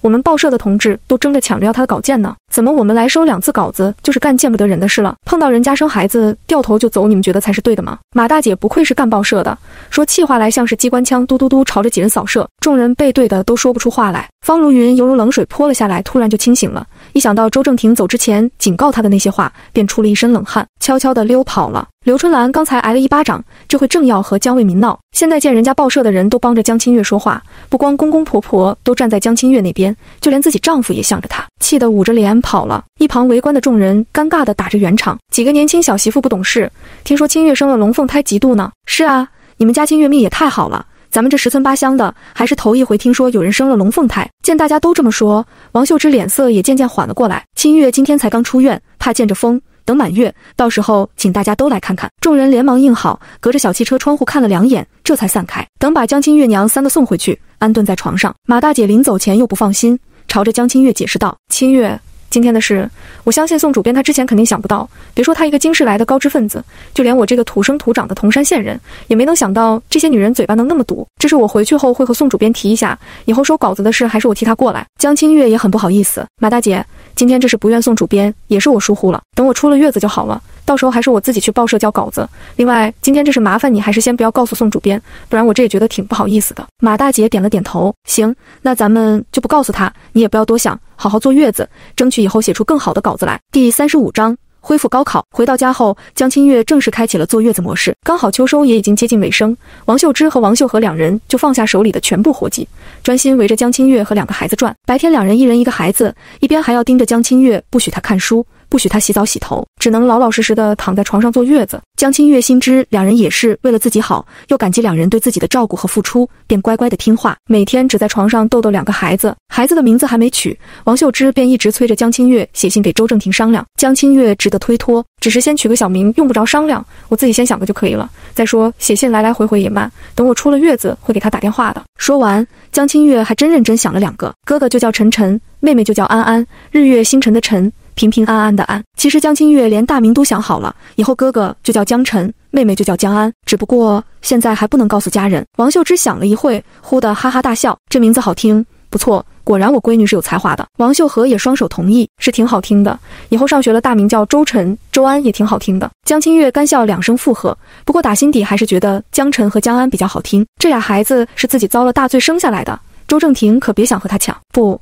孩子的事压根就不会让他知道，悠闲自得地躺了一个月。江清月肉眼可见自己丰满了一圈，所以一出月子就打死不肯再继续躺吃躺睡了。这段时间，三哥几乎天天都要去野河里摸鱼，给他送来做鱼汤。小姨之前在家养了三只母鸡，已经被他给吃了两只了。大概是天天喝汤的缘故，两个小家伙都养得特别好。江清月也恢复得特别快。王秀芝很是高兴，和江宝业商议着要在村里摆酒给两个孩子庆祝满月。江清月为了让两人高兴，便主动从自己攒的稿费里。拿出钱张罗，爹娘两人不肯收，只说之前他出嫁的时候没有办酒，这次就算是弥补他的。到了摆酒这天，村里的人和知青点的人，除了方如云，基本都来齐了。毕竟就算是冲着大队长的面子，也不敢不来。有的人拿了自家腌的咸菜，有的拿自家攒的鸡蛋，不过大部分都是三毛五毛的拿钱过来。江家人主要是图个喜庆高兴，并不在意大家送的是什么东西。等饭菜上桌，众人吃的正欢快的时候，忽然一个骑着自行车的身影飞似的往大队长家的院子里冲。清月，清月。高考恢复了，和甜甜的一句话犹如平地响起惊雷，村里的知青都纷纷站了起来。怎么回事？恢复高考了？江清月这两天就一直在等这个消息，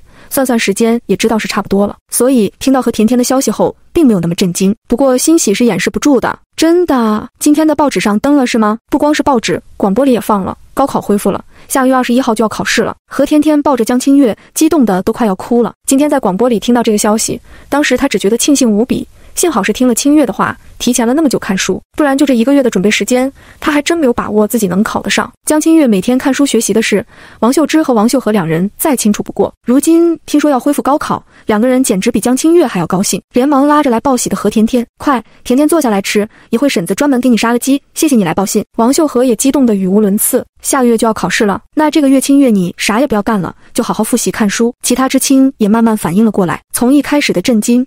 到激动，再到现在的乱成一团。完了完了，高中毕业后我这几年都没有碰过书了，这手上也没有书，可咋办？就是时间太匆忙了，只有一个月都不知道看什么书好。说着说着，众人就将视线转到了何甜甜和江清月身上。何同志，江同志，我想问问看你手上高中的书吗？江清月一顿，心想不会有人拎不清来借书本吧？就算是开口，他也不会借的，便回答道：“嗯，我手上有一套高中的书，是在废品站买的，本来是准备买回来自学用的。”可是还没怎么看，你们可以去那边淘淘看。几个知青见江清月这么说，也都不好意思提出借书的事，毕竟就剩一个月的时间了。江清月之前又是怀孕又是上课的。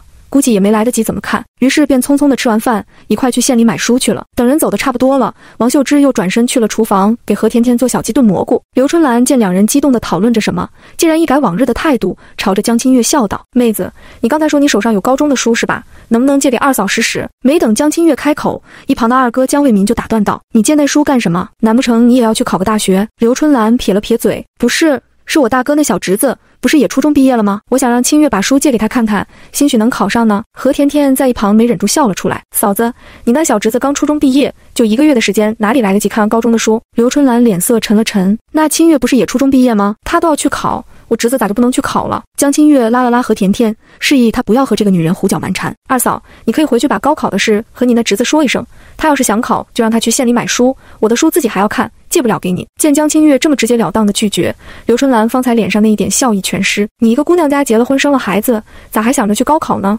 难不成你还要带着两个孩子去读大学？再说你一个女人读书有啥用？这一次，一旁一直站在默不作声的江宝业彻底动了怒。老二，你现在就带着你媳妇回娘家，你们要劝谁高考我没意见，但是别把主意打到我闺女头上。第三十六章。这个月的津贴全汇了。另一边，周正廷通过部队里的广播也得知了高考恢复的事。当时他正在食堂吃饭，听到这个消息，不由得僵在了原地，连筷子都没拿稳掉了下来。莫名的就想起了江清月曾经劝他看书，等待恢复高考的事。没想到竟然真的恢复高考了。一听到这个消息，周正廷就忍不住去猜想，他知道这个消息后的反应，一定会很高兴吧。也不知道他如今准备的怎么样，不过看他那么努力，甚至在他走之前的那个晚上都在熬夜看书，相信应该不会差到哪里去。不过一想到他初中毕业的身份，也不由得为他捏了一把汗。语文和政治他肯定是没问题的，但是就是不知英语和综合他会不会。周正廷不知不觉就胡乱的想了这么多，直到一旁的谢向阳推了推他，才反应过来：“老周，你想什么呢？想得那么入神。周正廷连忙回了回神，笑道：“没什么，只是猛地听说恢复高考，有些难以置信。”谢向阳狐疑地看了他一眼：“你又不去参加高考，这么高兴干什么？你看看，你嘴都快要咧到耳朵根了。”周正廷连忙收回笑意：“你想多了，我只是单纯为了国家能重新选拔人才而高兴。”第二天休息。周正廷便马不停蹄地去了岛上的邮局，打算提前把这个月的津贴给邮回去。江清月得知要高考后，肯定没时间再写稿赚钱了，毕竟相识一场，如今两人在法律上又是夫妻关系，这点钱也好让他安心考试。一起同来的谢向阳见他汇了这么多钱，还觉得纳闷：你平时不都是汇一半的吗？怎么今天全汇了？那你后面用什么？周正廷没有丝毫的犹豫：我花不到什么钱，再说我那里还有。谢向阳呵呵笑道：老周，你真是个顾家的好男人啊！寄完钱，周正廷还犹豫着没走。总觉得少了点什么，在邮局外踱步了好一会，突然瞥到谢向阳口袋里别的钢笔，才恍然想到什么。老谢，你这钢笔不错，那是上个月刚买的英雄牌钢笔，我还没怎么用过呢。周正廷咂了下舌，伸手取了下来。老谢，这钢笔借给我急用一下，等下月发了津贴，我给你买支更好的。说着，便扭头回了邮局。谢向阳丈二和尚摸不着头脑，只知道自己刚刚买来的新钢笔被拿走了，连忙冲着周正廷的背影大喊：“这人有病是吧？”我新买的呀，喂！出了月子，江清月便开始按捺不住，有些手痒，忍不住又动起笔来写起了稿子。这一次，他打算就以恢复高考为主题，一口气多写两篇，到时候看能不能多挣点稿费。写完稿子，江清月拿着去了县城报社。王秀和知道拦不住，便把村里人送来的鸡蛋煮了一些，用红纸染成了红色。清月，你今天去报社，把这红鸡蛋带着。之前生孩子时，那个主编和马大姐都帮了不少忙。虽然他们不缺吃的，但带过去给他们是个意思。江清月抱着王秀和的手臂撒娇：“小姨，你想得太周到了。今天我去县里，要辛苦你和老娘帮我带孩子。等回来，我给你们买好吃的。”王秀和不好意思地摆了摆手：“你你这孩子不要乱花钱买东西，以后两个孩子用钱的地方多着呢。对了，现在月底了，你去县里的时候顺便去下邮局，孩子爹的津贴也该到了。知道了。”小姨，那我先走了。到了县城，江清月拎着红鸡蛋直奔报社。一进门，迎面就撞上了马大姐。江清月连忙笑容满面地迎了上去。马大姐，马大姐听着熟悉的声音，再抬头一看，不由得惊奇道：“江同志，你怎么来了？看你这气色这么好，这月子应该做得不错。”江清月晃了晃手里的红鸡蛋：“我今天去过来给你们送红鸡蛋的，谢谢你上次去医院接我出院。”马大姐接过红鸡蛋，脸上笑得像朵花似的：“你这孩子怎么这么客气？”只是一脚油门的事。对了，马大姐，宋主编在吗？我这两天抽空又写了几篇稿子，想拿过来给宋主编看看。在，宋主编一早就在楼上了，你直接上去找他吧。此时的宋之赫还在为上次在医院无意听到的话觉得有些别扭。本来以为江清月知道高考恢复后，指定在家好好备考，短时间内不会再来报社了。没想到这才过了一个多月，人就又来了。突然见到和自己传闲话的对象，宋之赫浑身觉得不太自在。不过毕竟是见过世面的，很快便恢复如常。朝着江清月问道：“你不打算参加高考吗？怎么还不好好复习，到处乱跑？”江清月被问得一怔，随即笑道：“领导，高考的事我放在心上，准备着呢。不过挣钱的事也不能耽误了，不是？”宋之赫抿了抿嘴：“高考和挣钱，孰轻孰重，你分不清？”江清月心中纳闷：才一个月不见。宋主编这是怎么了？自己参加高考的事和他也没啥关系，而且他都已经看了大半年的书，之前买的那些高中书本都快背下来了。再说自己抽时间写稿子，对报社来说不也是好事吗？怎么到了他的嘴里变成了自己不懂事一样？不过绯册归绯册，宋之赫现在是摇钱树，是金大腿，江清月可不敢得罪，只沉默了一瞬，便毕恭毕敬地回道：“主编，我这稿子写都写好了。”要不然你帮忙看看，要是没问题，我马上就要回去看书了。宋之赫轻叹了口气，接过江清月递过来的稿子，大致瞄了几眼，可以用，你放着吧。见他公事公办，并没有因为刚才的事影响征稿，江清月不由得舒了口气。那主编您忙，我要赶紧回去了。等等，宋之赫见他要走，突然想起自己前几日托京城朋友寄过来的几套试卷，便伸手从桌上拿了出来。江清月，这几套试卷你拿回去好好看看。第三十七章。周正廷的责任感。江清月看着宋之赫伸手递过来的厚厚一摞试卷，眼底满是抑制不住的震惊。刚刚不是还想敲打自己两句吗？怎么转眼又突然变得这么大发慈悲了？宋宋主编，您又不参加高考，怎么会有这些复习试卷？宋之赫冷哼一声：“京城那边寄包裹的时候顺手塞进来寄的。我身边也没人参加高考，就算是便宜你了。”江清月大喜过望。暗自庆幸今天还好过来了，连忙狗腿的千恩万谢，多谢领导，您简直就是我的再生父母。若是我以后考上了大学，一定会孝敬您老的。宋之赫没忍住冷哼着笑了出来。一段时间没见，只觉得江清月这人性格变得比之前开朗了许多，脸皮也愈发的厚了，心中暗暗惊叹，生孩子对一个女人的影响如此之大。随即挥了挥手，下了逐客令。行了。我还有事要忙，你走吧。出了报社，江清月便直奔何甜甜的家。刚才他粗略地翻开看了下，就知道这试卷的水平非同一般。若不是宋之赫有人脉在，这么好的试卷根本就落不到自己手上。虽然宋之赫说是别人随便塞的，轻易的就给了他，但对江清月来说，无异于中彩票一般。而有了好东西，自然要去和好姐妹一块分享。自从恢复高考后，何甜甜就把供销社的工作给卖了，专心在家复习功课。见到江清月来了，还吓了一跳。清月。你咋来了？江清月拍了拍自己的布袋子，有好东西过来给你看。说完，江清月便把自己今天过来报社交稿，无意间得了试卷的事告诉了何甜甜。何甜甜有些不敢相信，清月这么好的试卷，你真舍得借给我看？那有什么？有好东西当然是要一起分享。我们俩先一人一半，等下个星期再交换过来。我和你说，咱俩把答案都写在草稿纸上，等做完了，咱俩在一块对答案。何甜甜见江清月说的这么真诚，忍不住眼眶一红。好，等高考完给宋主编送礼，你也算我一份，成。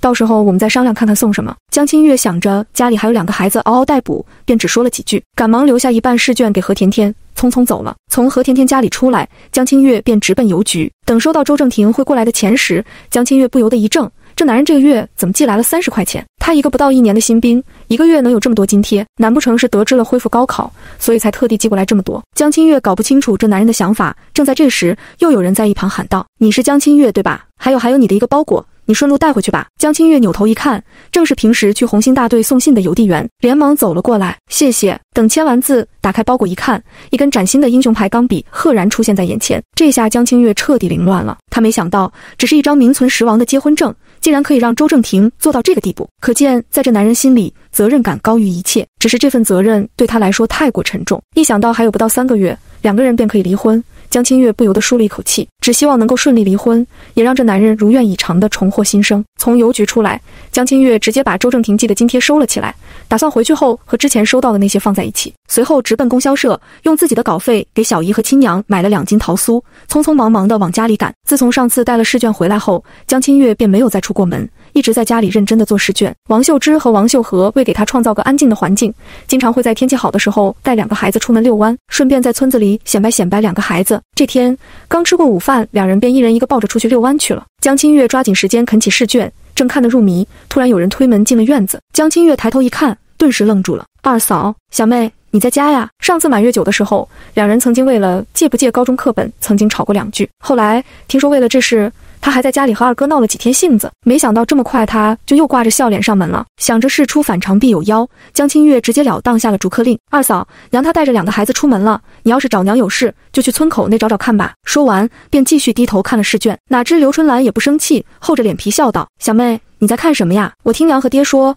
你这几天都在看什么试卷忙着呢？一听他这么说，江清月顿时明白了，估计是王秀芝回家后和爹说话被他偷听了去，所以他今天是又来打起了试卷的主意。想到这，江清月收起脸上的笑意，放下了手里的笔，淡淡的看向刘春兰二嫂：“你有什么事直接说吧，我现在的确有点忙。那啥，也没啥大事哈，就是你这高考试卷能不能借给嫂子用用？”江清月见自己料中，不由得蹙起眉头：“二嫂。”这试卷不是高考试卷，只是复习资料，而且我也是刚从我朋友那借来的。等我看完后还要还给我朋友呢，真的借不了给你。刘春兰一听江清月开始推脱，脸色顿时拉了下来。你说那朋友是上回来找你那姑娘吧？小妹，你就跟他说弄丢了还能咋的？这试卷又不是金子做的，借出去的东西哪能还想着往回要呢？听到这里，江清月也忍不住笑了。二嫂。上回二哥回来后和我说了，你那侄子初中毕业后就再也没有看过书了。如果他真的想参加高考，建议先把书本上基础的知识吃透就行了。这试卷真不适合他。再说那是你的侄子，不是我的，谁轻谁重我还是分得清的。刘春兰见他油盐不进，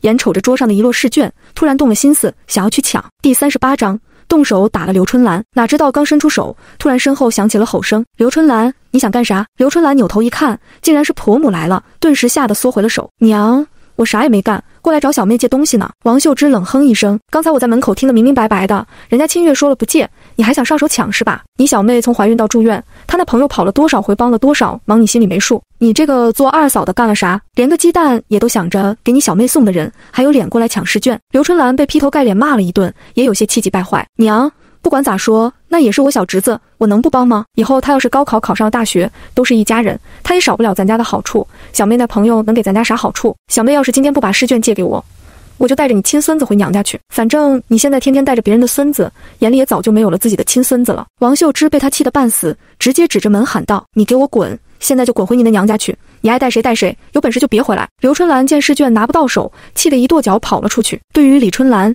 江清月考虑到二哥和侄子侄女的原因，一直本着能不招惹就不招惹，但真的避不开，也不会任由他欺负到自己的头上，或者牺牲自己去成全他。所以这两次，不管他如何说，自己也没把东西借给他。但没想到，为了这点小事，王秀芝也被迫掺和了进来。毕竟还没分家，两人低头不见抬头见。只怕以后更难相处。江清月见王秀芝被气得不轻，把人扶到了凳子上，又给她倒了杯水。娘，你消消气，二嫂的脾气你是了解的，这么多年都过来了，何必为了这点小事伤了自己的身体？王秀和也在一旁劝道：“是啊，家和万事兴，姐你还是回家看看吧，万一她真的跑回了娘家，被人家说闲话也不好。”王秀芝喘了几口气，随即冷哼一声：“随便她，现在我也算是想明白了。”什么家和万事兴，那都是在害了大家。以前清月没有出嫁前，两个人平时吵吵架拌拌嘴，我也没当回事。现在清月结了婚，稍微占了点上风，这个春兰愈发胡搅蛮缠了。再这样下去，两个孩子都要被他给带坏了。这回他要回娘家，就让他回去住几天，冷静冷静，谁也不要去找他。话说刘春兰气呼呼的回到家，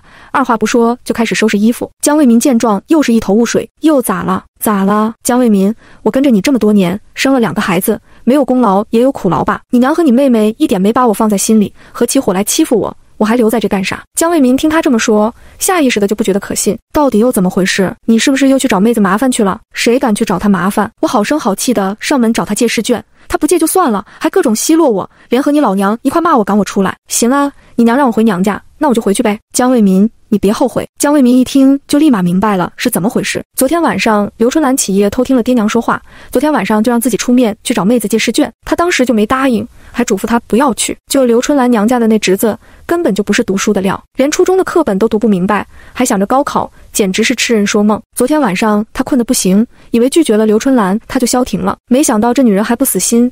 今天又去找了江清月，一想到这，江卫民就顿时气不打一处来，反手就给了刘春兰一巴掌。你这个女人怎么就说不明白呢？我不管你们娘家怎么想，甭来打我妹子主意。清月现在刚生过孩子，又要带孩子，又要准备考试，一分钟时间掰成两半话，你还成天找她麻烦，干脆你回娘家得了，落得我们一家子清闲。刘春兰第一次挨打，气急败坏的指着江卫东的鼻子：“好啊，你敢动手，江卫东，就算你是跪在地上来求我。”我也不会回来的。说完，刘春兰便拎着包袱，气呼呼地跑了出去。出了门，刘春兰想着不能这么遂了他们的意，一扭头便往知青点跑去。走之前，说什么也要把江清月手里有试卷的事告诉知青们。他就不信了，这些人最近疯了的找书找资料。知道有这么好的东西，不会去要。一进门，刘春兰就看到了方如云，连忙悄悄走了上去。两个女人说了好一会话，方如云还往刘春兰的包袱里塞了包饼干。刘春兰这才心满意足地离开知青点，准备去村里找上小儿子胡子，一块回娘家去。胡子这会正在和姐姐小梅一块在学校门口的空地上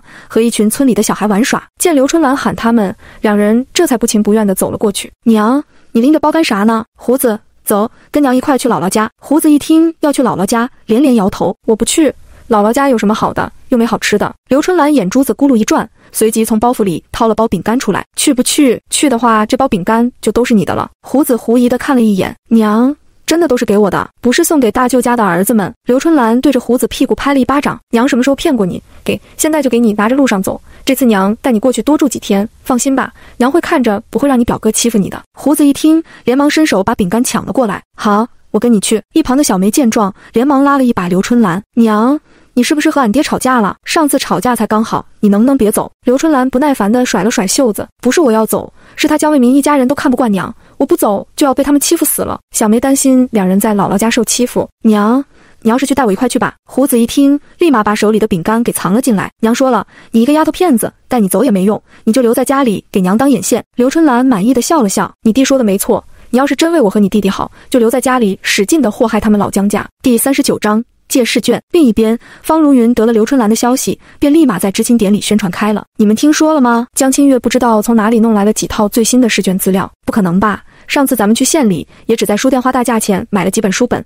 没看过有什么试卷啊。就是，再说这高考恢复也没几天，他哪里有那本事弄的最新试卷？方如云冷哼一声：“咱们铜山县没有，难不成省城也没有？就算省城没有，那京市也有啊。”一听这试卷可能是从京市来的，不少人就开始动了心。毕竟他们梦想的大学都在京市，那里人才济济，想必试卷一定会对这次的高考有帮助。这几天，众人正愁着找不到复习的方向。咱们之前和江清月也没什么交情，如果去问他借，他会借吗？方如云恨铁不成钢地瞪了一眼大家伙，咱们这么多人一块去找他要，他好意思不借吗？若是他不肯借，那就是在搞破坏团结。咱们可以去举报他，让他参加不了高考。众知青都知道，方如云和江清月为了争周正廷，一直不对付。如今江清月已经嫁给了周正廷，早就不再找方如云的麻烦。只是方如云似乎还没迈过这一坎，反过来老是要找江清月的麻烦。所以现在一听他这么说，都有些不太赞同。但是见方如云一副底气十足的样子，都纷纷跟了上去，打算先去找江清月好好说说，兴许他会答应。此时的江清月正在带着两个孩子在炕上玩，见这么多知青一个不落的上门，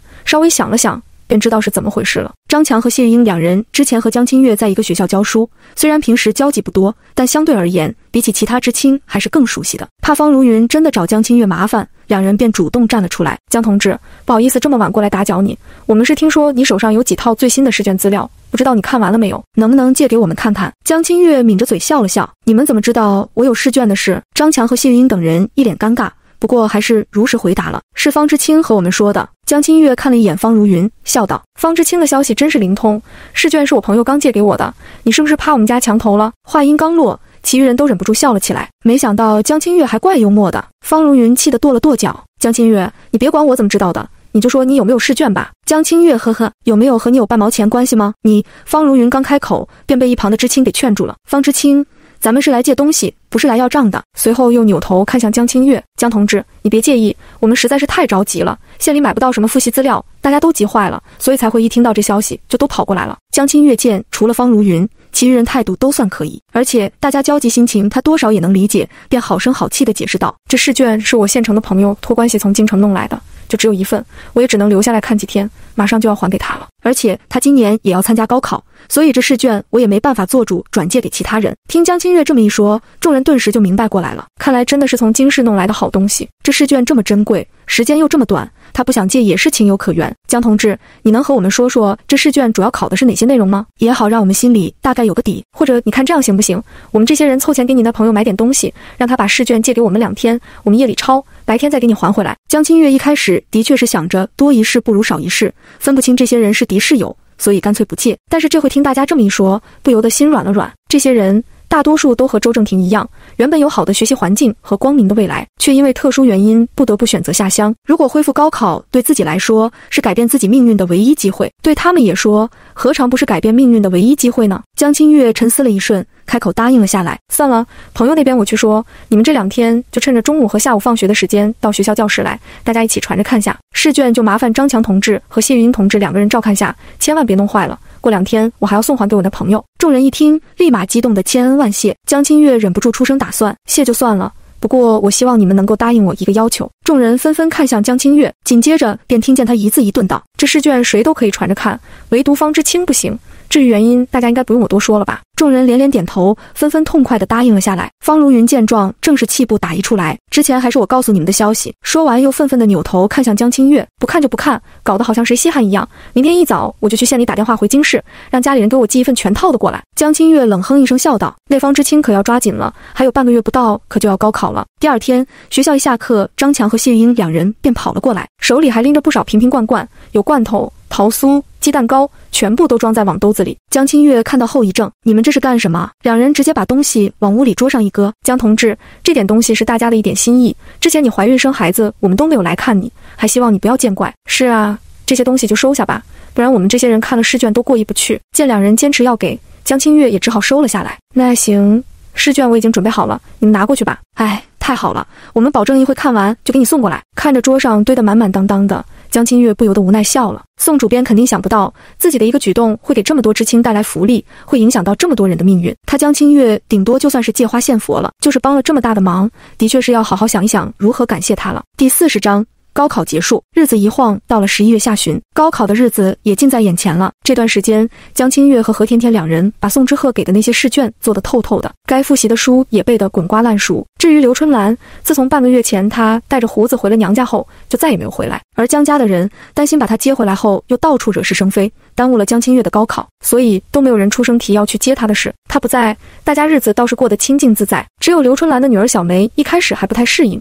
之前在家里被刘春兰呼来喝去惯了，这下刘春兰一走，她还真有些不太适应。不过没过多久，小梅也渐渐习惯了，没有娘在跟前打骂，没有弟弟天天抢吃的，小梅也渐渐变得活泼起来。到了高考这一天，大队长姜宝业特地一大早就叫了上村里的拖拉机，亲自送考生们去县里考试。去参加高考的知青们都很激动，踌躇满志，只有方如云一直不太高兴。大概是因为他打了几通电话回京，却一张试卷也没弄来的缘故。不过大家早已习惯了他的阴阳怪气，并不影响大家去参加考试的好心情。一连两天紧张的高考终于结束，一出考场，何甜甜就跑着来找江清月，要和他一块回家，想对一对答案。这段时间，众知青通过借试卷问答案，也都知道了江清月的真实水平。见何甜甜来对答案。大家都纷纷围了过来，简直是把江清月的答案当成了标准答案在对。江清月也不嫌烦，耐心地跟大家对了答案，同时又劝道：“大家也别太焦心了，我相信成绩很快就会下来的。高考一旦恢复，以后肯定每年都会考的。就算是我们当中谁没有进到理想的大学，也是可以选择明年再继续努力的。那些考得不怎么样的，听江清月这么一说，心里也宽慰了不少。江同志说的没错，这次的高考太仓促了。”等到下一次，一定会考得更好。见众人纷纷捧着他，方如云也不知道从哪里冒了出来，忍不住泼冷水道：“一个初中毕业的答案都被你们当标准答案了，就这样的脑子还想考大学呢？”众人闻言，纷纷不悦地看向方如云。何甜甜第一个跳了出来：“你就是方如云是吧？少在这里酸了吧唧的，有本事就等高考成绩下来看看就知道了。走着瞧呗，走着瞧就走着瞧。”方知青，你这又是何必呢？江同志这次可是帮了我们大忙，要不是他，我们估计连现在的成绩都没有。就是江同志和周知青现在孩子都有两个了，你也该放下了。何甜甜一听，顿时恍然大悟，好啊。怪不得你天天找清月的麻烦，原来是惦记着别人的老公，不要脸。周知青知道你找清月麻烦这事吗？方如云一听人提到周正廷，顿时闭上了嘴，连忙落荒而逃了。何甜甜见他那副大惊失色的样子，赵二和尚摸不着头脑。我说啥了？怎么提了下周知青就给他吓成那样？知青中有些人隐约知道是怎么回事，好像是周知青临走的那天早上，我们一块去村口送行来着。当时方知青过去找他，好像被训斥了一顿。对对，我也看到了。当时周知青不知道和他说了什么，他听完吓得脸色都变了。江清月本来安静地坐在一旁，突然猛地被众人塞了这么一口瓜，也突然起了好奇之心，能让方如云吓成这样，周正廷临走前到底和他说了啥？话说高考结束后，原本一直淡定待在娘家的刘春兰却有些坐不住了。刚回来的那几天，他还以为江卫民肯定会二话不说来接自己，哪知道一连住了好几天，却连个人影都没有。当时他气不过，便想着等高考结束以后再说。若是侄子考得好，料他老江家的人肯定巴巴的就上门来接了。哪知道原本还天天吹嘘自己成绩如果好的大侄子，两天考试考完后回来就哭了。一问才知道，大半的题目看不懂。这下刘春兰也彻底慌了。不仅如此，刘家还把大侄子考试考不好的原因都归结在了刘春兰没借到试卷上，各种找理由给他气受。胡子看不惯自己娘被人冷嘲热讽，这事怎么能怪我娘呢？我爹之前就说了，是大表哥他自己不是学习的那块料，就算是借到了，他也看不懂。刘家人正愁着没有撒气的地方，听胡子这么一说，刘春兰两个侄子都一哄而上，朝着胡子又是拳打又是脚踢的，还是刘春兰扑上去护着也停了下来，别打了，胡子可是你们的兄弟。胡子被打，身上的疼加上连日来受的委屈，忍不住嚎啕大哭起来。娘。咱什么时候能回家？在这里吃的差就算了，还让我天天干活。之前在家里，虽然爷奶也会给自己分活，但好歹有小梅能帮他干。在这里，他不干都不行。刘春兰看着儿子被打的脸上都挂了彩，忍不住红了眼眶。儿啊，再忍一忍，你爹很快就该来接咱了。胡子囫囵擦了一把眼泪，要是爹不来，不要咱俩了，可咋办？不会的，你可是你爹唯一的儿子，你在这，他不会不来的。胡子听完，擦干了眼泪，不过心里还是有些害怕。娘。你觉得爹真的不会丢下咱们吗？可这都半个月了，他们一点动静都没有，就连小梅也没来过一回。刘春兰其实心里也开始有些没底，现在听胡子这么说，不由得慌了。胡子，要不然你偷偷跑回村口，看看小梅在不在，把她喊过来，就说娘有话问她。